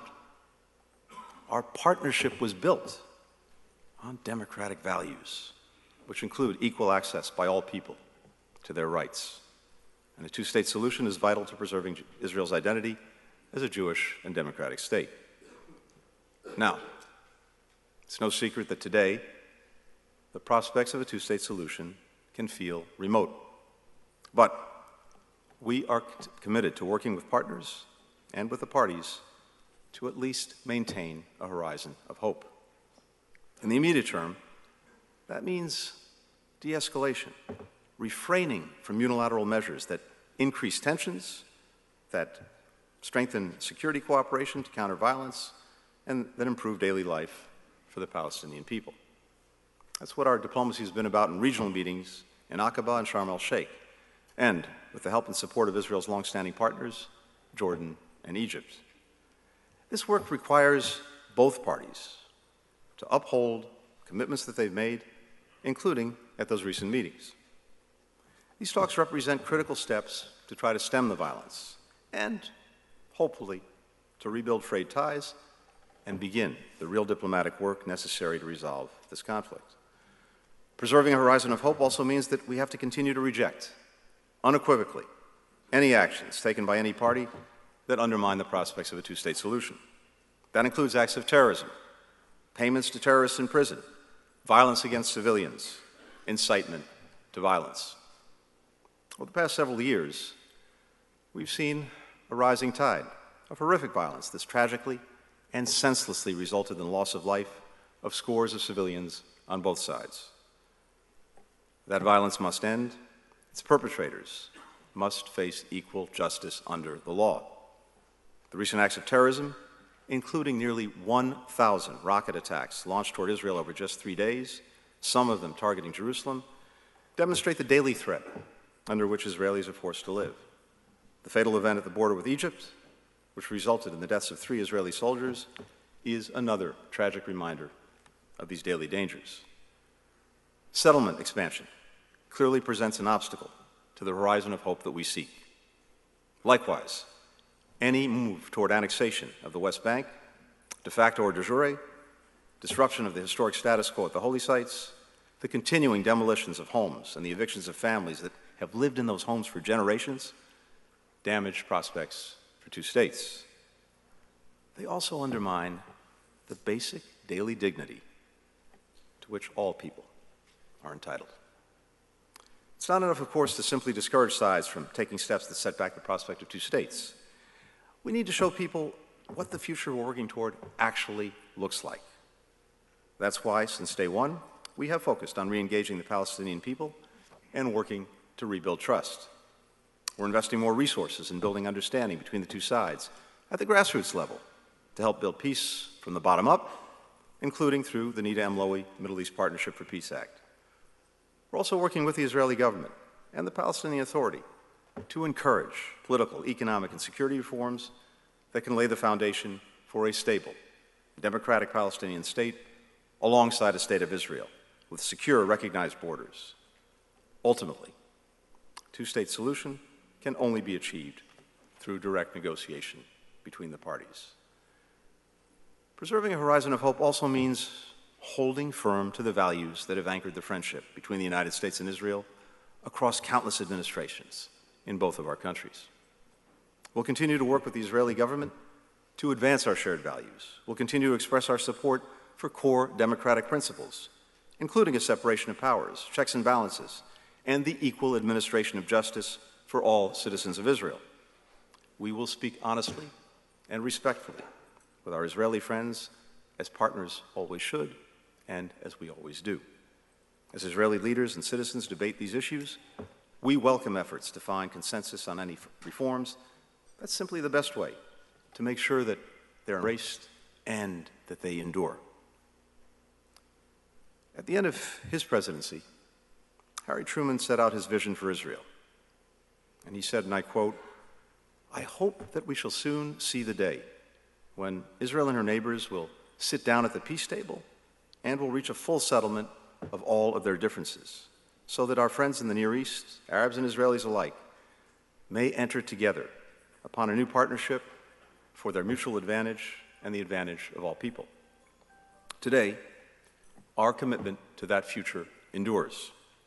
It's reinforced every day by men and women who believe in it, who are willing to do the hard work to make it a reality, who look at the future that others believe is impossible and instead see something that they believe is inevitable. I'm grateful to AIPAC, to each and every one of you who are working to make real this better future. And I'm grateful, as always, for the opportunity to speak to you today. Thank you very much. Thank you. Thank you.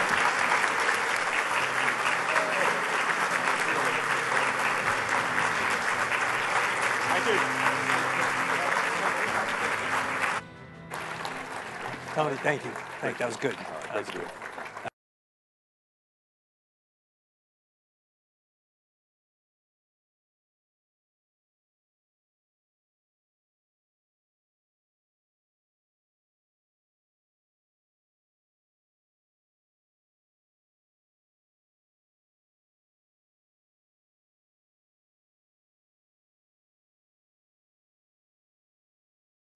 75 years of the U.S. Israeli partnership.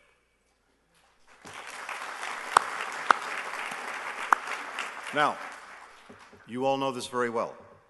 That partnership touches on every aspect of our lives, from security to business, from energy to public health. Our ties have not only delivered for one another, but for countries around the world, making deserts bloom, developing the clean energy technologies of the future, producing vaccines, charting the future of space exploration, and so much more. And the depth and breadth of that partnership between our governments is matched only by the strength of the ties between our peoples. This partnership between the United States and Israel is indispensable, but it was not inevitable. As Israel prepared to declare its independence, Many members of President Truman's cabinet, including the Secretary of State, counseled against recognizing Israel, convinced that an independent Jewish state could not survive, that it wasn't economically viable, that it lacked the natural resources to serve as the Jewish homeland, that it couldn't bear an influx of immigrants, that it simply faced too many security threats. Not everyone thought that way. My grandfather, Maurice Blinken, who founded the American Palestine Institute after the Second World War, initiated a report before independence that argued that the Jewish state was indeed possible, that it would in fact be easier to support 2 million Jews than the present 600,000. That report helped convince many skeptics, including within the United States government. Others in the country similarly had faith in Israel's future and found the courage to speak out against the prevailing wisdom. Public servants like White House counsel Clark Clifford, who argued that Israel could be the first democratic government in the Middle East. Everyday Americans like Missouri businessman Eddie Jacobson, who convinced President Truman to meet with Chaim Weizmann, and of course, President Truman himself. President Truman never wavered in his decision to extend recognition to the new Jewish state. He said, and I quote, I had faith in Israel even before it was established. I knew it was based on the love of freedom, which has been the guiding star of the Jewish people since the days of Moses. I believe that it had a glorious future before it, not just as a sovereign nation, but as the embodiment of the great ideals of our civilization. Today, our partnership remains rooted in those shared ideals and that shared history. But its success depends on our commitment not just attending it, but renewing that bond and recommitting to the democratic values that are at its heart, and to do that each and every day. So, today, what I'd like to do is talk to you a little bit about what our administration is doing to strengthen the relationship between our countries at what is a historic moment for both of our countries and the world. And it's easy to throw about words like historic and unprecedented. But as President Biden says, we are genuinely living through an inflection point, a point that comes around every six or seven generations, where the changes are so profound around the world that we have to find ways to navigate those changes together and to do it effectively. Now, we have to start from this. The U.S. Israel relationship is underwritten by the United States' commitment to Israel's security. That commitment is non negotiable, it is ironclad.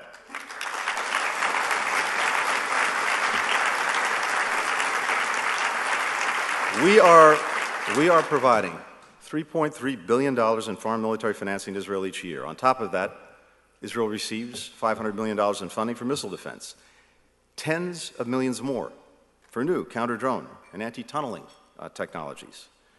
That is in keeping with the 2016 Memorandum of Understanding negotiated by the Obama Biden administration, and it is more than at any point in the history of our relationship.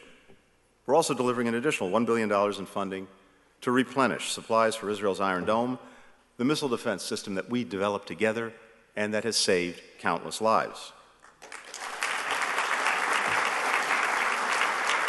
All of this, all of this has been secured in partnership with our Congress with bipartisan support. We're also expanding our joint military exercises that improve how our forces work together seamlessly. This year, we have more joint exercises scheduled than at any point in our history. We're also conducting joint research and development on advanced military capabilities, working together on cutting edge defense systems, including Israel's new laser focused Iron Beam. This robust support continues to be critical in maintaining Israel's qualitative military edge, buttressing its ability to defend itself, and to advancing our national interests. America is more secure when Israel is strong.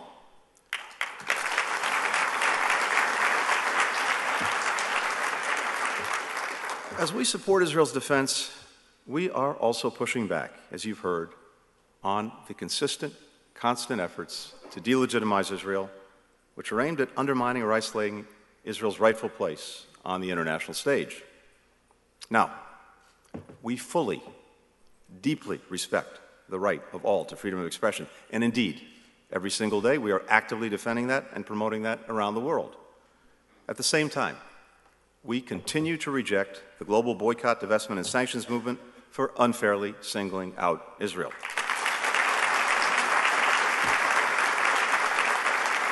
We are vigorously pushing back against anti Israel efforts to exclude and target it at the UN Security Council, the Human Rights Council, and other forums around the world. And we're combating anti Semitism, which we know fuels and intersects with hatred toward Israel. It is one of the oldest and worst scourges in our societies. It needs to be called out, it needs to be condemned, and it needs to be defeated everywhere in the world.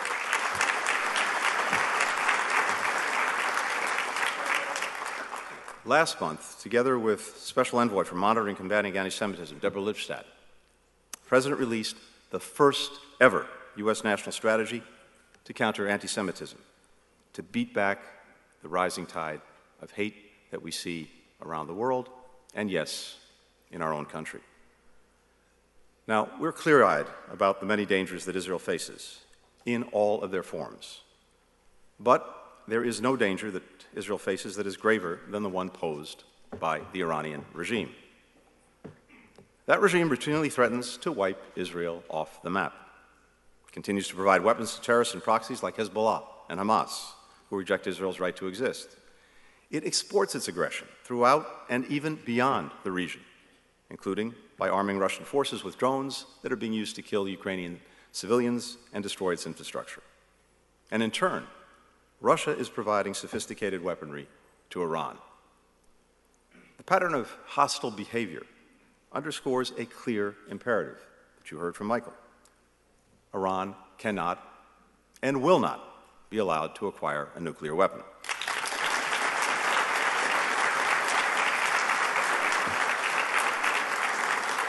We continue to believe that diplomacy is the best way to verifiably, effectively, and sustainably prevent Iran from getting a nuclear weapon. In parallel, economic pressure and deterrence reinforce our diplomacy.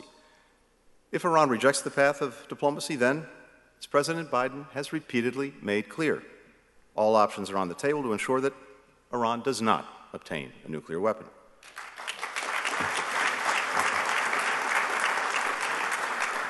This three pronged approach diplomacy, economic pressure, deterrence, which also includes strengthening Israel's military capabilities, has bipartisan support. And it puts us in the strongest possible position to address the Iranian nuclear threat, just as we take on the many other challenges posed by the Iranian regime. The United States is advancing Israel's security and our own in another critical way by working to deepen Israel's relationships with its neighbors to advance our goal of regional integration and de escalation. Israel's further integration in the region contributes to a more stable, a more secure, a more prosperous region, and a more secure Israel. That's why President Biden has made it a cornerstone of his Middle East policy. Uh, we will soon create a new position to further our diplomacy and engagement with governments, the private sector, non governmental organizations, all working toward a more peaceful and a more connected region. We've already achieved significant historic progress to deepen and broaden the Abraham Accords, building on the work of the Trump administration. Last year, I joined foreign ministers from Israel, Bahrain, Egypt, Morocco, the United Arab Emirates, and Sde the home of David Ben Gurion. That summit led to the creation of, as you've heard, the Negev Forum, building again on the Abraham Accords and building on existing relationships between Israel and some of its neighbors.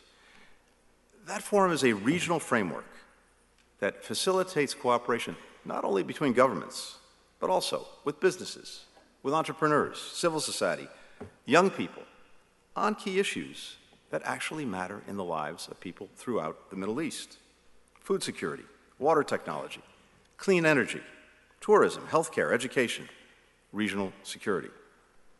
Earlier this year, the working groups from that forum convened for the first time in Abu Dhabi and that proved to be the largest gathering of Israeli and Arab governmental officials since the 1991 Madrid Peace Conference. All of this unthinkable just a few years ago.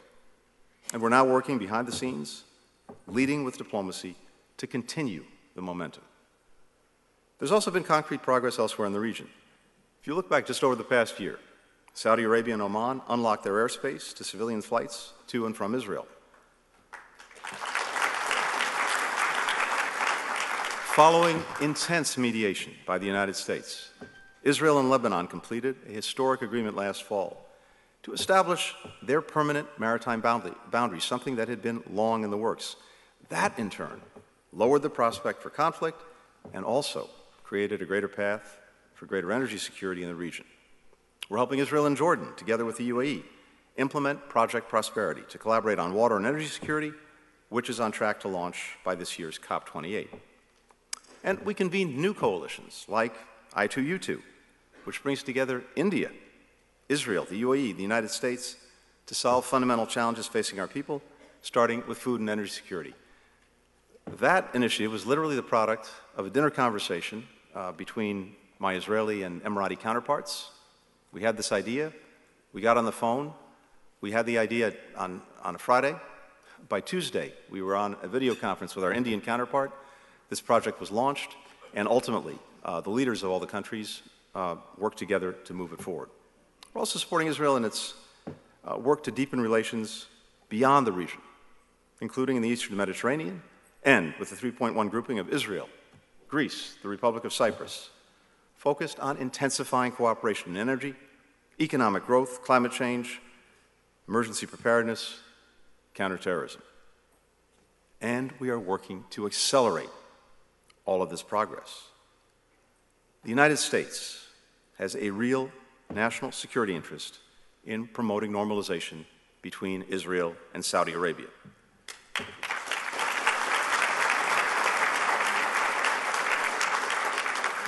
We believe that we can, and indeed we must, play an integral role in advancing it.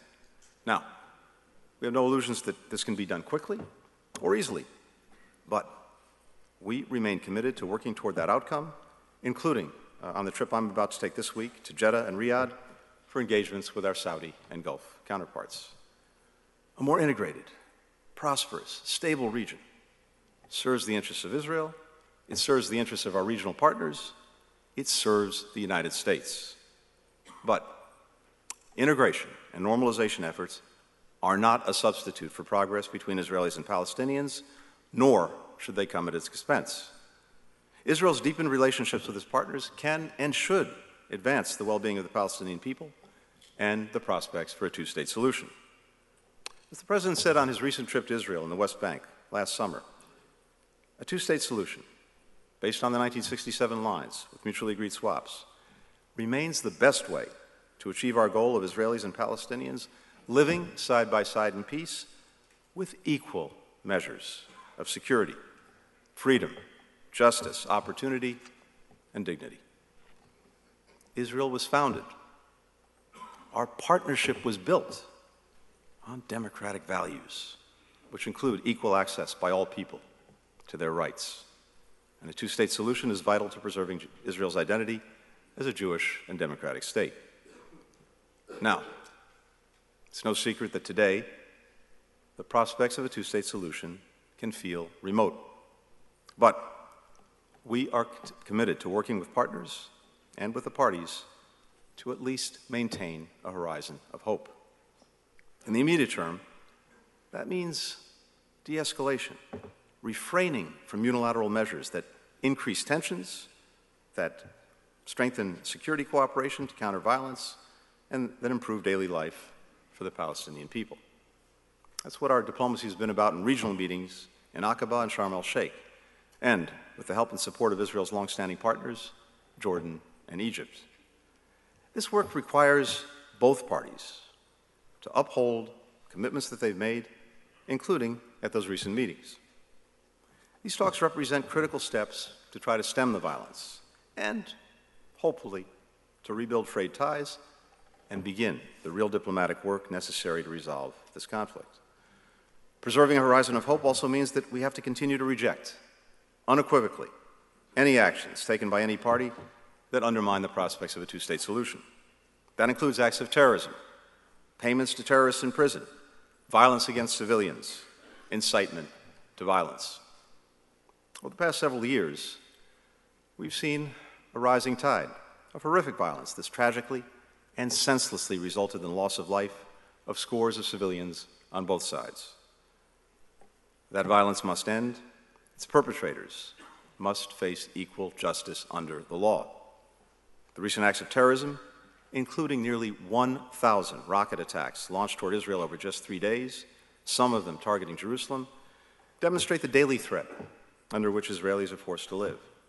The fatal event at the border with Egypt, which resulted in the deaths of three Israeli soldiers, is another tragic reminder of these daily dangers. Settlement expansion clearly presents an obstacle to the horizon of hope that we seek. Likewise, any move toward annexation of the West Bank, de facto or de jure, disruption of the historic status quo at the holy sites, the continuing demolitions of homes and the evictions of families that have lived in those homes for generations, damage prospects for two states. They also undermine the basic daily dignity to which all people are entitled. It's not enough, of course, to simply discourage sides from taking steps that set back the prospect of two states. We need to show people what the future we're working toward actually looks like. That's why, since day one, we have focused on re engaging the Palestinian people and working to rebuild trust. We're investing more resources in building understanding between the two sides at the grassroots level to help build peace from the bottom up, including through the Nita M. Lowey Middle East Partnership for Peace Act. We're also working with the Israeli government and the Palestinian Authority to encourage political, economic, and security reforms that can lay the foundation for a stable, democratic Palestinian state alongside a state of Israel with secure, recognized borders. Ultimately, two-state solution can only be achieved through direct negotiation between the parties. Preserving a horizon of hope also means holding firm to the values that have anchored the friendship between the United States and Israel across countless administrations in both of our countries. We'll continue to work with the Israeli government to advance our shared values. We'll continue to express our support for core democratic principles, including a separation of powers, checks and balances, and the equal administration of justice for all citizens of Israel. We will speak honestly and respectfully with our Israeli friends, as partners always should, and as we always do. As Israeli leaders and citizens debate these issues, we welcome efforts to find consensus on any reforms. That's simply the best way to make sure that they're embraced and that they endure. At the end of his presidency, Harry Truman set out his vision for Israel. And he said, and I quote, I hope that we shall soon see the day when Israel and her neighbors will sit down at the peace table and will reach a full settlement of all of their differences, so that our friends in the Near East, Arabs and Israelis alike, may enter together upon a new partnership for their mutual advantage and the advantage of all people. Today, our commitment to that future endures. It's reinforced every day by men and women who believe in it, who are willing to do the hard work to make it a reality, who look at the future that others believe is impossible and instead see something that they believe is inevitable. I'm grateful to AIPAC, to each and every one of you who are working to make real this better future. And I'm grateful, as always, for the opportunity to speak to you today. Thank you very much. Thank you. Thank you.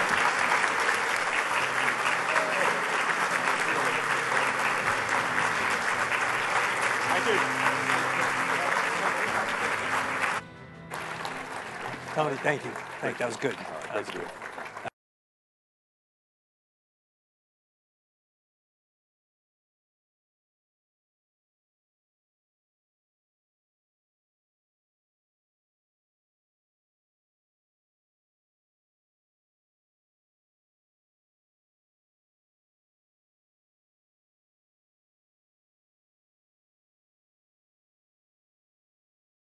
75 years of the U.S. Israeli partnership.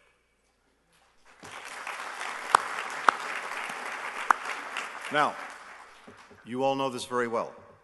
That partnership touches on every aspect of our lives, from security to business, from energy to public health.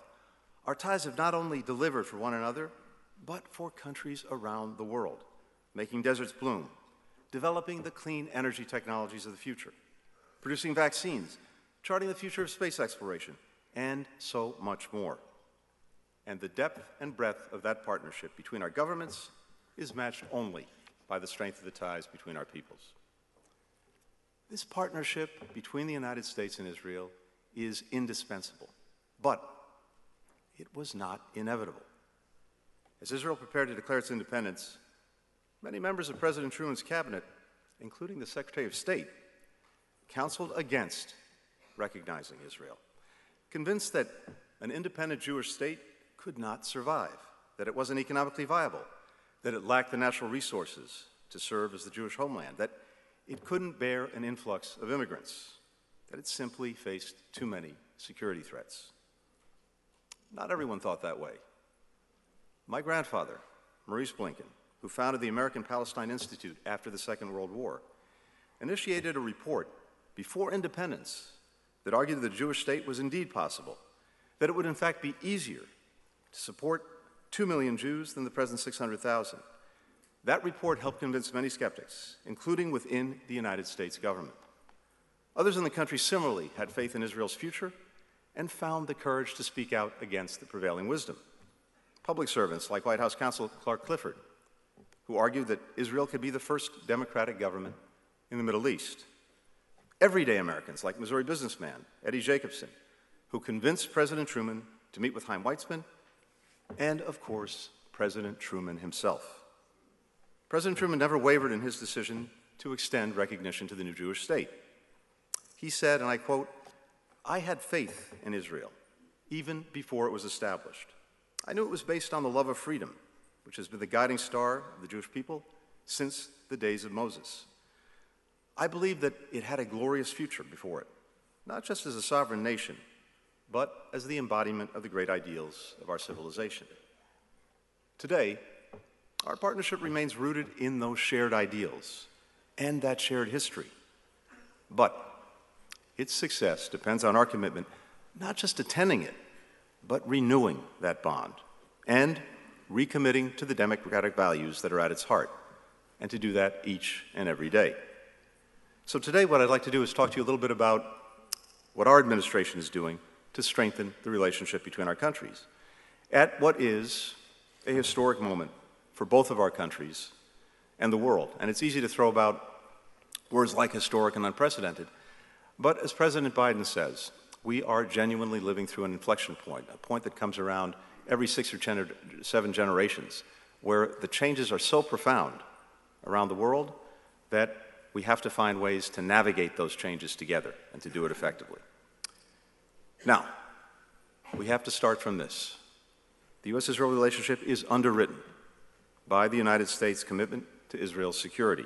That commitment is non negotiable, it is ironclad.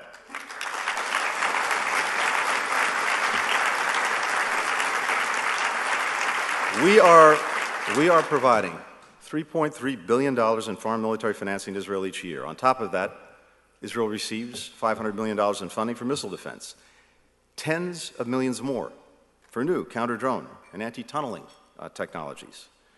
That is in keeping with the 2016 Memorandum of Understanding negotiated by the Obama Biden administration, and it is more than at any point in the history of our relationship. We're also delivering an additional $1 billion in funding to replenish supplies for Israel's Iron Dome, the missile defense system that we developed together and that has saved countless lives. All of this, all of this has been secured in partnership with our Congress with bipartisan support. We're also expanding our joint military exercises that improve how our forces work together seamlessly. This year, we have more joint exercises scheduled than at any point in our history. We're also conducting joint research and development on advanced military capabilities, working together on cutting edge defense systems, including Israel's new laser focused Iron Beam. This robust support continues to be critical in maintaining Israel's qualitative military edge, buttressing its ability to defend itself, and to advancing our national interests. America is more secure when Israel is strong.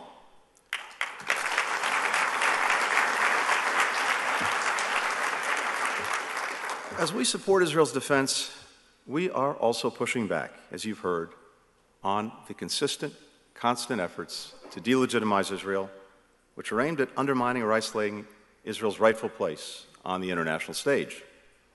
Now, we fully, deeply respect the right of all to freedom of expression. And indeed, every single day we are actively defending that and promoting that around the world. At the same time, we continue to reject the global boycott, divestment, and sanctions movement for unfairly singling out Israel.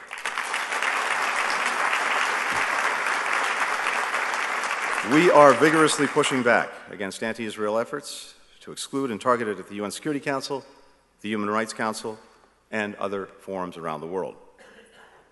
And we're combating anti Semitism, which we know fuels and intersects with hatred toward Israel. It is one of the oldest and worst scourges in our societies. It needs to be called out, it needs to be condemned, and it needs to be defeated everywhere in the world.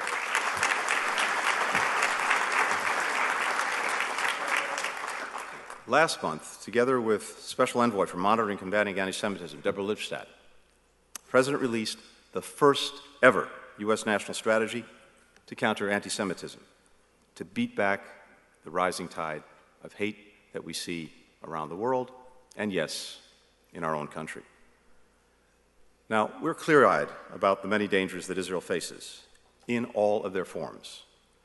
But there is no danger that Israel faces that is graver than the one posed by the Iranian regime. That regime routinely threatens to wipe Israel off the map. It continues to provide weapons to terrorists and proxies like Hezbollah and Hamas, who reject Israel's right to exist. It exports its aggression throughout and even beyond the region, including by arming Russian forces with drones that are being used to kill Ukrainian civilians and destroy its infrastructure. And in turn, Russia is providing sophisticated weaponry to Iran. The pattern of hostile behavior underscores a clear imperative that you heard from Michael. Iran cannot and will not be allowed to acquire a nuclear weapon.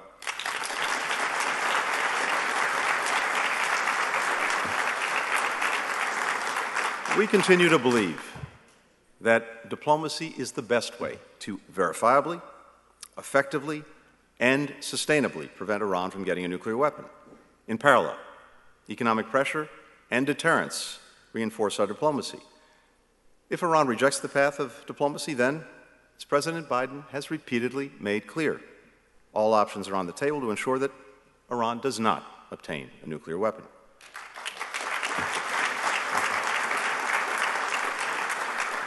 This three pronged approach diplomacy, economic pressure, deterrence, which also includes strengthening Israel's military capabilities, has bipartisan support. And it puts us in the strongest possible position to address the Iranian nuclear threat, just as we take on the many other challenges posed by the Iranian regime. The United States is advancing Israel's security and our own in another critical way by working to deepen Israel's relationships with its neighbors to advance our goal of regional integration and de escalation. Israel's further integration in the region contributes to a more stable, a more secure, a more prosperous region, and a more secure Israel. That's why President Biden has made it a cornerstone of his Middle East policy. Uh, we will soon create a new position to further our diplomacy and engagement with governments, the private sector, non governmental organizations, all working toward a more peaceful and a more connected region. We've already achieved significant historic progress to deepen and broaden the Abraham Accords, building on the work of the Trump administration. Last year, I joined foreign ministers from Israel, Bahrain, Egypt, Morocco, the United Arab Emirates, and Sde the home of David Ben Gurion. That summit led to the creation of, as you've heard, the Negev Forum, building again on the Abraham Accords and building on existing relationships between Israel and some of its neighbors. That forum is a regional framework that facilitates cooperation not only between governments, but also with businesses, with entrepreneurs, civil society, young people, on key issues that actually matter in the lives of people throughout the Middle East food security, water technology, clean energy, tourism, healthcare, education, regional security.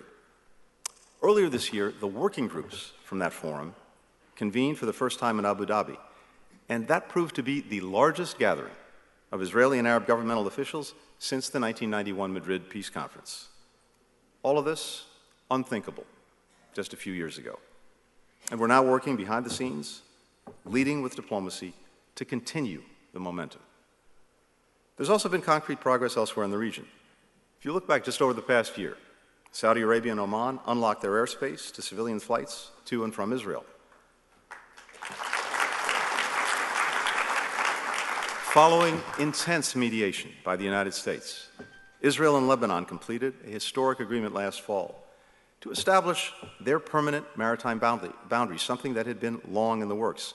That, in turn, lowered the prospect for conflict and also created a greater path for greater energy security in the region.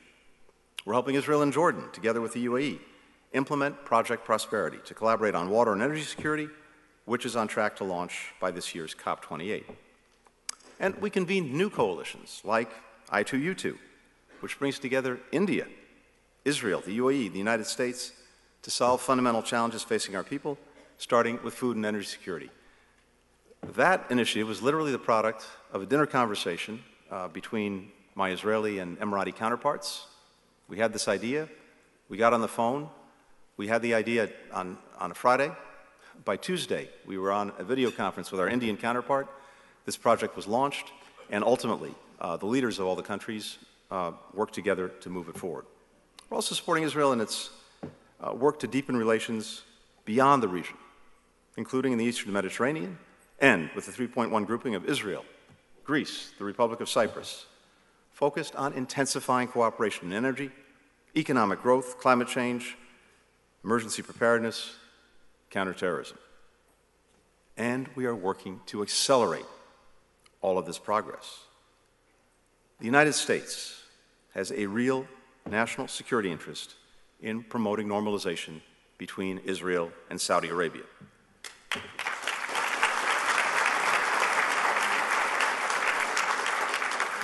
We believe that we can, and indeed we must, play an integral role in advancing it.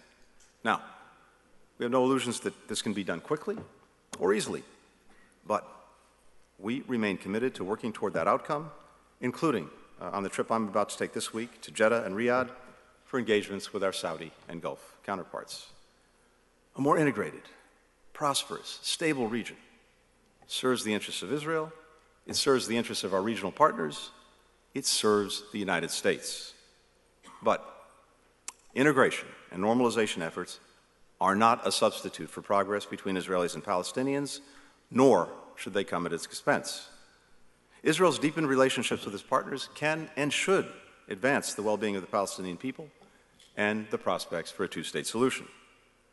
As the President said on his recent trip to Israel and the West Bank last summer, a two state solution, based on the 1967 lines with mutually agreed swaps, remains the best way to achieve our goal of Israelis and Palestinians living side by side in peace with equal measures of security, freedom, justice, opportunity, and dignity.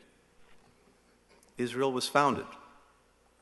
Our partnership was built on democratic values, which include equal access by all people to their rights. And a two state solution is vital to preserving Israel's identity as a Jewish and democratic state. Now, it's no secret that today the prospects of a two state solution can feel remote. But we are committed to working with partners and with the parties to at least maintain a horizon of hope. In the immediate term, that means de escalation, refraining from unilateral measures that increase tensions, that strengthen security cooperation to counter violence, and that improve daily life for the Palestinian people. That's what our diplomacy has been about in regional meetings in Aqaba and Sharm el Sheikh and with the help and support of Israel's longstanding partners, Jordan and Egypt. This work requires both parties to uphold commitments that they've made, including at those recent meetings. These talks represent critical steps to try to stem the violence and, hopefully, to rebuild frayed ties and begin the real diplomatic work necessary to resolve this conflict. Preserving a horizon of hope also means that we have to continue to reject unequivocally any actions taken by any party that undermine the prospects of a two state solution. That includes acts of terrorism, payments to terrorists in prison, violence against civilians, incitement to violence. Over the past several years, we've seen a rising tide of horrific violence that's tragically and senselessly resulted in loss of life of scores of civilians on both sides. That violence must end. Its perpetrators must face equal justice under the law.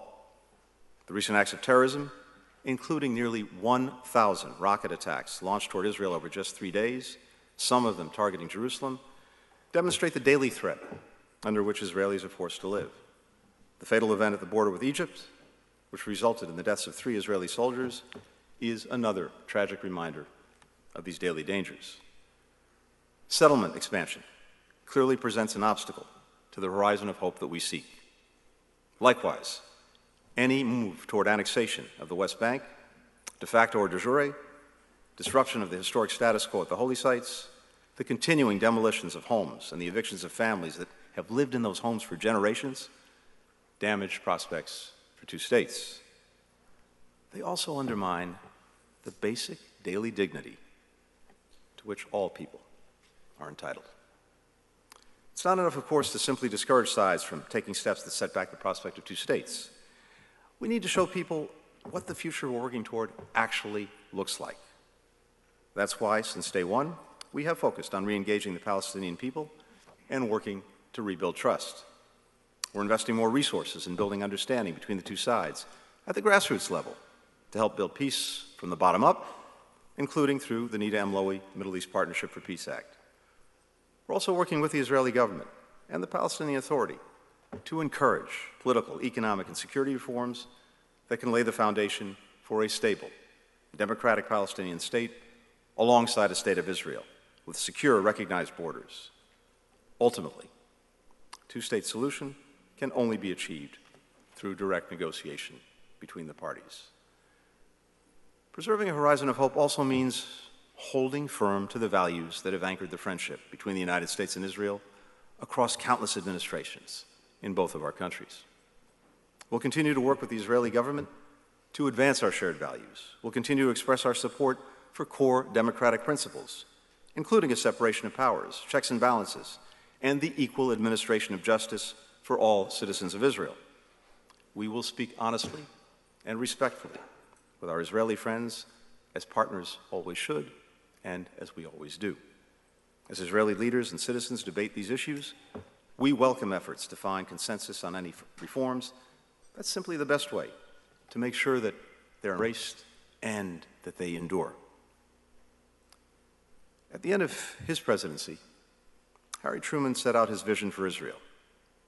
And he said, and I quote, I hope that we shall soon see the day when Israel and her neighbors will sit down at the peace table and will reach a full settlement of all of their differences, so that our friends in the Near East, Arabs and Israelis alike, may enter together upon a new partnership for their mutual advantage and the advantage of all people.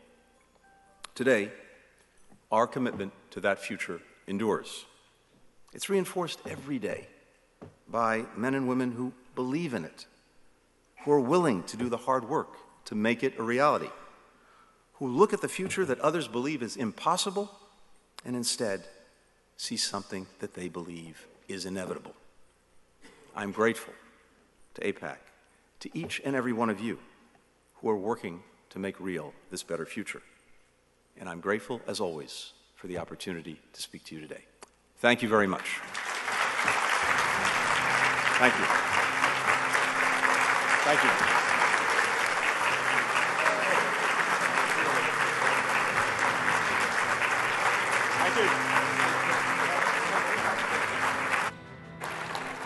Tony, thank you. Thank you. That was good. That was good.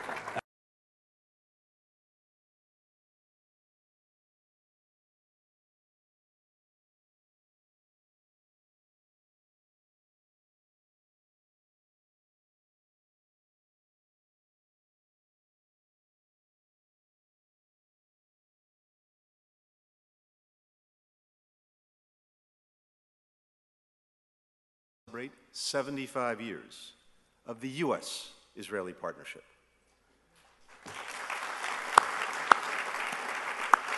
Now, you all know this very well. That partnership touches on every aspect of our lives, from security to business, from energy to public health. Our ties have not only delivered for one another, but for countries around the world, making deserts bloom, developing the clean energy technologies of the future, producing vaccines, charting the future of space exploration, and so much more. And the depth and breadth of that partnership between our governments is matched only by the strength of the ties between our peoples.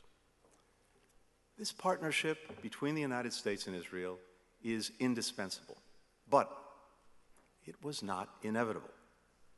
As Israel prepared to declare its independence, many members of President Truman's cabinet, including the Secretary of State, counseled against recognizing Israel, convinced that an independent Jewish state could not survive, that it wasn't economically viable, that it lacked the natural resources to serve as the Jewish homeland, that it couldn't bear an influx of immigrants, that it simply faced too many security threats. Not everyone thought that way. My grandfather, Maurice Blinken, who founded the American Palestine Institute after the Second World War, initiated a report before independence that argued that the Jewish state was indeed possible, that it would in fact be easier to support 2 million Jews than the present 600,000. That report helped convince many skeptics, including within the United States government. Others in the country similarly had faith in Israel's future and found the courage to speak out against the prevailing wisdom. Public servants like White House counsel Clark Clifford, who argued that Israel could be the first democratic government in the Middle East. Everyday Americans like Missouri businessman Eddie Jacobson, who convinced President Truman to meet with Chaim Weizmann and, of course, President Truman himself. President Truman never wavered in his decision to extend recognition to the new Jewish state. He said, and I quote, I had faith in Israel even before it was established. I knew it was based on the love of freedom, which has been the guiding star of the Jewish people since the days of Moses. I believe that it had a glorious future before it, not just as a sovereign nation, but as the embodiment of the great ideals of our civilization. Today, our partnership remains rooted in those shared ideals and that shared history. But its success depends on our commitment not just attending it, but renewing that bond and recommitting to the democratic values that are at its heart, and to do that each and every day. So today what I'd like to do is talk to you a little bit about what our administration is doing to strengthen the relationship between our countries. At what is a historic moment for both of our countries and the world. And it's easy to throw about words like historic and unprecedented. But as President Biden says, we are genuinely living through an inflection point, a point that comes around every six or ten or seven generations, where the changes are so profound around the world that we have to find ways to navigate those changes together and to do it effectively. Now, we have to start from this. The U.S. Israel relationship is underwritten by the United States' commitment to Israel's security. That commitment is non negotiable, it is ironclad.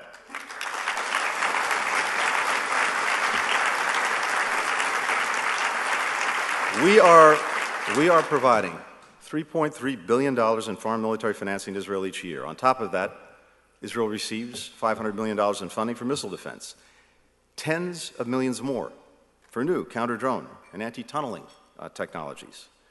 That is in keeping with the 2016 Memorandum of Understanding negotiated by the Obama Biden administration, and it is more than at any point in the history of our relationship. We're also delivering an additional $1 billion in funding to replenish supplies for Israel's Iron Dome, the missile defense system that we developed together and that has saved countless lives. All of this, all of this has been secured in partnership with our Congress with bipartisan support. We're also expanding our joint military exercises that improve how our forces work together seamlessly. This year, we have more joint exercises scheduled than at any point in our history. We're also conducting joint research and development on advanced military capabilities, working together on cutting edge defense systems, including Israel's new laser focused Iron Beam. This robust support continues to be critical in maintaining Israel's qualitative military edge buttressing its ability to defend itself, and to advancing our national interests. America is more secure when Israel is strong.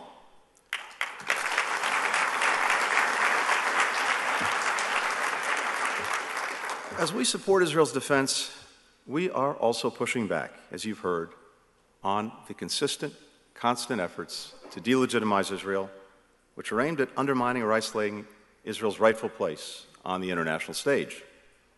Now, we fully, deeply respect the right of all to freedom of expression, and indeed, every single day we are actively defending that and promoting that around the world. At the same time, we continue to reject the global boycott, divestment, and sanctions movement for unfairly singling out Israel.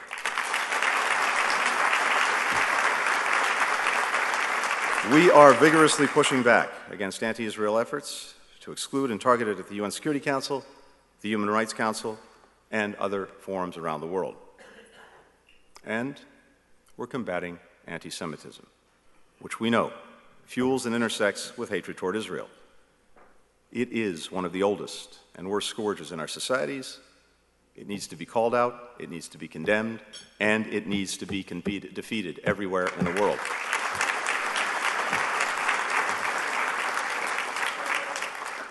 Last month, together with Special Envoy for Monitoring and Combating Anti-Semitism, Deborah Lipstadt, President released the first ever U.S. national strategy to counter anti-Semitism, to beat back the rising tide of hate that we see around the world, and yes, in our own country. Now, we're clear eyed about the many dangers that Israel faces in all of their forms. But there is no danger that Israel faces that is graver than the one posed by the Iranian regime. That regime routinely threatens to wipe Israel off the map, it continues to provide weapons to terrorists and proxies like Hezbollah and Hamas, who reject Israel's right to exist. It exports its aggression throughout and even beyond the region, including by arming Russian forces with drones that are being used to kill Ukrainian civilians and destroy its infrastructure. And in turn, Russia is providing sophisticated weaponry to Iran. The pattern of hostile behavior underscores a clear imperative that you heard from Michael. Iran cannot and will not be allowed to acquire a nuclear weapon.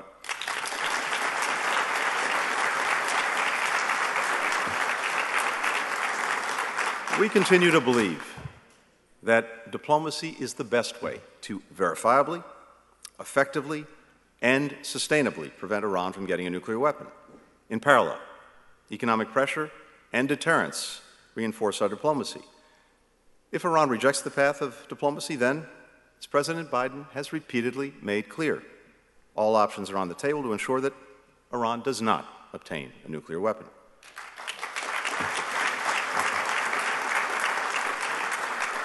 This three pronged approach diplomacy, economic pressure, deterrence, which also includes strengthening Israel's military capabilities, has bipartisan support. And it puts us in the strongest possible position to address the Iranian nuclear threat, just as we take on the many other challenges posed by the Iranian regime. The United States is advancing Israel's security and our own in another critical way by working to deepen Israel's relationships with its neighbors to advance our goal of regional integration and de escalation. Israel's further integration in the region contributes to a more stable, a more secure, a more prosperous region, and a more secure Israel. That's why President Biden has made it a cornerstone of his Middle East policy. Uh, we will soon create a new position to further our diplomacy and engagement with governments, the private sector, non governmental organizations, all working toward a more peaceful and a more connected region. We've already achieved significant historic progress to deepen and broaden the Abraham Accords, building on the work of the Trump administration. Last year, I joined foreign ministers from Israel, Bahrain, Egypt, Morocco, the United Arab Emirates, and Sde the home of David Ben Gurion. That summit led to the creation of, as you've heard, the Negev Forum, building again on the Abraham Accords and building on existing relationships between Israel and some of its neighbors. That forum is a regional framework that facilitates cooperation not only between governments, but also with businesses, with entrepreneurs, civil society, young people, on key issues that actually matter in the lives of people throughout the Middle East food security, water technology, clean energy, tourism, healthcare, education, regional security. Earlier this year, the working groups from that forum convened for the first time in Abu Dhabi, and that proved to be the largest gathering of Israeli and Arab governmental officials since the 1991 Madrid Peace Conference. All of this unthinkable just a few years ago. And we're now working behind the scenes, leading with diplomacy to continue the momentum.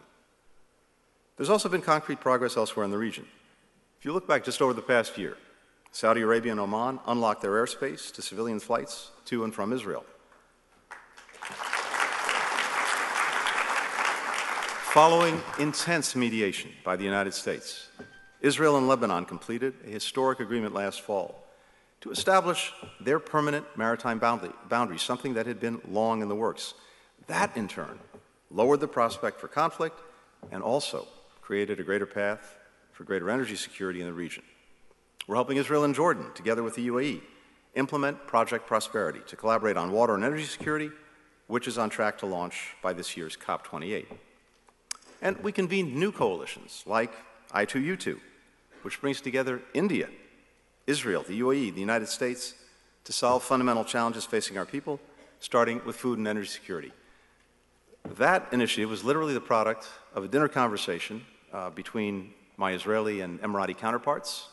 We had this idea, we got on the phone, we had the idea on, on a Friday. By Tuesday, we were on a video conference with our Indian counterpart. This project was launched, and ultimately, uh, the leaders of all the countries uh, worked together to move it forward.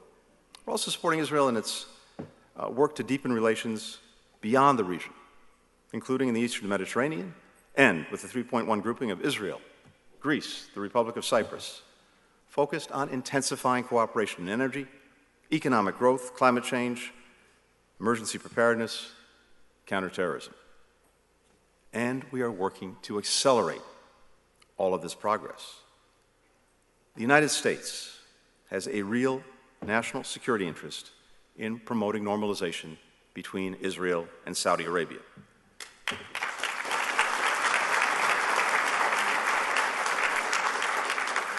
We believe that we can, and indeed we must, play an integral role in advancing it.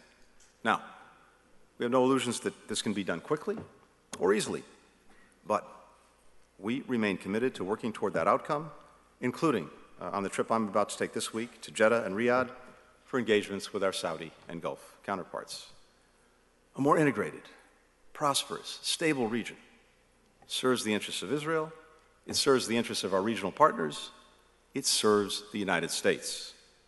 But integration and normalization efforts are not a substitute for progress between Israelis and Palestinians, nor should they come at its expense.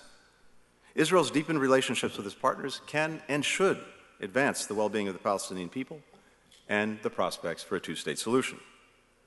As the President said on his recent trip to Israel and the West Bank last summer, a two state solution, based on the 1967 lines with mutually agreed swaps, remains the best way to achieve our goal of Israelis and Palestinians living side by side in peace with equal measures of security, freedom, justice, opportunity, and dignity. Israel was founded. Our partnership was built on democratic values, which include equal access by all people to their rights. And a two state solution is vital to preserving Israel's identity as a Jewish and democratic state.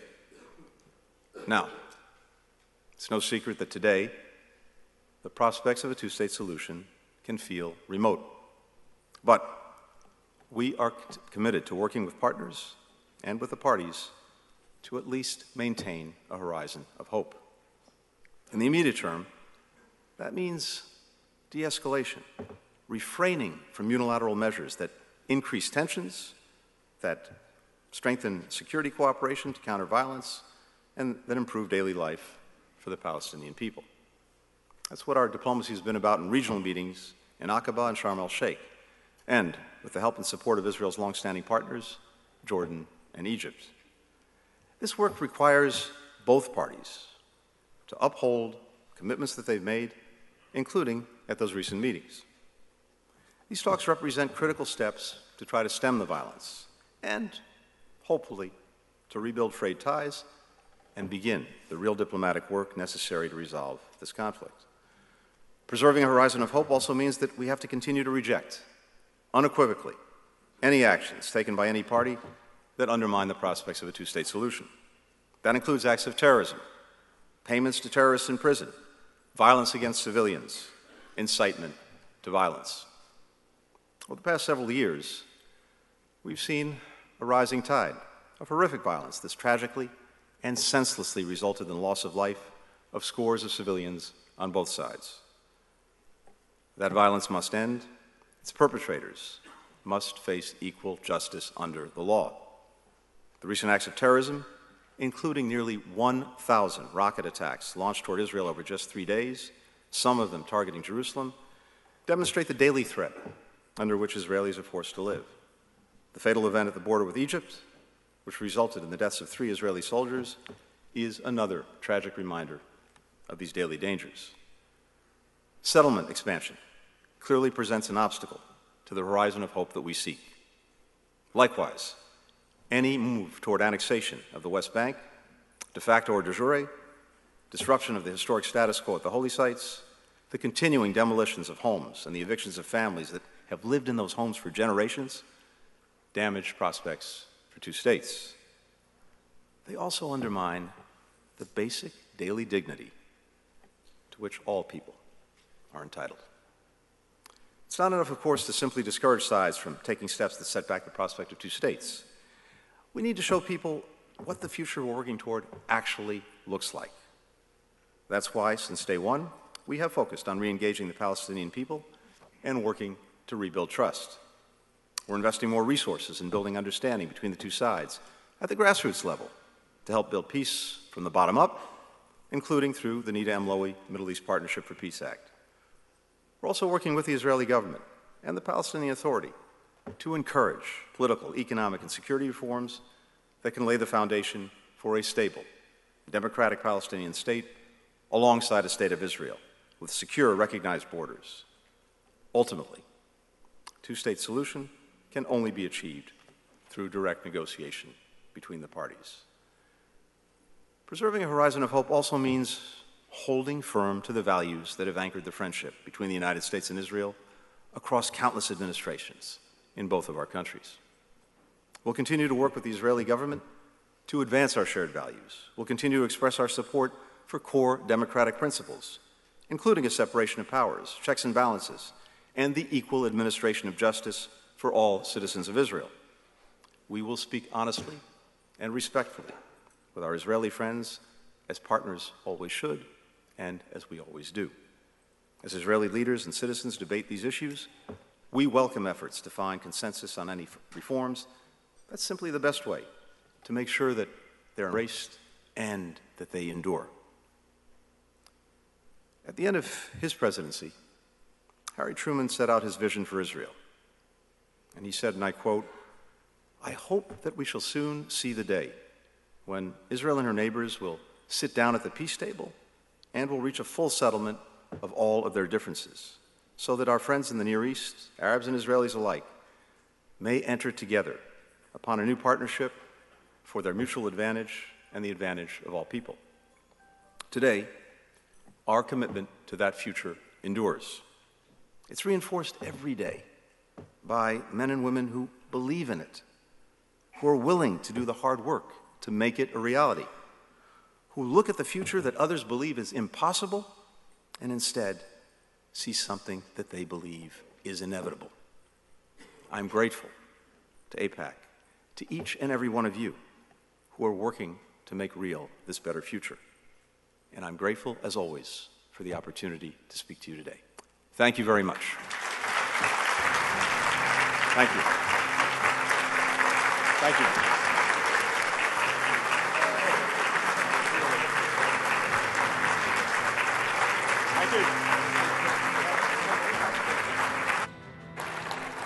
Tony, thank you. Thank, that was good. Right, that was good.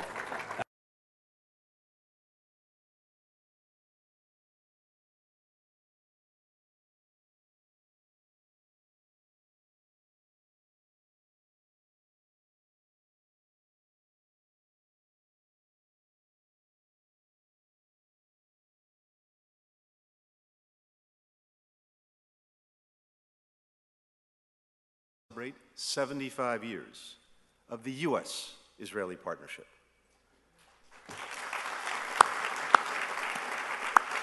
Now, you all know this very well. That partnership touches on every aspect of our lives, from security to business, from energy to public health. Our ties have not only delivered for one another, but for countries around the world, making deserts bloom, developing the clean energy technologies of the future, producing vaccines, charting the future of space exploration, and so much more. And the depth and breadth of that partnership between our governments is matched only by the strength of the ties between our peoples. This partnership between the United States and Israel is indispensable, but it was not inevitable. As Israel prepared to declare its independence, many members of President Truman's cabinet, including the Secretary of State, counseled against recognizing Israel, convinced that an independent Jewish state could not survive, that it wasn't economically viable, that it lacked the natural resources to serve as the Jewish homeland, that it couldn't bear an influx of immigrants, that it simply faced too many security threats. Not everyone thought that way. My grandfather, Maurice Blinken, who founded the American Palestine Institute after the Second World War, initiated a report before independence that argued that the Jewish state was indeed possible, that it would in fact be easier to support 2 million Jews than the present 600,000. That report helped convince many skeptics, including within the United States government. Others in the country similarly had faith in Israel's future and found the courage to speak out against the prevailing wisdom. Public servants like White House counsel Clark Clifford, who argued that Israel could be the first democratic government in the Middle East. Everyday Americans like Missouri businessman Eddie Jacobson, who convinced President Truman to meet with Chaim Weizmann, and of course, President Truman himself. President Truman never wavered in his decision to extend recognition to the new Jewish state. He said, and I quote, I had faith in Israel even before it was established. I knew it was based on the love of freedom, which has been the guiding star of the Jewish people since the days of Moses. I believe that it had a glorious future before it, not just as a sovereign nation, but as the embodiment of the great ideals of our civilization. Today, our partnership remains rooted in those shared ideals and that shared history. But its success depends on our commitment not just attending it, but renewing that bond and recommitting to the democratic values that are at its heart, and to do that each and every day. So today what I'd like to do is talk to you a little bit about what our administration is doing to strengthen the relationship between our countries at what is a historic moment for both of our countries and the world. And it's easy to throw about words like historic and unprecedented, but as President Biden says, we are genuinely living through an inflection point, a point that comes around every six or ten or seven generations, where the changes are so profound around the world that we have to find ways to navigate those changes together and to do it effectively. Now, we have to start from this. The U.S. Israel relationship is underwritten by the United States' commitment to Israel's security. That commitment is non negotiable it is ironclad.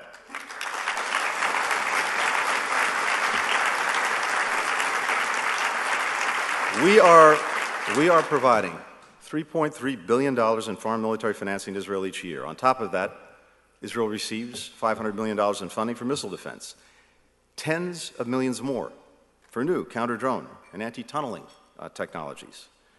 That is in keeping with the 2016 Memorandum of Understanding negotiated by the Obama Biden administration, and it is more than at any point in the history of our relationship.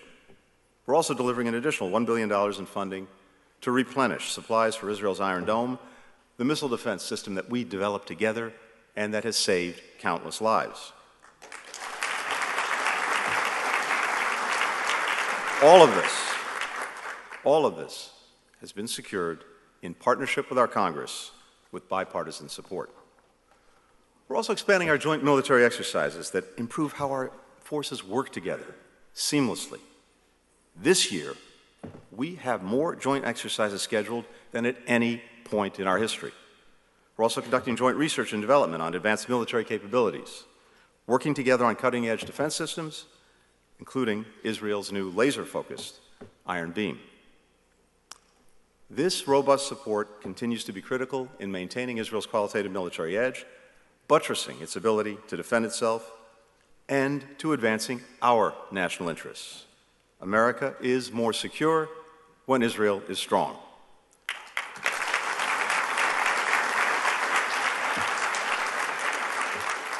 As we support Israel's defense, we are also pushing back, as you've heard, on the consistent, constant efforts to delegitimize Israel, which are aimed at undermining or isolating Israel's rightful place on the international stage. Now, we fully, deeply respect the right of all to freedom of expression, and indeed, every single day we are actively defending that and promoting that around the world. At the same time, we continue to reject the global boycott, divestment, and sanctions movement for unfairly singling out Israel.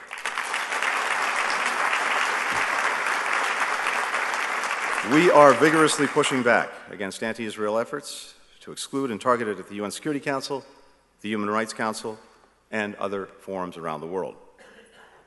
And we're combating anti Semitism, which we know fuels and intersects with hatred toward Israel. It is one of the oldest and worst scourges in our societies. It needs to be called out, it needs to be condemned, and it needs to be defeated everywhere in the world.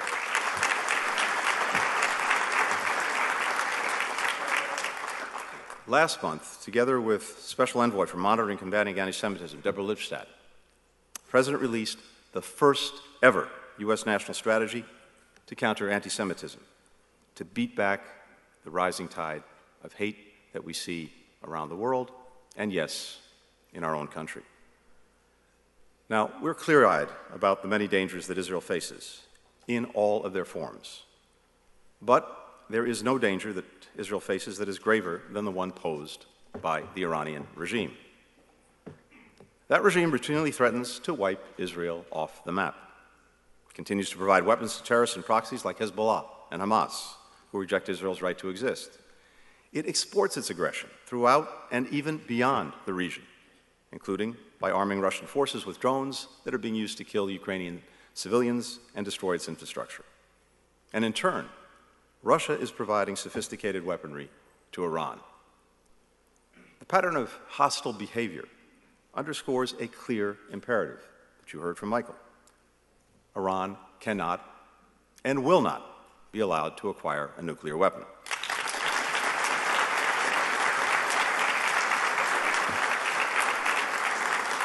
We continue to believe that diplomacy is the best way to verifiably, effectively, and sustainably prevent Iran from getting a nuclear weapon. In parallel, economic pressure and deterrence reinforce our diplomacy. If Iran rejects the path of diplomacy, then, as President Biden has repeatedly made clear, all options are on the table to ensure that Iran does not obtain a nuclear weapon.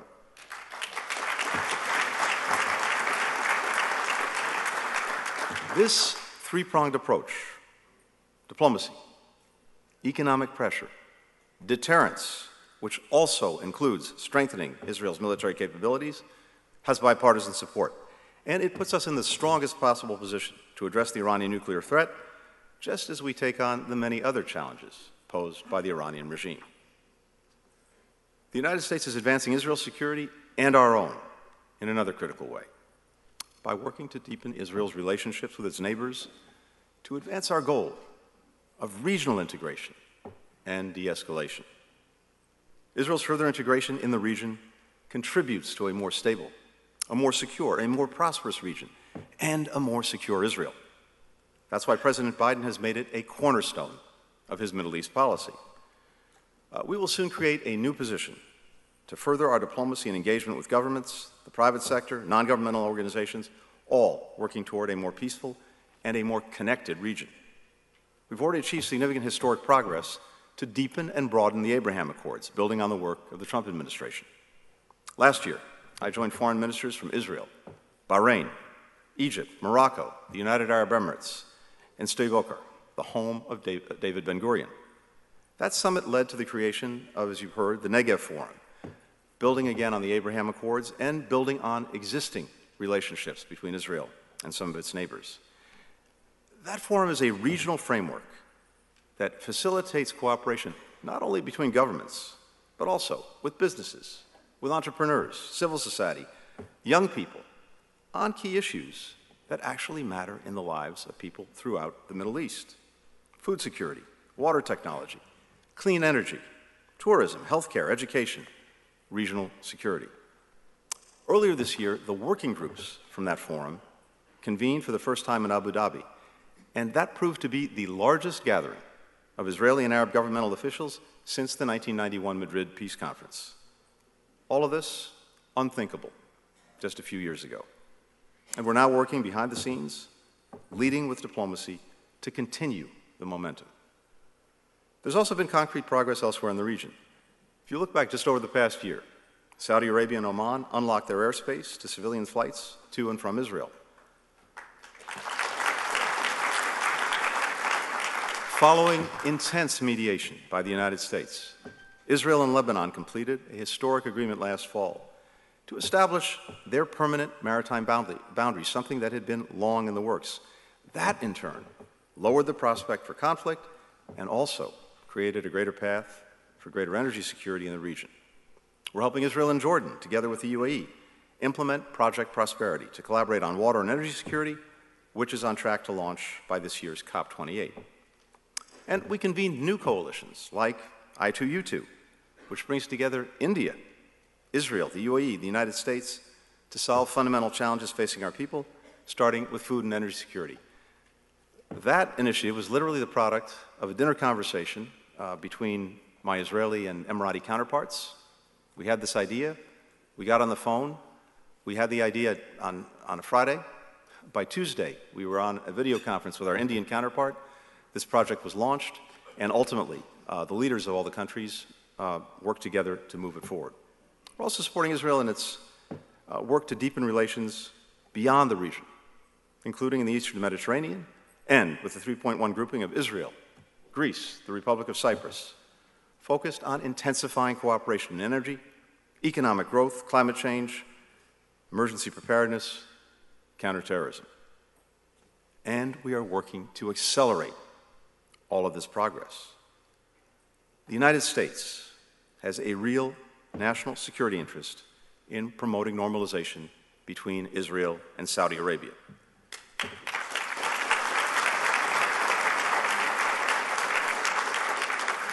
We believe that we can, and indeed we must, play an integral role in advancing it. Now, we have no illusions that this can be done quickly or easily, but we remain committed to working toward that outcome, including uh, on the trip I'm about to take this week to Jeddah and Riyadh for engagements with our Saudi and Gulf counterparts. A more integrated, prosperous, stable region serves the interests of Israel, it serves the interests of our regional partners, it serves the United States. But integration and normalization efforts are not a substitute for progress between Israelis and Palestinians, nor should they come at its expense. Israel's deepened relationships with its partners can and should advance the well being of the Palestinian people and the prospects for a two state solution. As the President said on his recent trip to Israel and the West Bank last summer, a two state solution, based on the 1967 lines with mutually agreed swaps, remains the best way to achieve our goal of Israelis and Palestinians living side by side in peace with equal measures of security, freedom, justice, opportunity, and dignity. Israel was founded. Our partnership was built on democratic values, which include equal access by all people to their rights. And a two state solution is vital to preserving Israel's identity as a Jewish and democratic state. Now, it's no secret that today the prospects of a two state solution can feel remote. But we are committed to working with partners and with the parties to at least maintain a horizon of hope. In the immediate term, that means de escalation, refraining from unilateral measures that increase tensions, that strengthen security cooperation to counter violence, and that improve daily life for the Palestinian people. That's what our diplomacy has been about in regional meetings in Aqaba and Sharm el Sheikh, and with the help and support of Israel's longstanding partners, Jordan and Egypt. This work requires both parties to uphold commitments that they've made, including at those recent meetings. These talks represent critical steps to try to stem the violence and, hopefully, to rebuild frayed ties and begin the real diplomatic work necessary to resolve this conflict. Preserving a horizon of hope also means that we have to continue to reject, unequivocally, any actions taken by any party that undermine the prospects of a two state solution. That includes acts of terrorism, payments to terrorists in prison, violence against civilians, incitement to violence. Over the past several years, we've seen a rising tide of horrific violence that's tragically and senselessly resulted in the loss of life of scores of civilians on both sides. That violence must end. Its perpetrators must face equal justice under the law. The recent acts of terrorism, including nearly 1,000 rocket attacks launched toward Israel over just three days, some of them targeting Jerusalem, demonstrate the daily threat under which Israelis are forced to live. The fatal event at the border with Egypt, which resulted in the deaths of three Israeli soldiers, is another tragic reminder of these daily dangers. Settlement expansion clearly presents an obstacle to the horizon of hope that we seek. Likewise, any move toward annexation of the West Bank, de facto or de jure, disruption of the historic status quo at the holy sites, the continuing demolitions of homes and the evictions of families that have lived in those homes for generations, damage prospects for two states. They also undermine the basic daily dignity to which all people are entitled. It's not enough, of course, to simply discourage sides from taking steps that set back the prospect of two states. We need to show people what the future we're working toward actually looks like. That's why, since day one, we have focused on re engaging the Palestinian people and working to rebuild trust. We're investing more resources in building understanding between the two sides at the grassroots level to help build peace from the bottom up, including through the Nita M. Lowey Middle East Partnership for Peace Act. We're also working with the Israeli government and the Palestinian Authority to encourage political, economic, and security reforms that can lay the foundation for a stable, democratic Palestinian state alongside a state of Israel with secure, recognized borders. Ultimately, two-state solution can only be achieved through direct negotiation between the parties. Preserving a horizon of hope also means holding firm to the values that have anchored the friendship between the United States and Israel across countless administrations in both of our countries. We'll continue to work with the Israeli government to advance our shared values. We'll continue to express our support for core democratic principles, including a separation of powers, checks and balances, and the equal administration of justice for all citizens of Israel. We will speak honestly and respectfully with our Israeli friends, as partners always should, and as we always do. As Israeli leaders and citizens debate these issues, we welcome efforts to find consensus on any reforms. That's simply the best way to make sure that they're embraced and that they endure. At the end of his presidency, Harry Truman set out his vision for Israel. And he said, and I quote, I hope that we shall soon see the day when Israel and her neighbors will sit down at the peace table and will reach a full settlement of all of their differences, so that our friends in the Near East, Arabs and Israelis alike, may enter together upon a new partnership for their mutual advantage and the advantage of all people. Today, our commitment to that future endures. It's reinforced every day by men and women who believe in it, who are willing to do the hard work to make it a reality who look at the future that others believe is impossible and instead see something that they believe is inevitable. I'm grateful to AIPAC, to each and every one of you who are working to make real this better future. And I'm grateful, as always, for the opportunity to speak to you today. Thank you very much. Thank you. Thank you.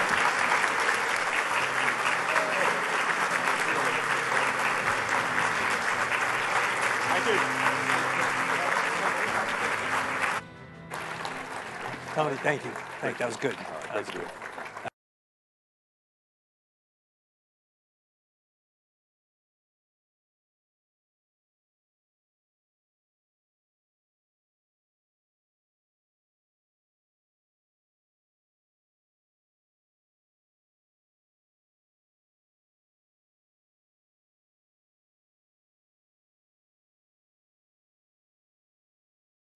75 years of the U.S. Israeli partnership.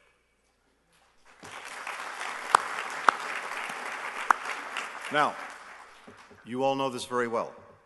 That partnership touches on every aspect of our lives, from security to business, from energy to public health. Our ties have not only delivered for one another, but for countries around the world, making deserts bloom, developing the clean energy technologies of the future, producing vaccines, charting the future of space exploration, and so much more. And the depth and breadth of that partnership between our governments is matched only by the strength of the ties between our peoples. This partnership between the United States and Israel is indispensable, but it was not inevitable. As Israel prepared to declare its independence, many members of President Truman's cabinet, including the Secretary of State, counseled against recognizing Israel, convinced that an independent Jewish state could not survive, that it wasn't economically viable, that it lacked the natural resources to serve as the Jewish homeland, that it couldn't bear an influx of immigrants, that it simply faced too many security threats. Not everyone thought that way. My grandfather, Maurice Blinken, who founded the American Palestine Institute after the Second World War, initiated a report before independence that argued that the Jewish state was indeed possible, that it would in fact be easier to support 2 million Jews than the present 600,000. That report helped convince many skeptics, including within the United States government. Others in the country similarly had faith in Israel's future and found the courage to speak out against the prevailing wisdom. Public servants like White House counsel Clark Clifford, who argued that Israel could be the first democratic government in the Middle East. Everyday Americans like Missouri businessman Eddie Jacobson, who convinced President Truman to meet with Chaim Weizmann, and of course, President Truman himself. President Truman never wavered in his decision to extend recognition to the new Jewish state. He said, and I quote, I had faith in Israel even before it was established. I knew it was based on the love of freedom, which has been the guiding star of the Jewish people since the days of Moses. I believe that it had a glorious future before it, not just as a sovereign nation, but as the embodiment of the great ideals of our civilization. Today, our partnership remains rooted in those shared ideals and that shared history. But its success depends on our commitment not just attending it, but renewing that bond and recommitting to the democratic values that are at its heart, and to do that each and every day. So today what I'd like to do is talk to you a little bit about what our administration is doing to strengthen the relationship between our countries at what is a historic moment for both of our countries and the world. And it's easy to throw about words like historic and unprecedented. But as President Biden says, we are genuinely living through an inflection point, a point that comes around every six or seven generations, where the changes are so profound around the world that we have to find ways to navigate those changes together and to do it effectively. Now, we have to start from this. The U.S. Israel relationship is underwritten by the United States' commitment to Israel's security. That commitment is non negotiable, it is ironclad.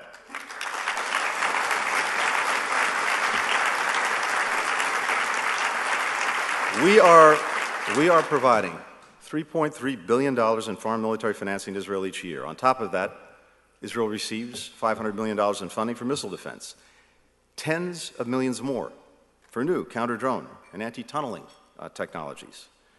That is in keeping with the 2016 Memorandum of Understanding negotiated by the Obama Biden administration, and it is more than at any point in the history of our relationship.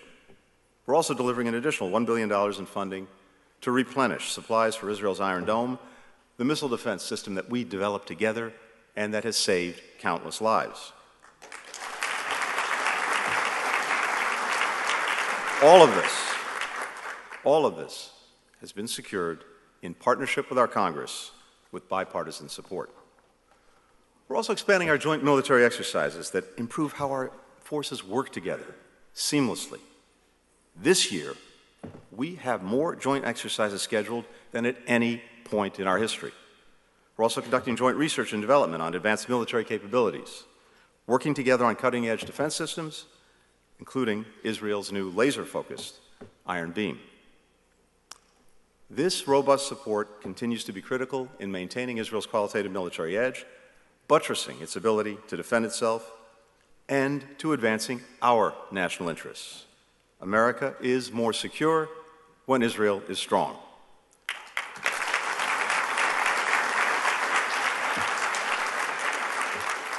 As we support Israel's defense, we are also pushing back, as you've heard, on the consistent, constant efforts to delegitimize Israel, which are aimed at undermining or isolating Israel's rightful place on the international stage. Now, we fully, deeply respect the right of all to freedom of expression, and indeed, every single day we are actively defending that and promoting that around the world. At the same time, we continue to reject the global boycott, divestment, and sanctions movement for unfairly singling out Israel.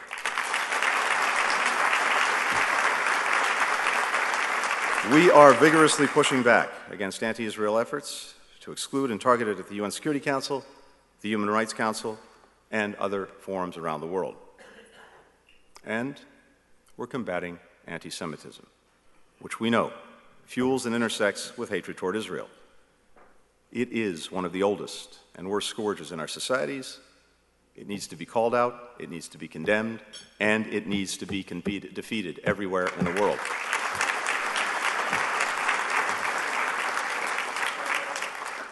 Last month, together with Special Envoy for Monitoring and Combating Anti-Semitism, Deborah Lipstadt, the President released the first ever U.S. national strategy to counter anti-Semitism, to beat back the rising tide of hate that we see around the world, and yes, in our own country. Now, we're clear-eyed about the many dangers that Israel faces in all of their forms. But there is no danger that Israel faces that is graver than the one posed by the Iranian regime. That regime routinely threatens to wipe Israel off the map. It continues to provide weapons to terrorists and proxies like Hezbollah and Hamas, who reject Israel's right to exist. It exports its aggression throughout and even beyond the region, including by arming Russian forces with drones that are being used to kill Ukrainian civilians and destroy its infrastructure. And in turn, Russia is providing sophisticated weaponry to Iran. The pattern of hostile behavior underscores a clear imperative that you heard from Michael. Iran cannot and will not be allowed to acquire a nuclear weapon.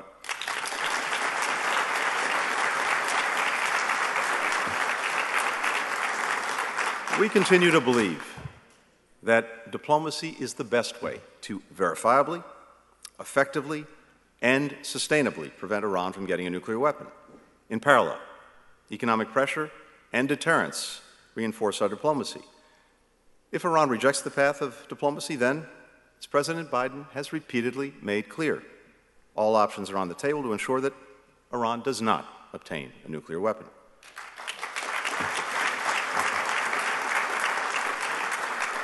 This three pronged approach diplomacy, economic pressure, deterrence, which also includes strengthening Israel's military capabilities, has bipartisan support.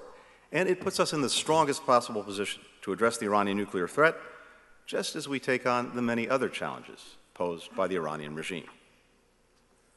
The United States is advancing Israel's security and our own in another critical way by working to deepen Israel's relationships with its neighbors to advance our goal of regional integration and de escalation. Israel's further integration in the region contributes to a more stable, a more secure, a more prosperous region, and a more secure Israel. That's why President Biden has made it a cornerstone of his Middle East policy. Uh, we will soon create a new position to further our diplomacy and engagement with governments, the private sector, non governmental organizations, all working toward a more peaceful and a more connected region. We've already achieved significant historic progress to deepen and broaden the Abraham Accords, building on the work of the Trump administration. Last year, I joined foreign ministers from Israel, Bahrain, Egypt, Morocco, the United Arab Emirates, and Sde the home of David Ben Gurion. That summit led to the creation of, as you've heard, the Negev Forum, building again on the Abraham Accords and building on existing relationships between Israel and some of its neighbors. That forum is a regional framework that facilitates cooperation not only between governments, but also with businesses, with entrepreneurs, civil society, young people, on key issues that actually matter in the lives of people throughout the Middle East food security, water technology, clean energy, tourism, healthcare, education, regional security. Earlier this year, the working groups from that forum convened for the first time in Abu Dhabi, and that proved to be the largest gathering of Israeli and Arab governmental officials since the 1991 Madrid Peace Conference. All of this unthinkable just a few years ago. And we're now working behind the scenes, leading with diplomacy to continue the momentum. There's also been concrete progress elsewhere in the region.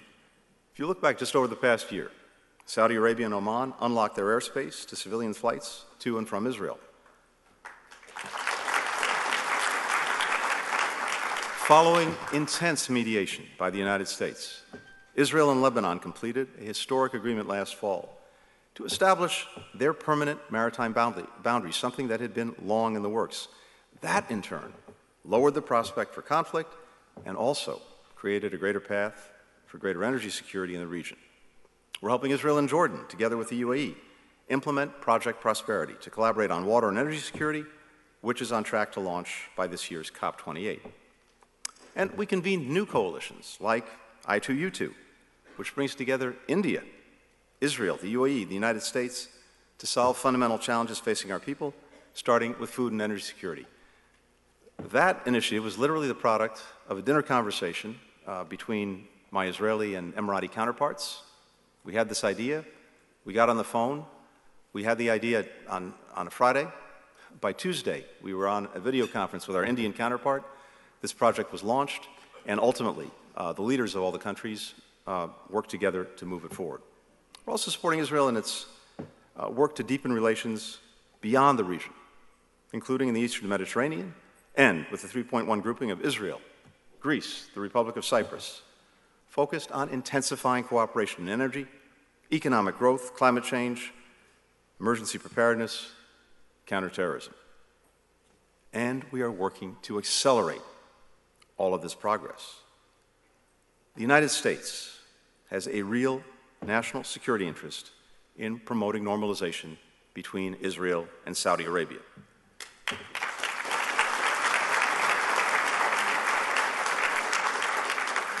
We believe that we can, and indeed we must, play an integral role in advancing it. Now, we have no illusions that this can be done quickly or easily, but we remain committed to working toward that outcome, including uh, on the trip I'm about to take this week to Jeddah and Riyadh for engagements with our Saudi and Gulf counterparts.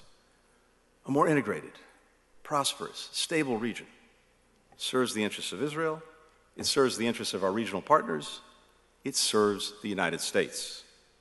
But integration and normalization efforts are not a substitute for progress between Israelis and Palestinians, nor should they come at its expense. Israel's deepened relationships with its partners can and should advance the well being of the Palestinian people and the prospects for a two state solution.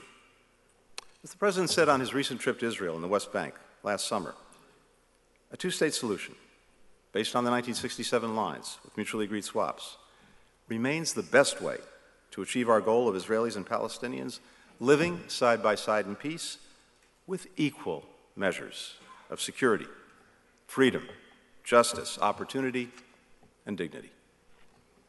Israel was founded. Our partnership was built on democratic values, which include equal access by all people to their rights. And a two state solution is vital to preserving Israel's identity as a Jewish and democratic state. Now, it's no secret that today the prospects of a two state solution can feel remote. But we are committed to working with partners and with the parties to at least maintain a horizon of hope. In the immediate term, that means de escalation, refraining from unilateral measures that increase tensions, that strengthen security cooperation to counter violence, and that improve daily life for the Palestinian people. That's what our diplomacy has been about in regional meetings in Aqaba and Sharm el Sheikh, and with the help and support of Israel's longstanding partners, Jordan and Egypt. This work requires both parties to uphold commitments that they've made, including at those recent meetings. These talks represent critical steps to try to stem the violence and, hopefully, to rebuild frayed ties and begin the real diplomatic work necessary to resolve this conflict. Preserving a horizon of hope also means that we have to continue to reject, unequivocally, any actions taken by any party that undermine the prospects of a two state solution. That includes acts of terrorism, payments to terrorists in prison, violence against civilians, incitement to violence. Over the past several years, we've seen a rising tide of horrific violence that's tragically and senselessly resulted in the loss of life of scores of civilians on both sides. That violence must end. Its perpetrators must face equal justice under the law. The recent acts of terrorism, including nearly 1,000 rocket attacks launched toward Israel over just three days, some of them targeting Jerusalem, demonstrate the daily threat under which Israelis are forced to live. The fatal event at the border with Egypt, which resulted in the deaths of three Israeli soldiers, is another tragic reminder of these daily dangers. Settlement expansion clearly presents an obstacle to the horizon of hope that we seek. Likewise, any move toward annexation of the West Bank, de facto or de jure, disruption of the historic status quo at the holy sites, the continuing demolitions of homes and the evictions of families that have lived in those homes for generations, damage prospects for two states. They also undermine the basic daily dignity to which all people are entitled. It's not enough, of course, to simply discourage sides from taking steps that set back the prospect of two states. We need to show people what the future we're working toward actually looks like. That's why, since day one, we have focused on re engaging the Palestinian people and working to rebuild trust. We're investing more resources in building understanding between the two sides at the grassroots level to help build peace from the bottom up, including through the Nita M. Lowey Middle East Partnership for Peace Act.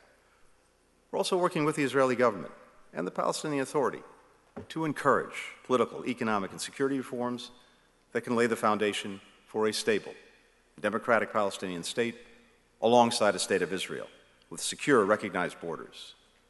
Ultimately, two-state solution can only be achieved through direct negotiation between the parties. Preserving a horizon of hope also means holding firm to the values that have anchored the friendship between the United States and Israel across countless administrations in both of our countries. We'll continue to work with the Israeli government to advance our shared values. We'll continue to express our support for core democratic principles, including a separation of powers, checks and balances, and the equal administration of justice for all citizens of Israel. We will speak honestly and respectfully with our Israeli friends, as partners always should, and as we always do. As Israeli leaders and citizens debate these issues, we welcome efforts to find consensus on any reforms. That's simply the best way to make sure that they're embraced and that they endure. At the end of his presidency, Harry Truman set out his vision for Israel. And he said, and I quote, I hope that we shall soon see the day when Israel and her neighbors will sit down at the peace table and will reach a full settlement of all of their differences so that our friends in the Near East, Arabs and Israelis alike, may enter together upon a new partnership for their mutual advantage and the advantage of all people. Today, our commitment to that future endures. It's reinforced every day by men and women who believe in it, who are willing to do the hard work to make it a reality, who look at the future that others believe is impossible and instead see something that they believe is inevitable. I'm grateful to AIPAC, to each and every one of you who are working to make real this better future. And I'm grateful, as always, for the opportunity to speak to you today. Thank you very much. Thank you. Thank you.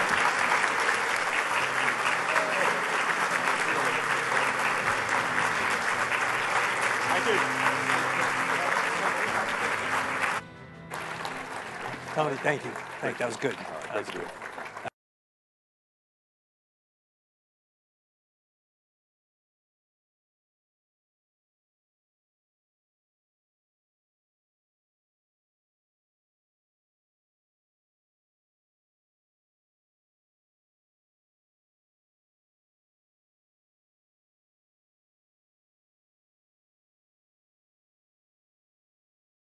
75 years of the U.S. Israeli partnership.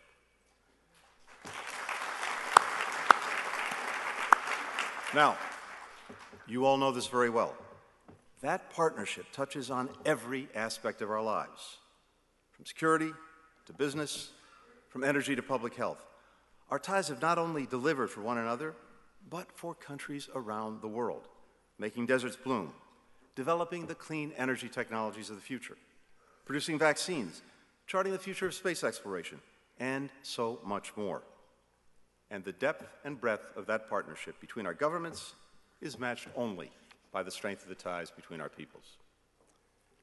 This partnership between the United States and Israel is indispensable, but it was not inevitable. As Israel prepared to declare its independence, many members of President Truman's cabinet, including the Secretary of State, counseled against recognizing Israel, convinced that an independent Jewish state could not survive, that it wasn't economically viable, that it lacked the natural resources to serve as the Jewish homeland, that it couldn't bear an influx of immigrants, that it simply faced too many security threats. Not everyone thought that way. My grandfather, Maurice Blinken, who founded the American Palestine Institute after the Second World War, initiated a report before independence that argued that the Jewish state was indeed possible, that it would in fact be easier to support 2 million Jews than the present 600,000. That report helped convince many skeptics, including within the United States government.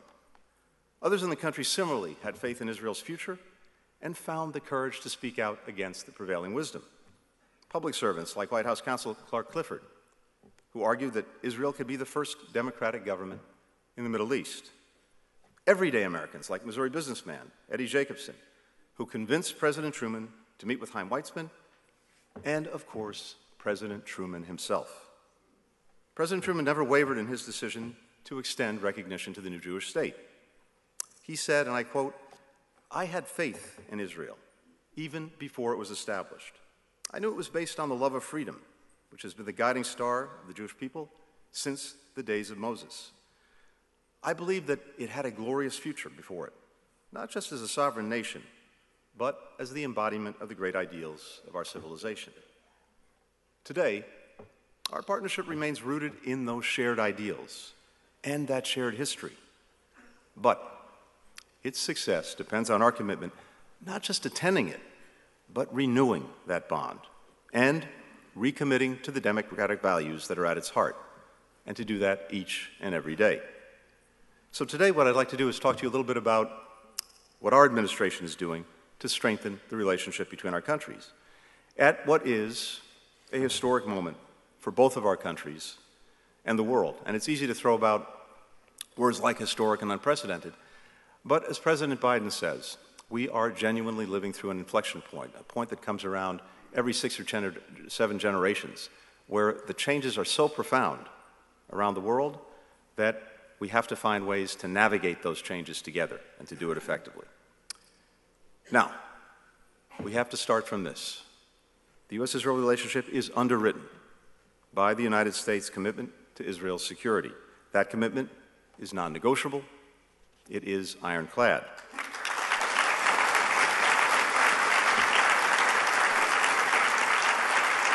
We are, we are providing $3.3 billion in foreign military financing to Israel each year. On top of that, Israel receives $500 million in funding for missile defense, tens of millions more for new counter drone and anti tunneling uh, technologies.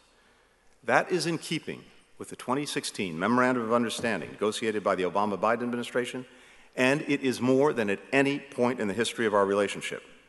We're also delivering an additional $1 billion in funding to replenish supplies for Israel's Iron Dome, the missile defense system that we developed together and that has saved countless lives. All of this, all of this has been secured in partnership with our Congress with bipartisan support. We're also expanding our joint military exercises that improve how our forces work together seamlessly. This year, we have more joint exercises scheduled than at any point in our history. We're also conducting joint research and development on advanced military capabilities, working together on cutting edge defense systems, including Israel's new laser focused Iron Beam.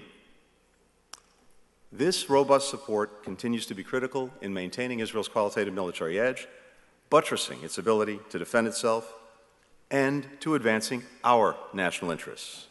America is more secure when Israel is strong.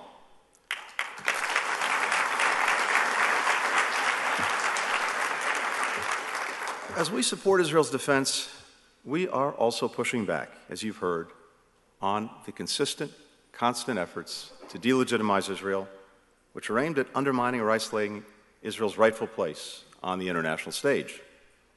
Now, we fully, deeply respect the right of all to freedom of expression, and indeed, every single day we are actively defending that and promoting that around the world. At the same time, we continue to reject the global boycott, divestment, and sanctions movement for unfairly singling out Israel.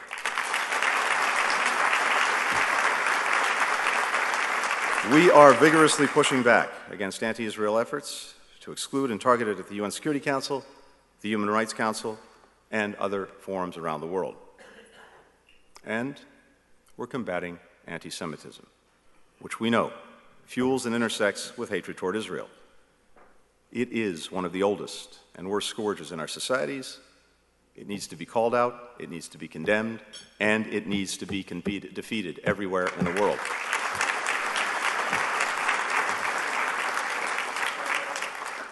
Last month, together with Special Envoy for Monitoring and Combating Anti Semitism, Deborah Lipstadt, the President released the first ever U.S. national strategy to counter anti Semitism, to beat back the rising tide of hate that we see around the world, and yes, in our own country. Now, we're clear eyed about the many dangers that Israel faces in all of their forms. But there is no danger that Israel faces that is graver than the one posed by the Iranian regime. That regime routinely threatens to wipe Israel off the map. It continues to provide weapons to terrorists and proxies like Hezbollah and Hamas, who reject Israel's right to exist. It exports its aggression throughout and even beyond the region, including by arming Russian forces with drones that are being used to kill Ukrainian civilians and destroy its infrastructure. And in turn, Russia is providing sophisticated weaponry to Iran. The pattern of hostile behavior underscores a clear imperative that you heard from Michael.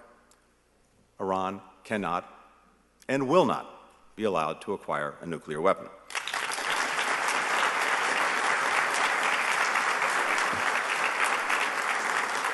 We continue to believe that diplomacy is the best way to verifiably, effectively, and sustainably prevent Iran from getting a nuclear weapon.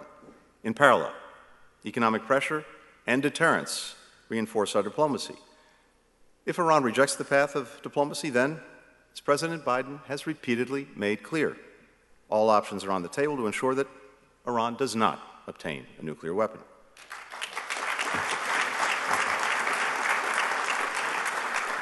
This three pronged approach diplomacy, economic pressure, deterrence, which also includes strengthening Israel's military capabilities, has bipartisan support.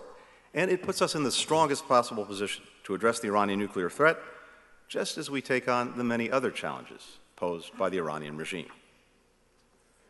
The United States is advancing Israel's security and our own in another critical way by working to deepen Israel's relationships with its neighbors to advance our goal of regional integration and de escalation. Israel's further integration in the region contributes to a more stable, a more secure, a more prosperous region, and a more secure Israel. That's why President Biden has made it a cornerstone of his Middle East policy. Uh, we will soon create a new position to further our diplomacy and engagement with governments, the private sector, non governmental organizations, all working toward a more peaceful and a more connected region. We've already achieved significant historic progress to deepen and broaden the Abraham Accords, building on the work of the Trump administration. Last year, I joined foreign ministers from Israel, Bahrain, Egypt, Morocco, the United Arab Emirates, and Sde the home of David Ben Gurion. That summit led to the creation of, as you've heard, the Negev Forum, building again on the Abraham Accords and building on existing relationships between Israel and some of its neighbors. That forum is a regional framework that facilitates cooperation not only between governments, but also with businesses, with entrepreneurs, civil society, young people, on key issues that actually matter in the lives of people throughout the Middle East food security, water technology, clean energy, tourism, healthcare, education, regional security.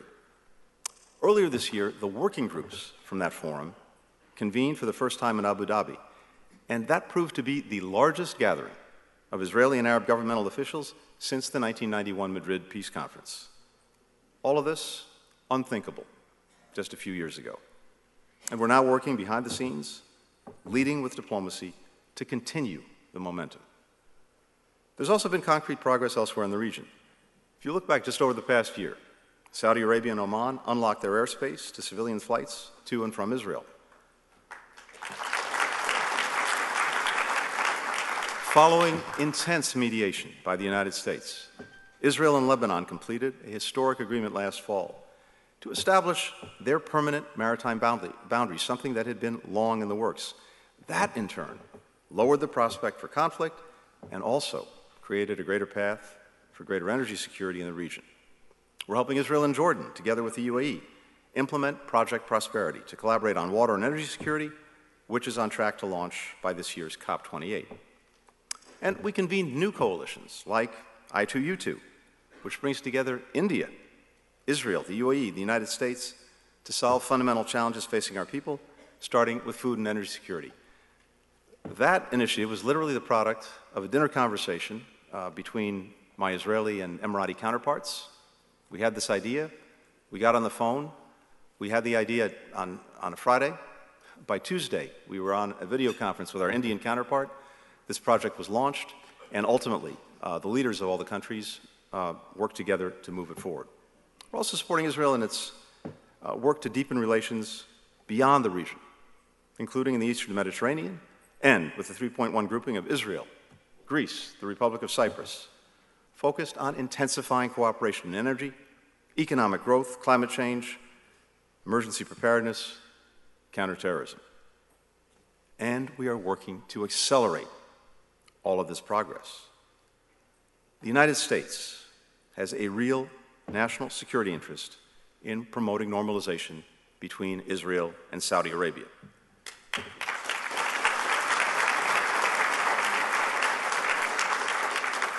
We believe that we can, and indeed we must, play an integral role in advancing it. Now, we have no illusions that this can be done quickly or easily, but we remain committed to working toward that outcome, including uh, on the trip I'm about to take this week to Jeddah and Riyadh for engagements with our Saudi and Gulf counterparts. A more integrated, prosperous, stable region serves the interests of Israel, it serves the interests of our regional partners, it serves the United States. But integration and normalization efforts are not a substitute for progress between Israelis and Palestinians, nor should they come at its expense. Israel's deepened relationships with its partners can and should advance the well being of the Palestinian people and the prospects for a two state solution. As the President said on his recent trip to Israel and the West Bank last summer, a two state solution based on the 1967 lines with mutually agreed swaps, remains the best way to achieve our goal of Israelis and Palestinians living side by side in peace with equal measures of security, freedom, justice, opportunity, and dignity. Israel was founded. Our partnership was built on democratic values, which include equal access by all people to their rights. And a two state solution is vital to preserving Israel's identity as a Jewish and democratic state. Now, it's no secret that today the prospects of a two state solution can feel remote. But we are committed to working with partners and with the parties to at least maintain a horizon of hope. In the immediate term, that means de escalation, refraining from unilateral measures that increase tensions, that strengthen security cooperation to counter violence, and that improve daily life for the Palestinian people. That's what our diplomacy has been about in regional meetings in Aqaba and Sharm el Sheikh, and with the help and support of Israel's longstanding partners, Jordan and Egypt. This work requires both parties to uphold commitments that they've made, including at those recent meetings.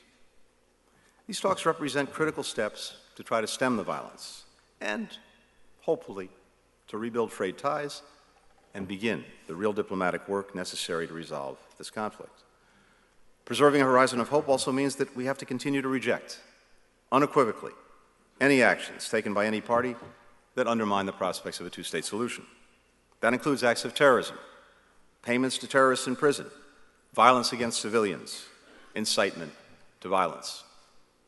Over the past several years, we've seen a rising tide of horrific violence that's tragically and senselessly resulted in the loss of life of scores of civilians on both sides. That violence must end. Its perpetrators must face equal justice under the law. The recent acts of terrorism, including nearly 1,000 rocket attacks launched toward Israel over just three days, some of them targeting Jerusalem, demonstrate the daily threat under which Israelis are forced to live.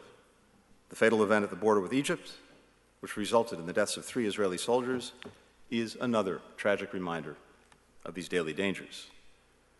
Settlement expansion clearly presents an obstacle to the horizon of hope that we seek.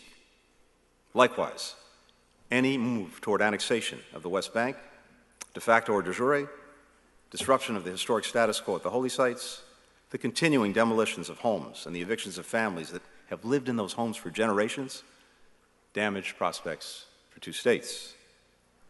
They also undermine the basic daily dignity to which all people are entitled.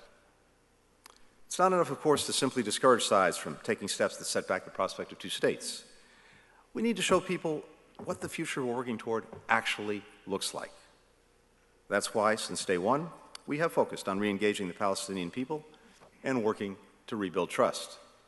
We're investing more resources in building understanding between the two sides at the grassroots level to help build peace from the bottom up, including through the Nita M. Lowey Middle East Partnership for Peace Act. We're also working with the Israeli government and the Palestinian Authority to encourage political, economic, and security reforms that can lay the foundation for a stable, democratic Palestinian state alongside a state of Israel with secure, recognized borders. Ultimately, two-state solution can only be achieved through direct negotiation between the parties. Preserving a horizon of hope also means holding firm to the values that have anchored the friendship between the United States and Israel across countless administrations in both of our countries. We'll continue to work with the Israeli government to advance our shared values. We'll continue to express our support for core democratic principles, including a separation of powers, checks and balances, and the equal administration of justice for all citizens of Israel. We will speak honestly and respectfully with our Israeli friends, as partners always should, and as we always do. As Israeli leaders and citizens debate these issues, we welcome efforts to find consensus on any reforms. That's simply the best way to make sure that they're embraced and that they endure. At the end of his presidency, Harry Truman set out his vision for Israel. And he said, and I quote, I hope that we shall soon see the day when Israel and her neighbors will sit down at the peace table and will reach a full settlement of all of their differences, so that our friends in the Near East, Arabs and Israelis alike, may enter together upon a new partnership for their mutual advantage and the advantage of all people. Today, our commitment to that future endures. It's reinforced every day by men and women who believe in it, who are willing to do the hard work to make it a reality, who look at the future that others believe is impossible and instead see something that they believe is inevitable. I'm grateful to AIPAC, to each and every one of you who are working to make real this better future. And I'm grateful, as always, for the opportunity to speak to you today. Thank you very much. Thank you. Thank you.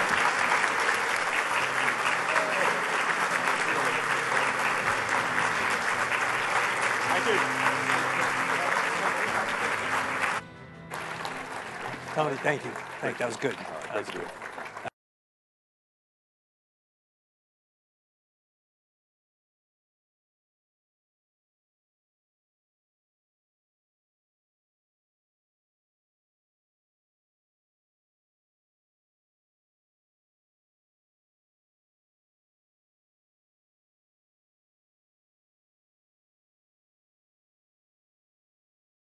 Celebrate 75 years of the U.S. Israeli partnership.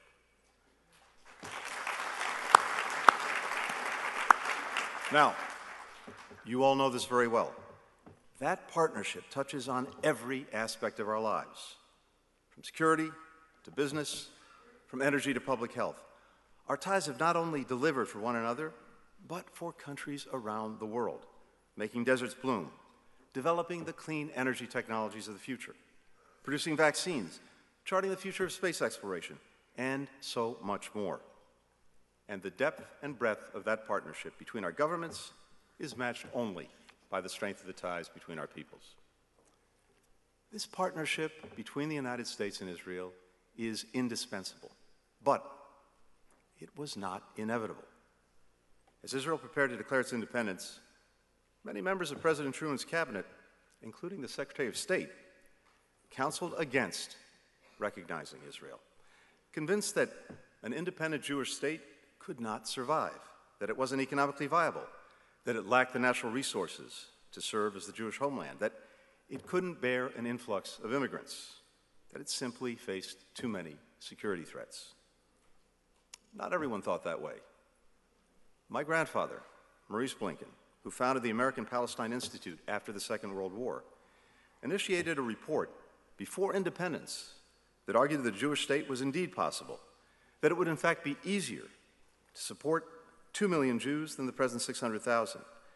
That report helped convince many skeptics, including within the United States government. Others in the country similarly had faith in Israel's future and found the courage to speak out against the prevailing wisdom.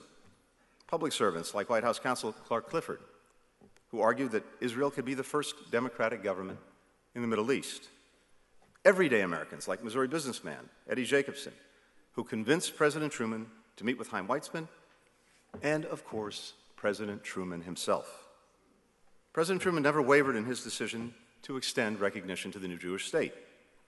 He said, and I quote, I had faith in Israel even before it was established. I knew it was based on the love of freedom, which has been the guiding star of the Jewish people since the days of Moses. I believe that it had a glorious future before it, not just as a sovereign nation, but as the embodiment of the great ideals of our civilization. Today, our partnership remains rooted in those shared ideals and that shared history. But its success depends on our commitment not just attending it, but renewing that bond and recommitting to the democratic values that are at its heart, and to do that each and every day. So today what I'd like to do is talk to you a little bit about what our administration is doing to strengthen the relationship between our countries at what is a historic moment for both of our countries and the world. And it's easy to throw about words like historic and unprecedented. But as President Biden says, we are genuinely living through an inflection point, a point that comes around every six or ten or seven generations, where the changes are so profound around the world that we have to find ways to navigate those changes together and to do it effectively. Now, we have to start from this. The U.S. Israel relationship is underwritten by the United States' commitment to Israel's security. That commitment is non negotiable, it is ironclad.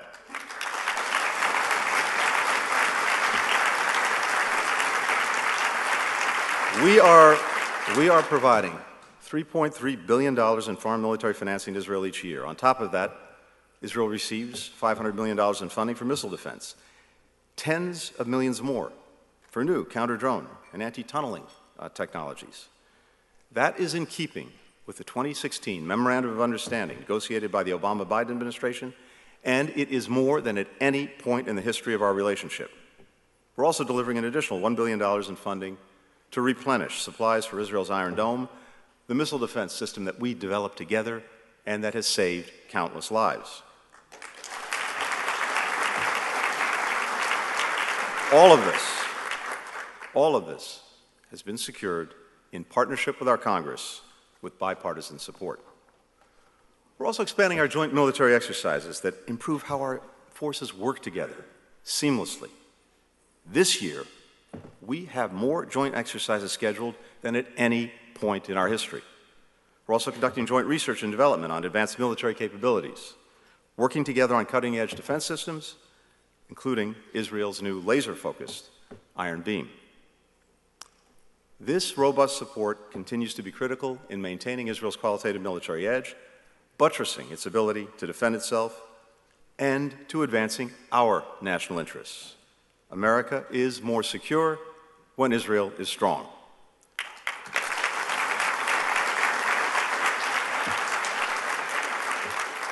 As we support Israel's defense, we are also pushing back, as you've heard, on the consistent, constant efforts to delegitimize Israel, which are aimed at undermining or isolating Israel's rightful place on the international stage.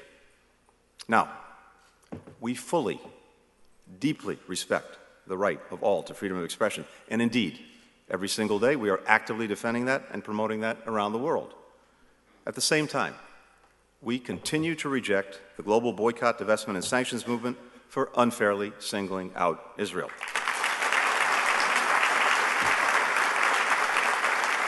We are vigorously pushing back against anti Israel efforts to exclude and target it at the UN Security Council, the Human Rights Council, and other forums around the world.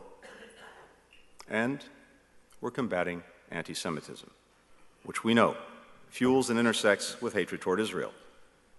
It is one of the oldest and worst scourges in our societies. It needs to be called out, it needs to be condemned, and it needs to be defeated everywhere in the world.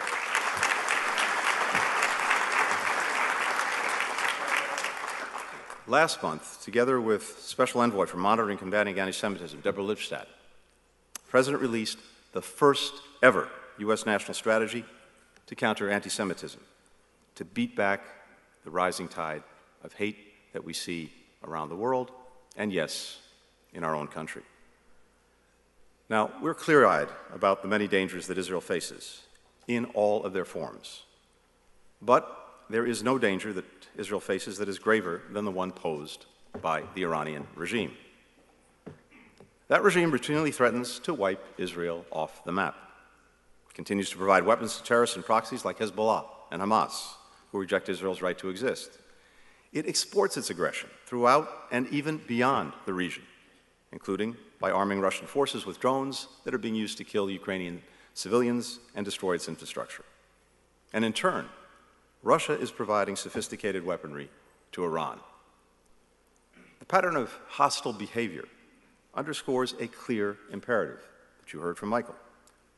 Iran cannot and will not be allowed to acquire a nuclear weapon.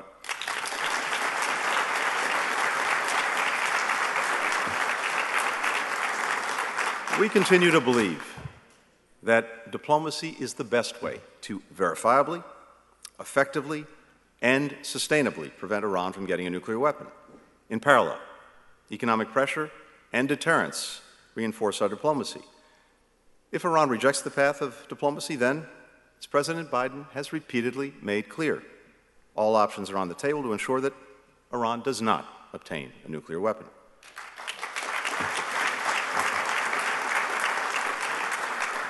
This three pronged approach diplomacy, economic pressure, deterrence, which also includes strengthening Israel's military capabilities, has bipartisan support.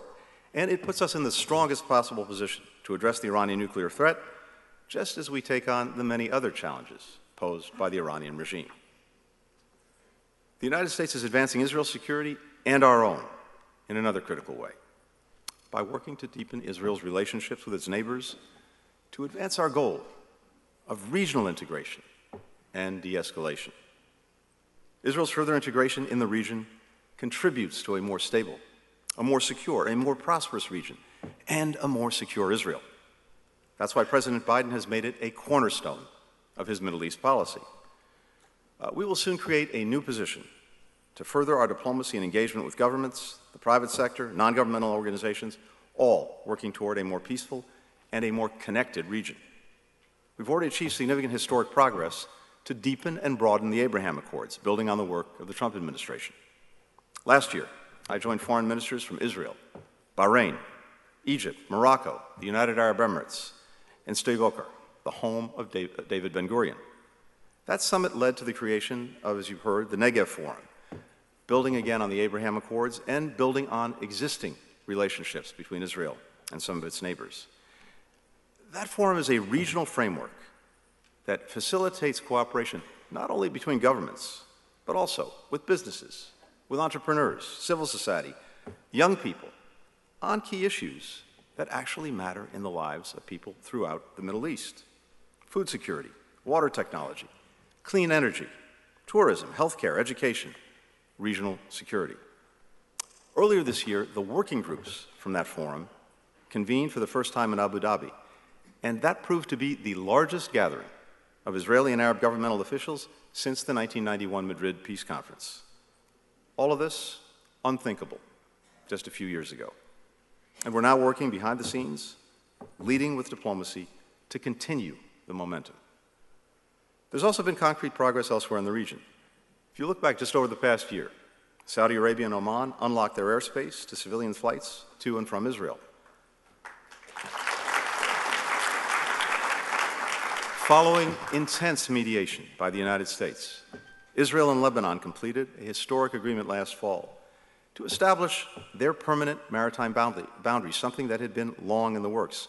That, in turn, lowered the prospect for conflict and also created a greater path for greater energy security in the region. We're helping Israel and Jordan, together with the UAE, implement Project Prosperity to collaborate on water and energy security, which is on track to launch by this year's COP28. And we convened new coalitions like I2U2, which brings together India, Israel, the UAE, the United States, to solve fundamental challenges facing our people, starting with food and energy security. That initiative was literally the product of a dinner conversation uh, between my Israeli and Emirati counterparts. We had this idea, we got on the phone, we had the idea on, on a Friday. By Tuesday, we were on a video conference with our Indian counterpart. This project was launched, and ultimately, uh, the leaders of all the countries uh, worked together to move it forward. We're also supporting Israel in its uh, work to deepen relations beyond the region, including in the eastern Mediterranean and with the 3.1 grouping of Israel, Greece, the Republic of Cyprus, focused on intensifying cooperation in energy, economic growth, climate change, emergency preparedness, counterterrorism. And we are working to accelerate all of this progress. The United States has a real national security interest in promoting normalization between Israel and Saudi Arabia.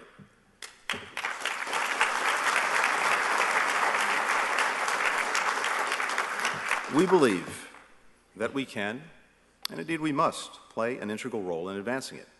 Now, we have no illusions that this can be done quickly or easily, but we remain committed to working toward that outcome, including uh, on the trip I'm about to take this week to Jeddah and Riyadh for engagements with our Saudi and Gulf counterparts. A more integrated, prosperous, stable region serves the interests of Israel, it serves the interests of our regional partners, it serves the United States.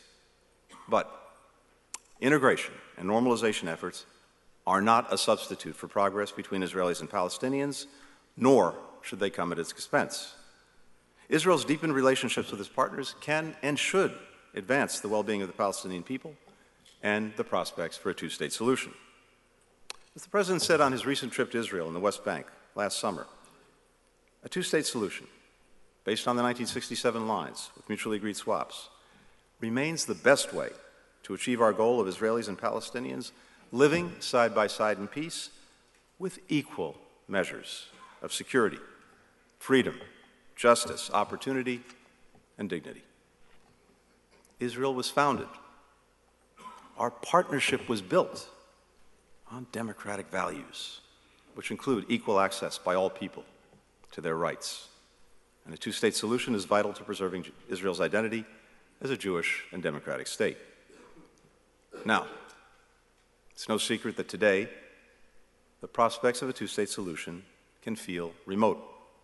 But we are committed to working with partners and with the parties to at least maintain a horizon of hope.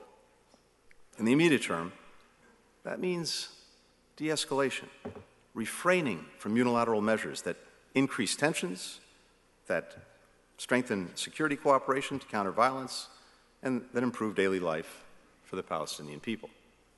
That's what our diplomacy has been about in regional meetings in Aqaba and Sharm el Sheikh, and with the help and support of Israel's longstanding partners, Jordan and Egypt. This work requires both parties to uphold commitments that they've made, including at those recent meetings. These talks represent critical steps to try to stem the violence and, hopefully, to rebuild frayed ties and begin the real diplomatic work necessary to resolve this conflict. Preserving a horizon of hope also means that we have to continue to reject, unequivocally, any actions taken by any party that undermine the prospects of a two state solution. That includes acts of terrorism, payments to terrorists in prison, violence against civilians, incitement to violence. Over the past several years, we've seen a rising tide of horrific violence that's tragically and senselessly resulted in the loss of life of scores of civilians on both sides. That violence must end. Its perpetrators must face equal justice under the law. The recent acts of terrorism, including nearly 1,000 rocket attacks launched toward Israel over just three days, some of them targeting Jerusalem, demonstrate the daily threat under which Israelis are forced to live. The fatal event at the border with Egypt, which resulted in the deaths of three Israeli soldiers, is another tragic reminder of these daily dangers.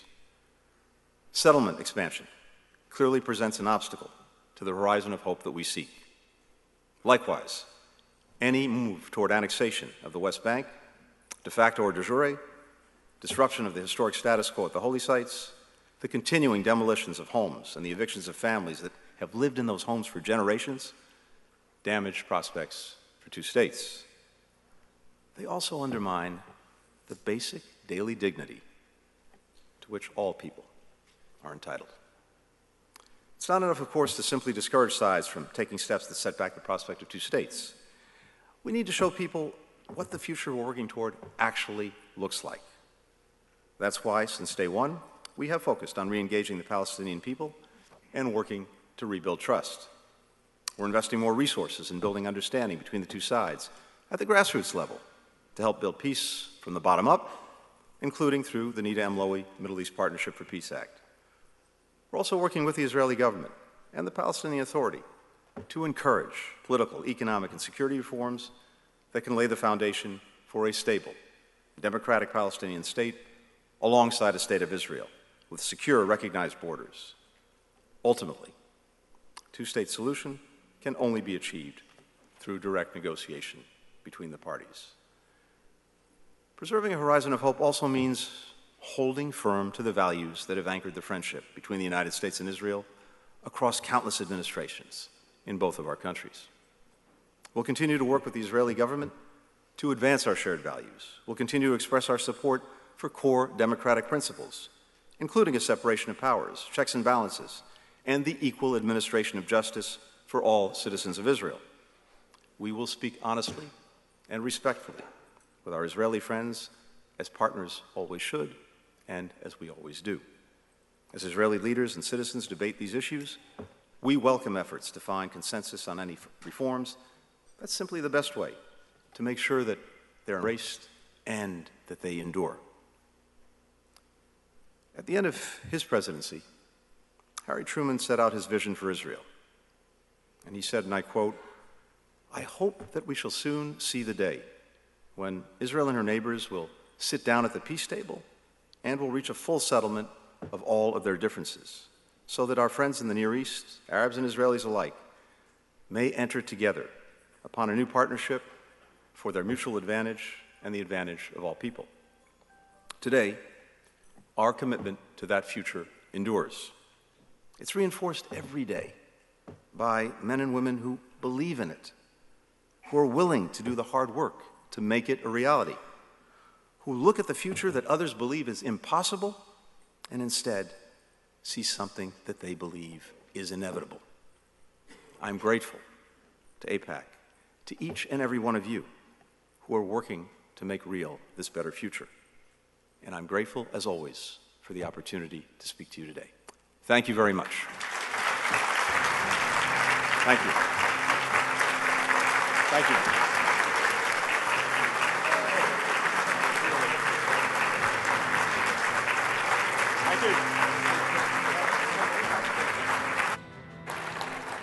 Tony, thank you. Thank, that was good. That was good.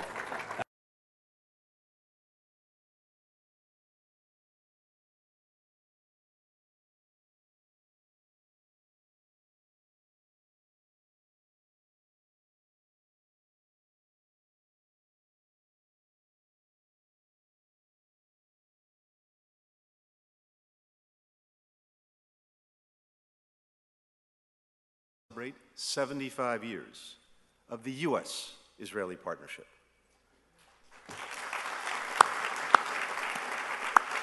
Now, you all know this very well. That partnership touches on every aspect of our lives, from security to business, from energy to public health. Our ties have not only delivered for one another, but for countries around the world, making deserts bloom, developing the clean energy technologies of the future, producing vaccines, charting the future of space exploration, and so much more. And the depth and breadth of that partnership between our governments is matched only by the strength of the ties between our peoples. This partnership between the United States and Israel is indispensable, but it was not inevitable. As Israel prepared to declare its independence, Many members of President Truman's cabinet, including the Secretary of State, counseled against recognizing Israel, convinced that an independent Jewish state could not survive, that it wasn't economically viable, that it lacked the natural resources to serve as the Jewish homeland, that it couldn't bear an influx of immigrants, that it simply faced too many security threats. Not everyone thought that way. My grandfather, Maurice Blinken, who founded the American Palestine Institute after the Second World War, initiated a report before independence that argued that the Jewish state was indeed possible, that it would in fact be easier to support 2 million Jews than the present 600,000. That report helped convince many skeptics, including within the United States government. Others in the country similarly had faith in Israel's future and found the courage to speak out against the prevailing wisdom. Public servants like White House counsel Clark Clifford who argued that Israel could be the first democratic government in the Middle East. Everyday Americans like Missouri businessman Eddie Jacobson, who convinced President Truman to meet with Chaim Weizmann, and of course, President Truman himself. President Truman never wavered in his decision to extend recognition to the new Jewish state. He said, and I quote, I had faith in Israel even before it was established. I knew it was based on the love of freedom which has been the guiding star of the Jewish people since the days of Moses. I believe that it had a glorious future before it, not just as a sovereign nation, but as the embodiment of the great ideals of our civilization. Today, our partnership remains rooted in those shared ideals, and that shared history. But its success depends on our commitment not just attending it, but renewing that bond and recommitting to the democratic values that are at its heart, and to do that each and every day.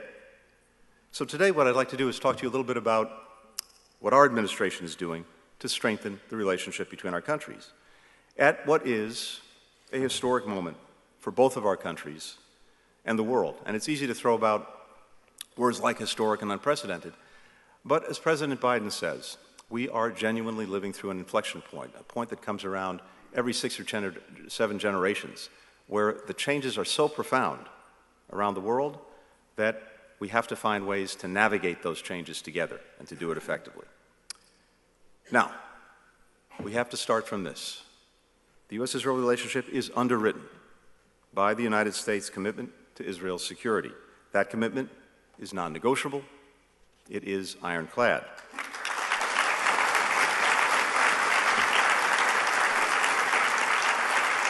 We are, we are providing $3.3 billion in foreign military financing to Israel each year. On top of that, Israel receives $500 million in funding for missile defense, tens of millions more for new counter drone and anti tunneling uh, technologies.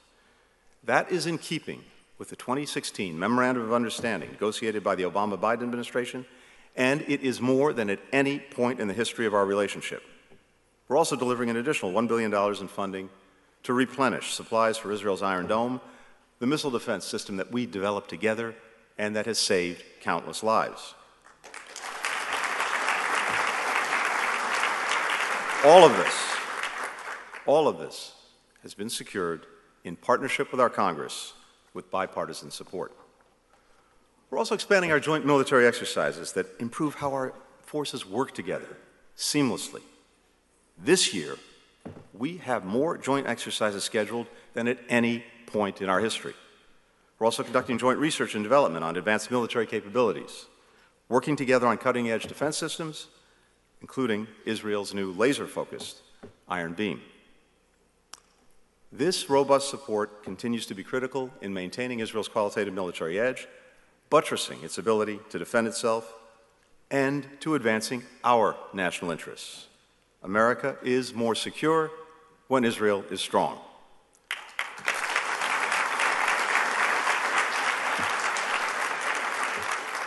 As we support Israel's defense, we are also pushing back, as you've heard, on the consistent, constant efforts to delegitimize Israel, which are aimed at undermining or isolating Israel's rightful place on the international stage.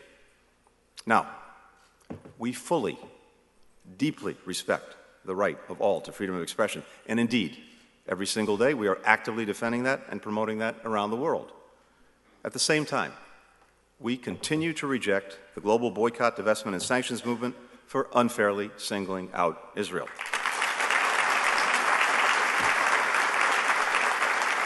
We are vigorously pushing back against anti Israel efforts to exclude and target it at the UN Security Council, the Human Rights Council, and other forums around the world. And we're combating anti Semitism, which we know fuels and intersects with hatred toward Israel. It is one of the oldest and worst scourges in our societies.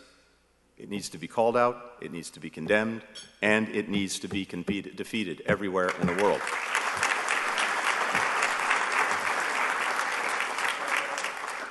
Last month, together with Special Envoy for Monitoring and Combating Anti-Semitism, Deborah Lipstadt, the President released the first ever U.S. national strategy to counter anti-Semitism, to beat back the rising tide of hate that we see around the world, and yes, in our own country.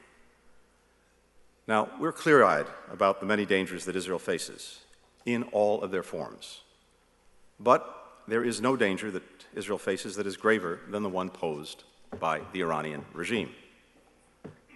That regime routinely threatens to wipe Israel off the map. It continues to provide weapons to terrorists and proxies like Hezbollah and Hamas, who reject Israel's right to exist.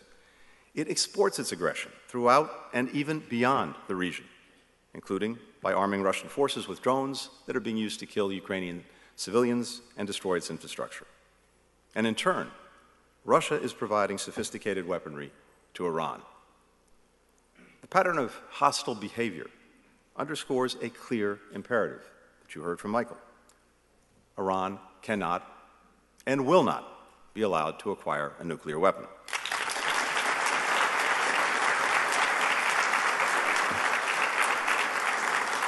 We continue to believe that diplomacy is the best way to verifiably, effectively, and sustainably prevent Iran from getting a nuclear weapon. In parallel, economic pressure and deterrence reinforce our diplomacy. If Iran rejects the path of diplomacy, then, as President Biden has repeatedly made clear, all options are on the table to ensure that Iran does not obtain a nuclear weapon.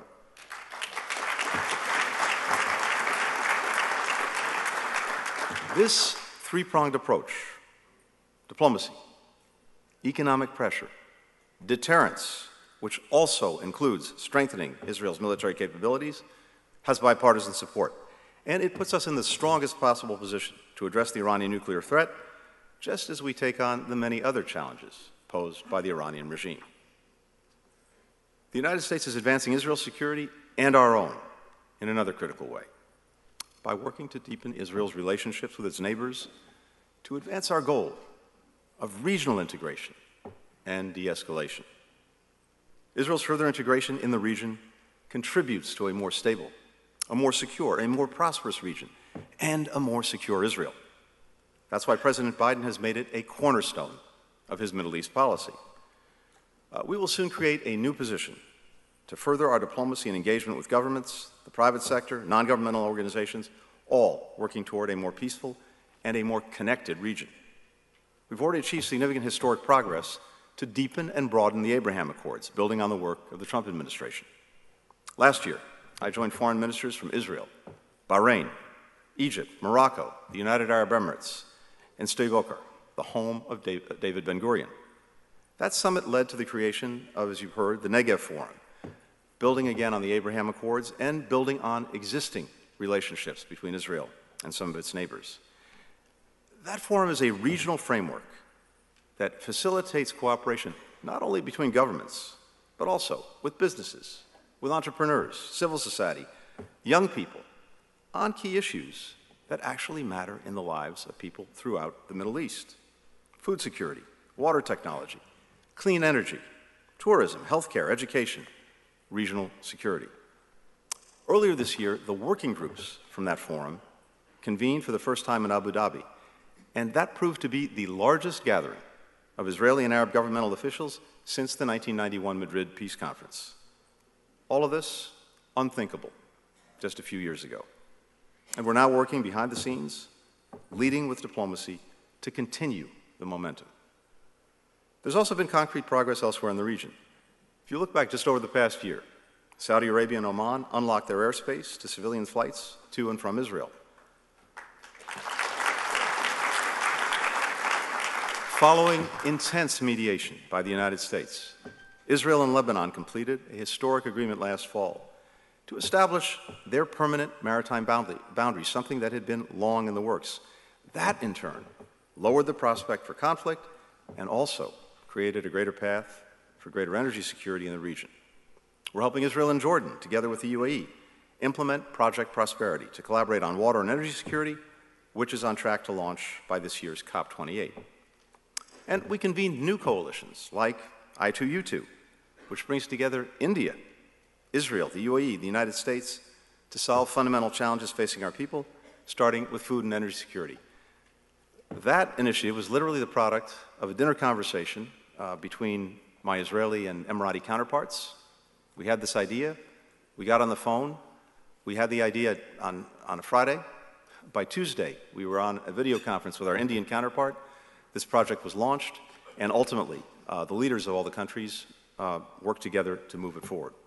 We're also supporting Israel in its uh, work to deepen relations beyond the region, including in the eastern Mediterranean and with the 3.1 grouping of Israel, Greece, the Republic of Cyprus, focused on intensifying cooperation in energy, economic growth, climate change, emergency preparedness, counterterrorism. And we are working to accelerate all of this progress. The United States has a real national security interest in promoting normalization between Israel and Saudi Arabia.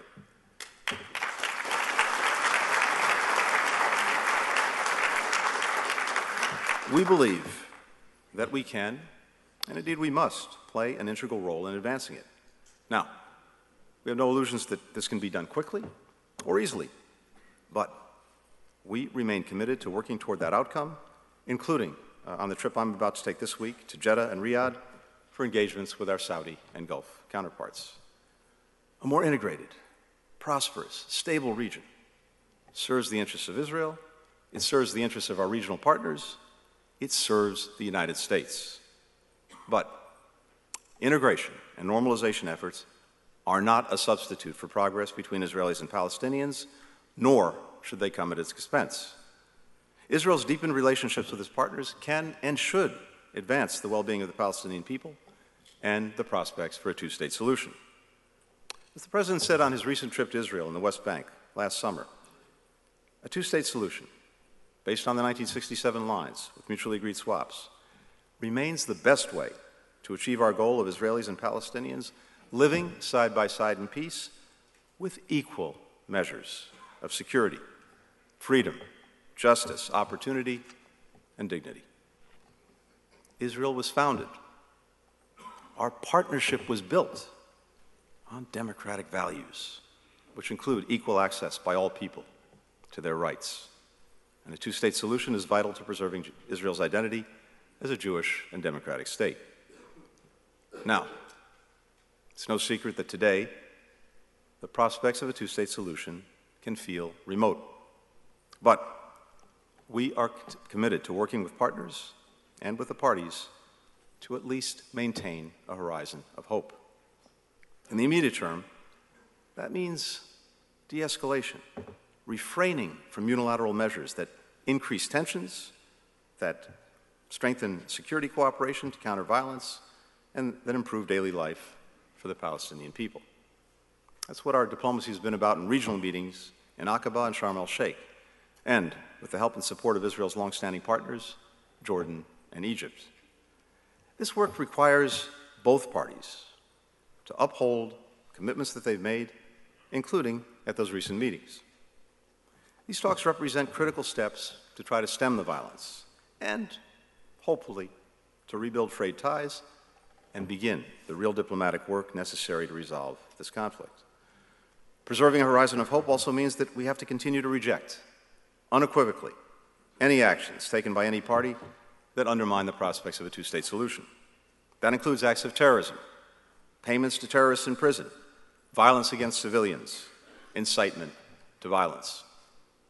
Over the past several years, we've seen a rising tide of horrific violence that's tragically and senselessly resulted in loss of life of scores of civilians on both sides. That violence must end. Its perpetrators must face equal justice under the law. The recent acts of terrorism, including nearly 1,000 rocket attacks launched toward Israel over just three days, some of them targeting Jerusalem, demonstrate the daily threat under which Israelis are forced to live. The fatal event at the border with Egypt, which resulted in the deaths of three Israeli soldiers, is another tragic reminder of these daily dangers. Settlement expansion clearly presents an obstacle to the horizon of hope that we seek. Likewise, any move toward annexation of the West Bank, de facto or de jure, disruption of the historic status quo at the holy sites, the continuing demolitions of homes and the evictions of families that have lived in those homes for generations, damage prospects for two states. They also undermine the basic daily dignity to which all people are entitled. It's not enough, of course, to simply discourage sides from taking steps that set back the prospect of two states. We need to show people what the future we're working toward actually looks like. That's why, since day one, we have focused on re engaging the Palestinian people and working to rebuild trust.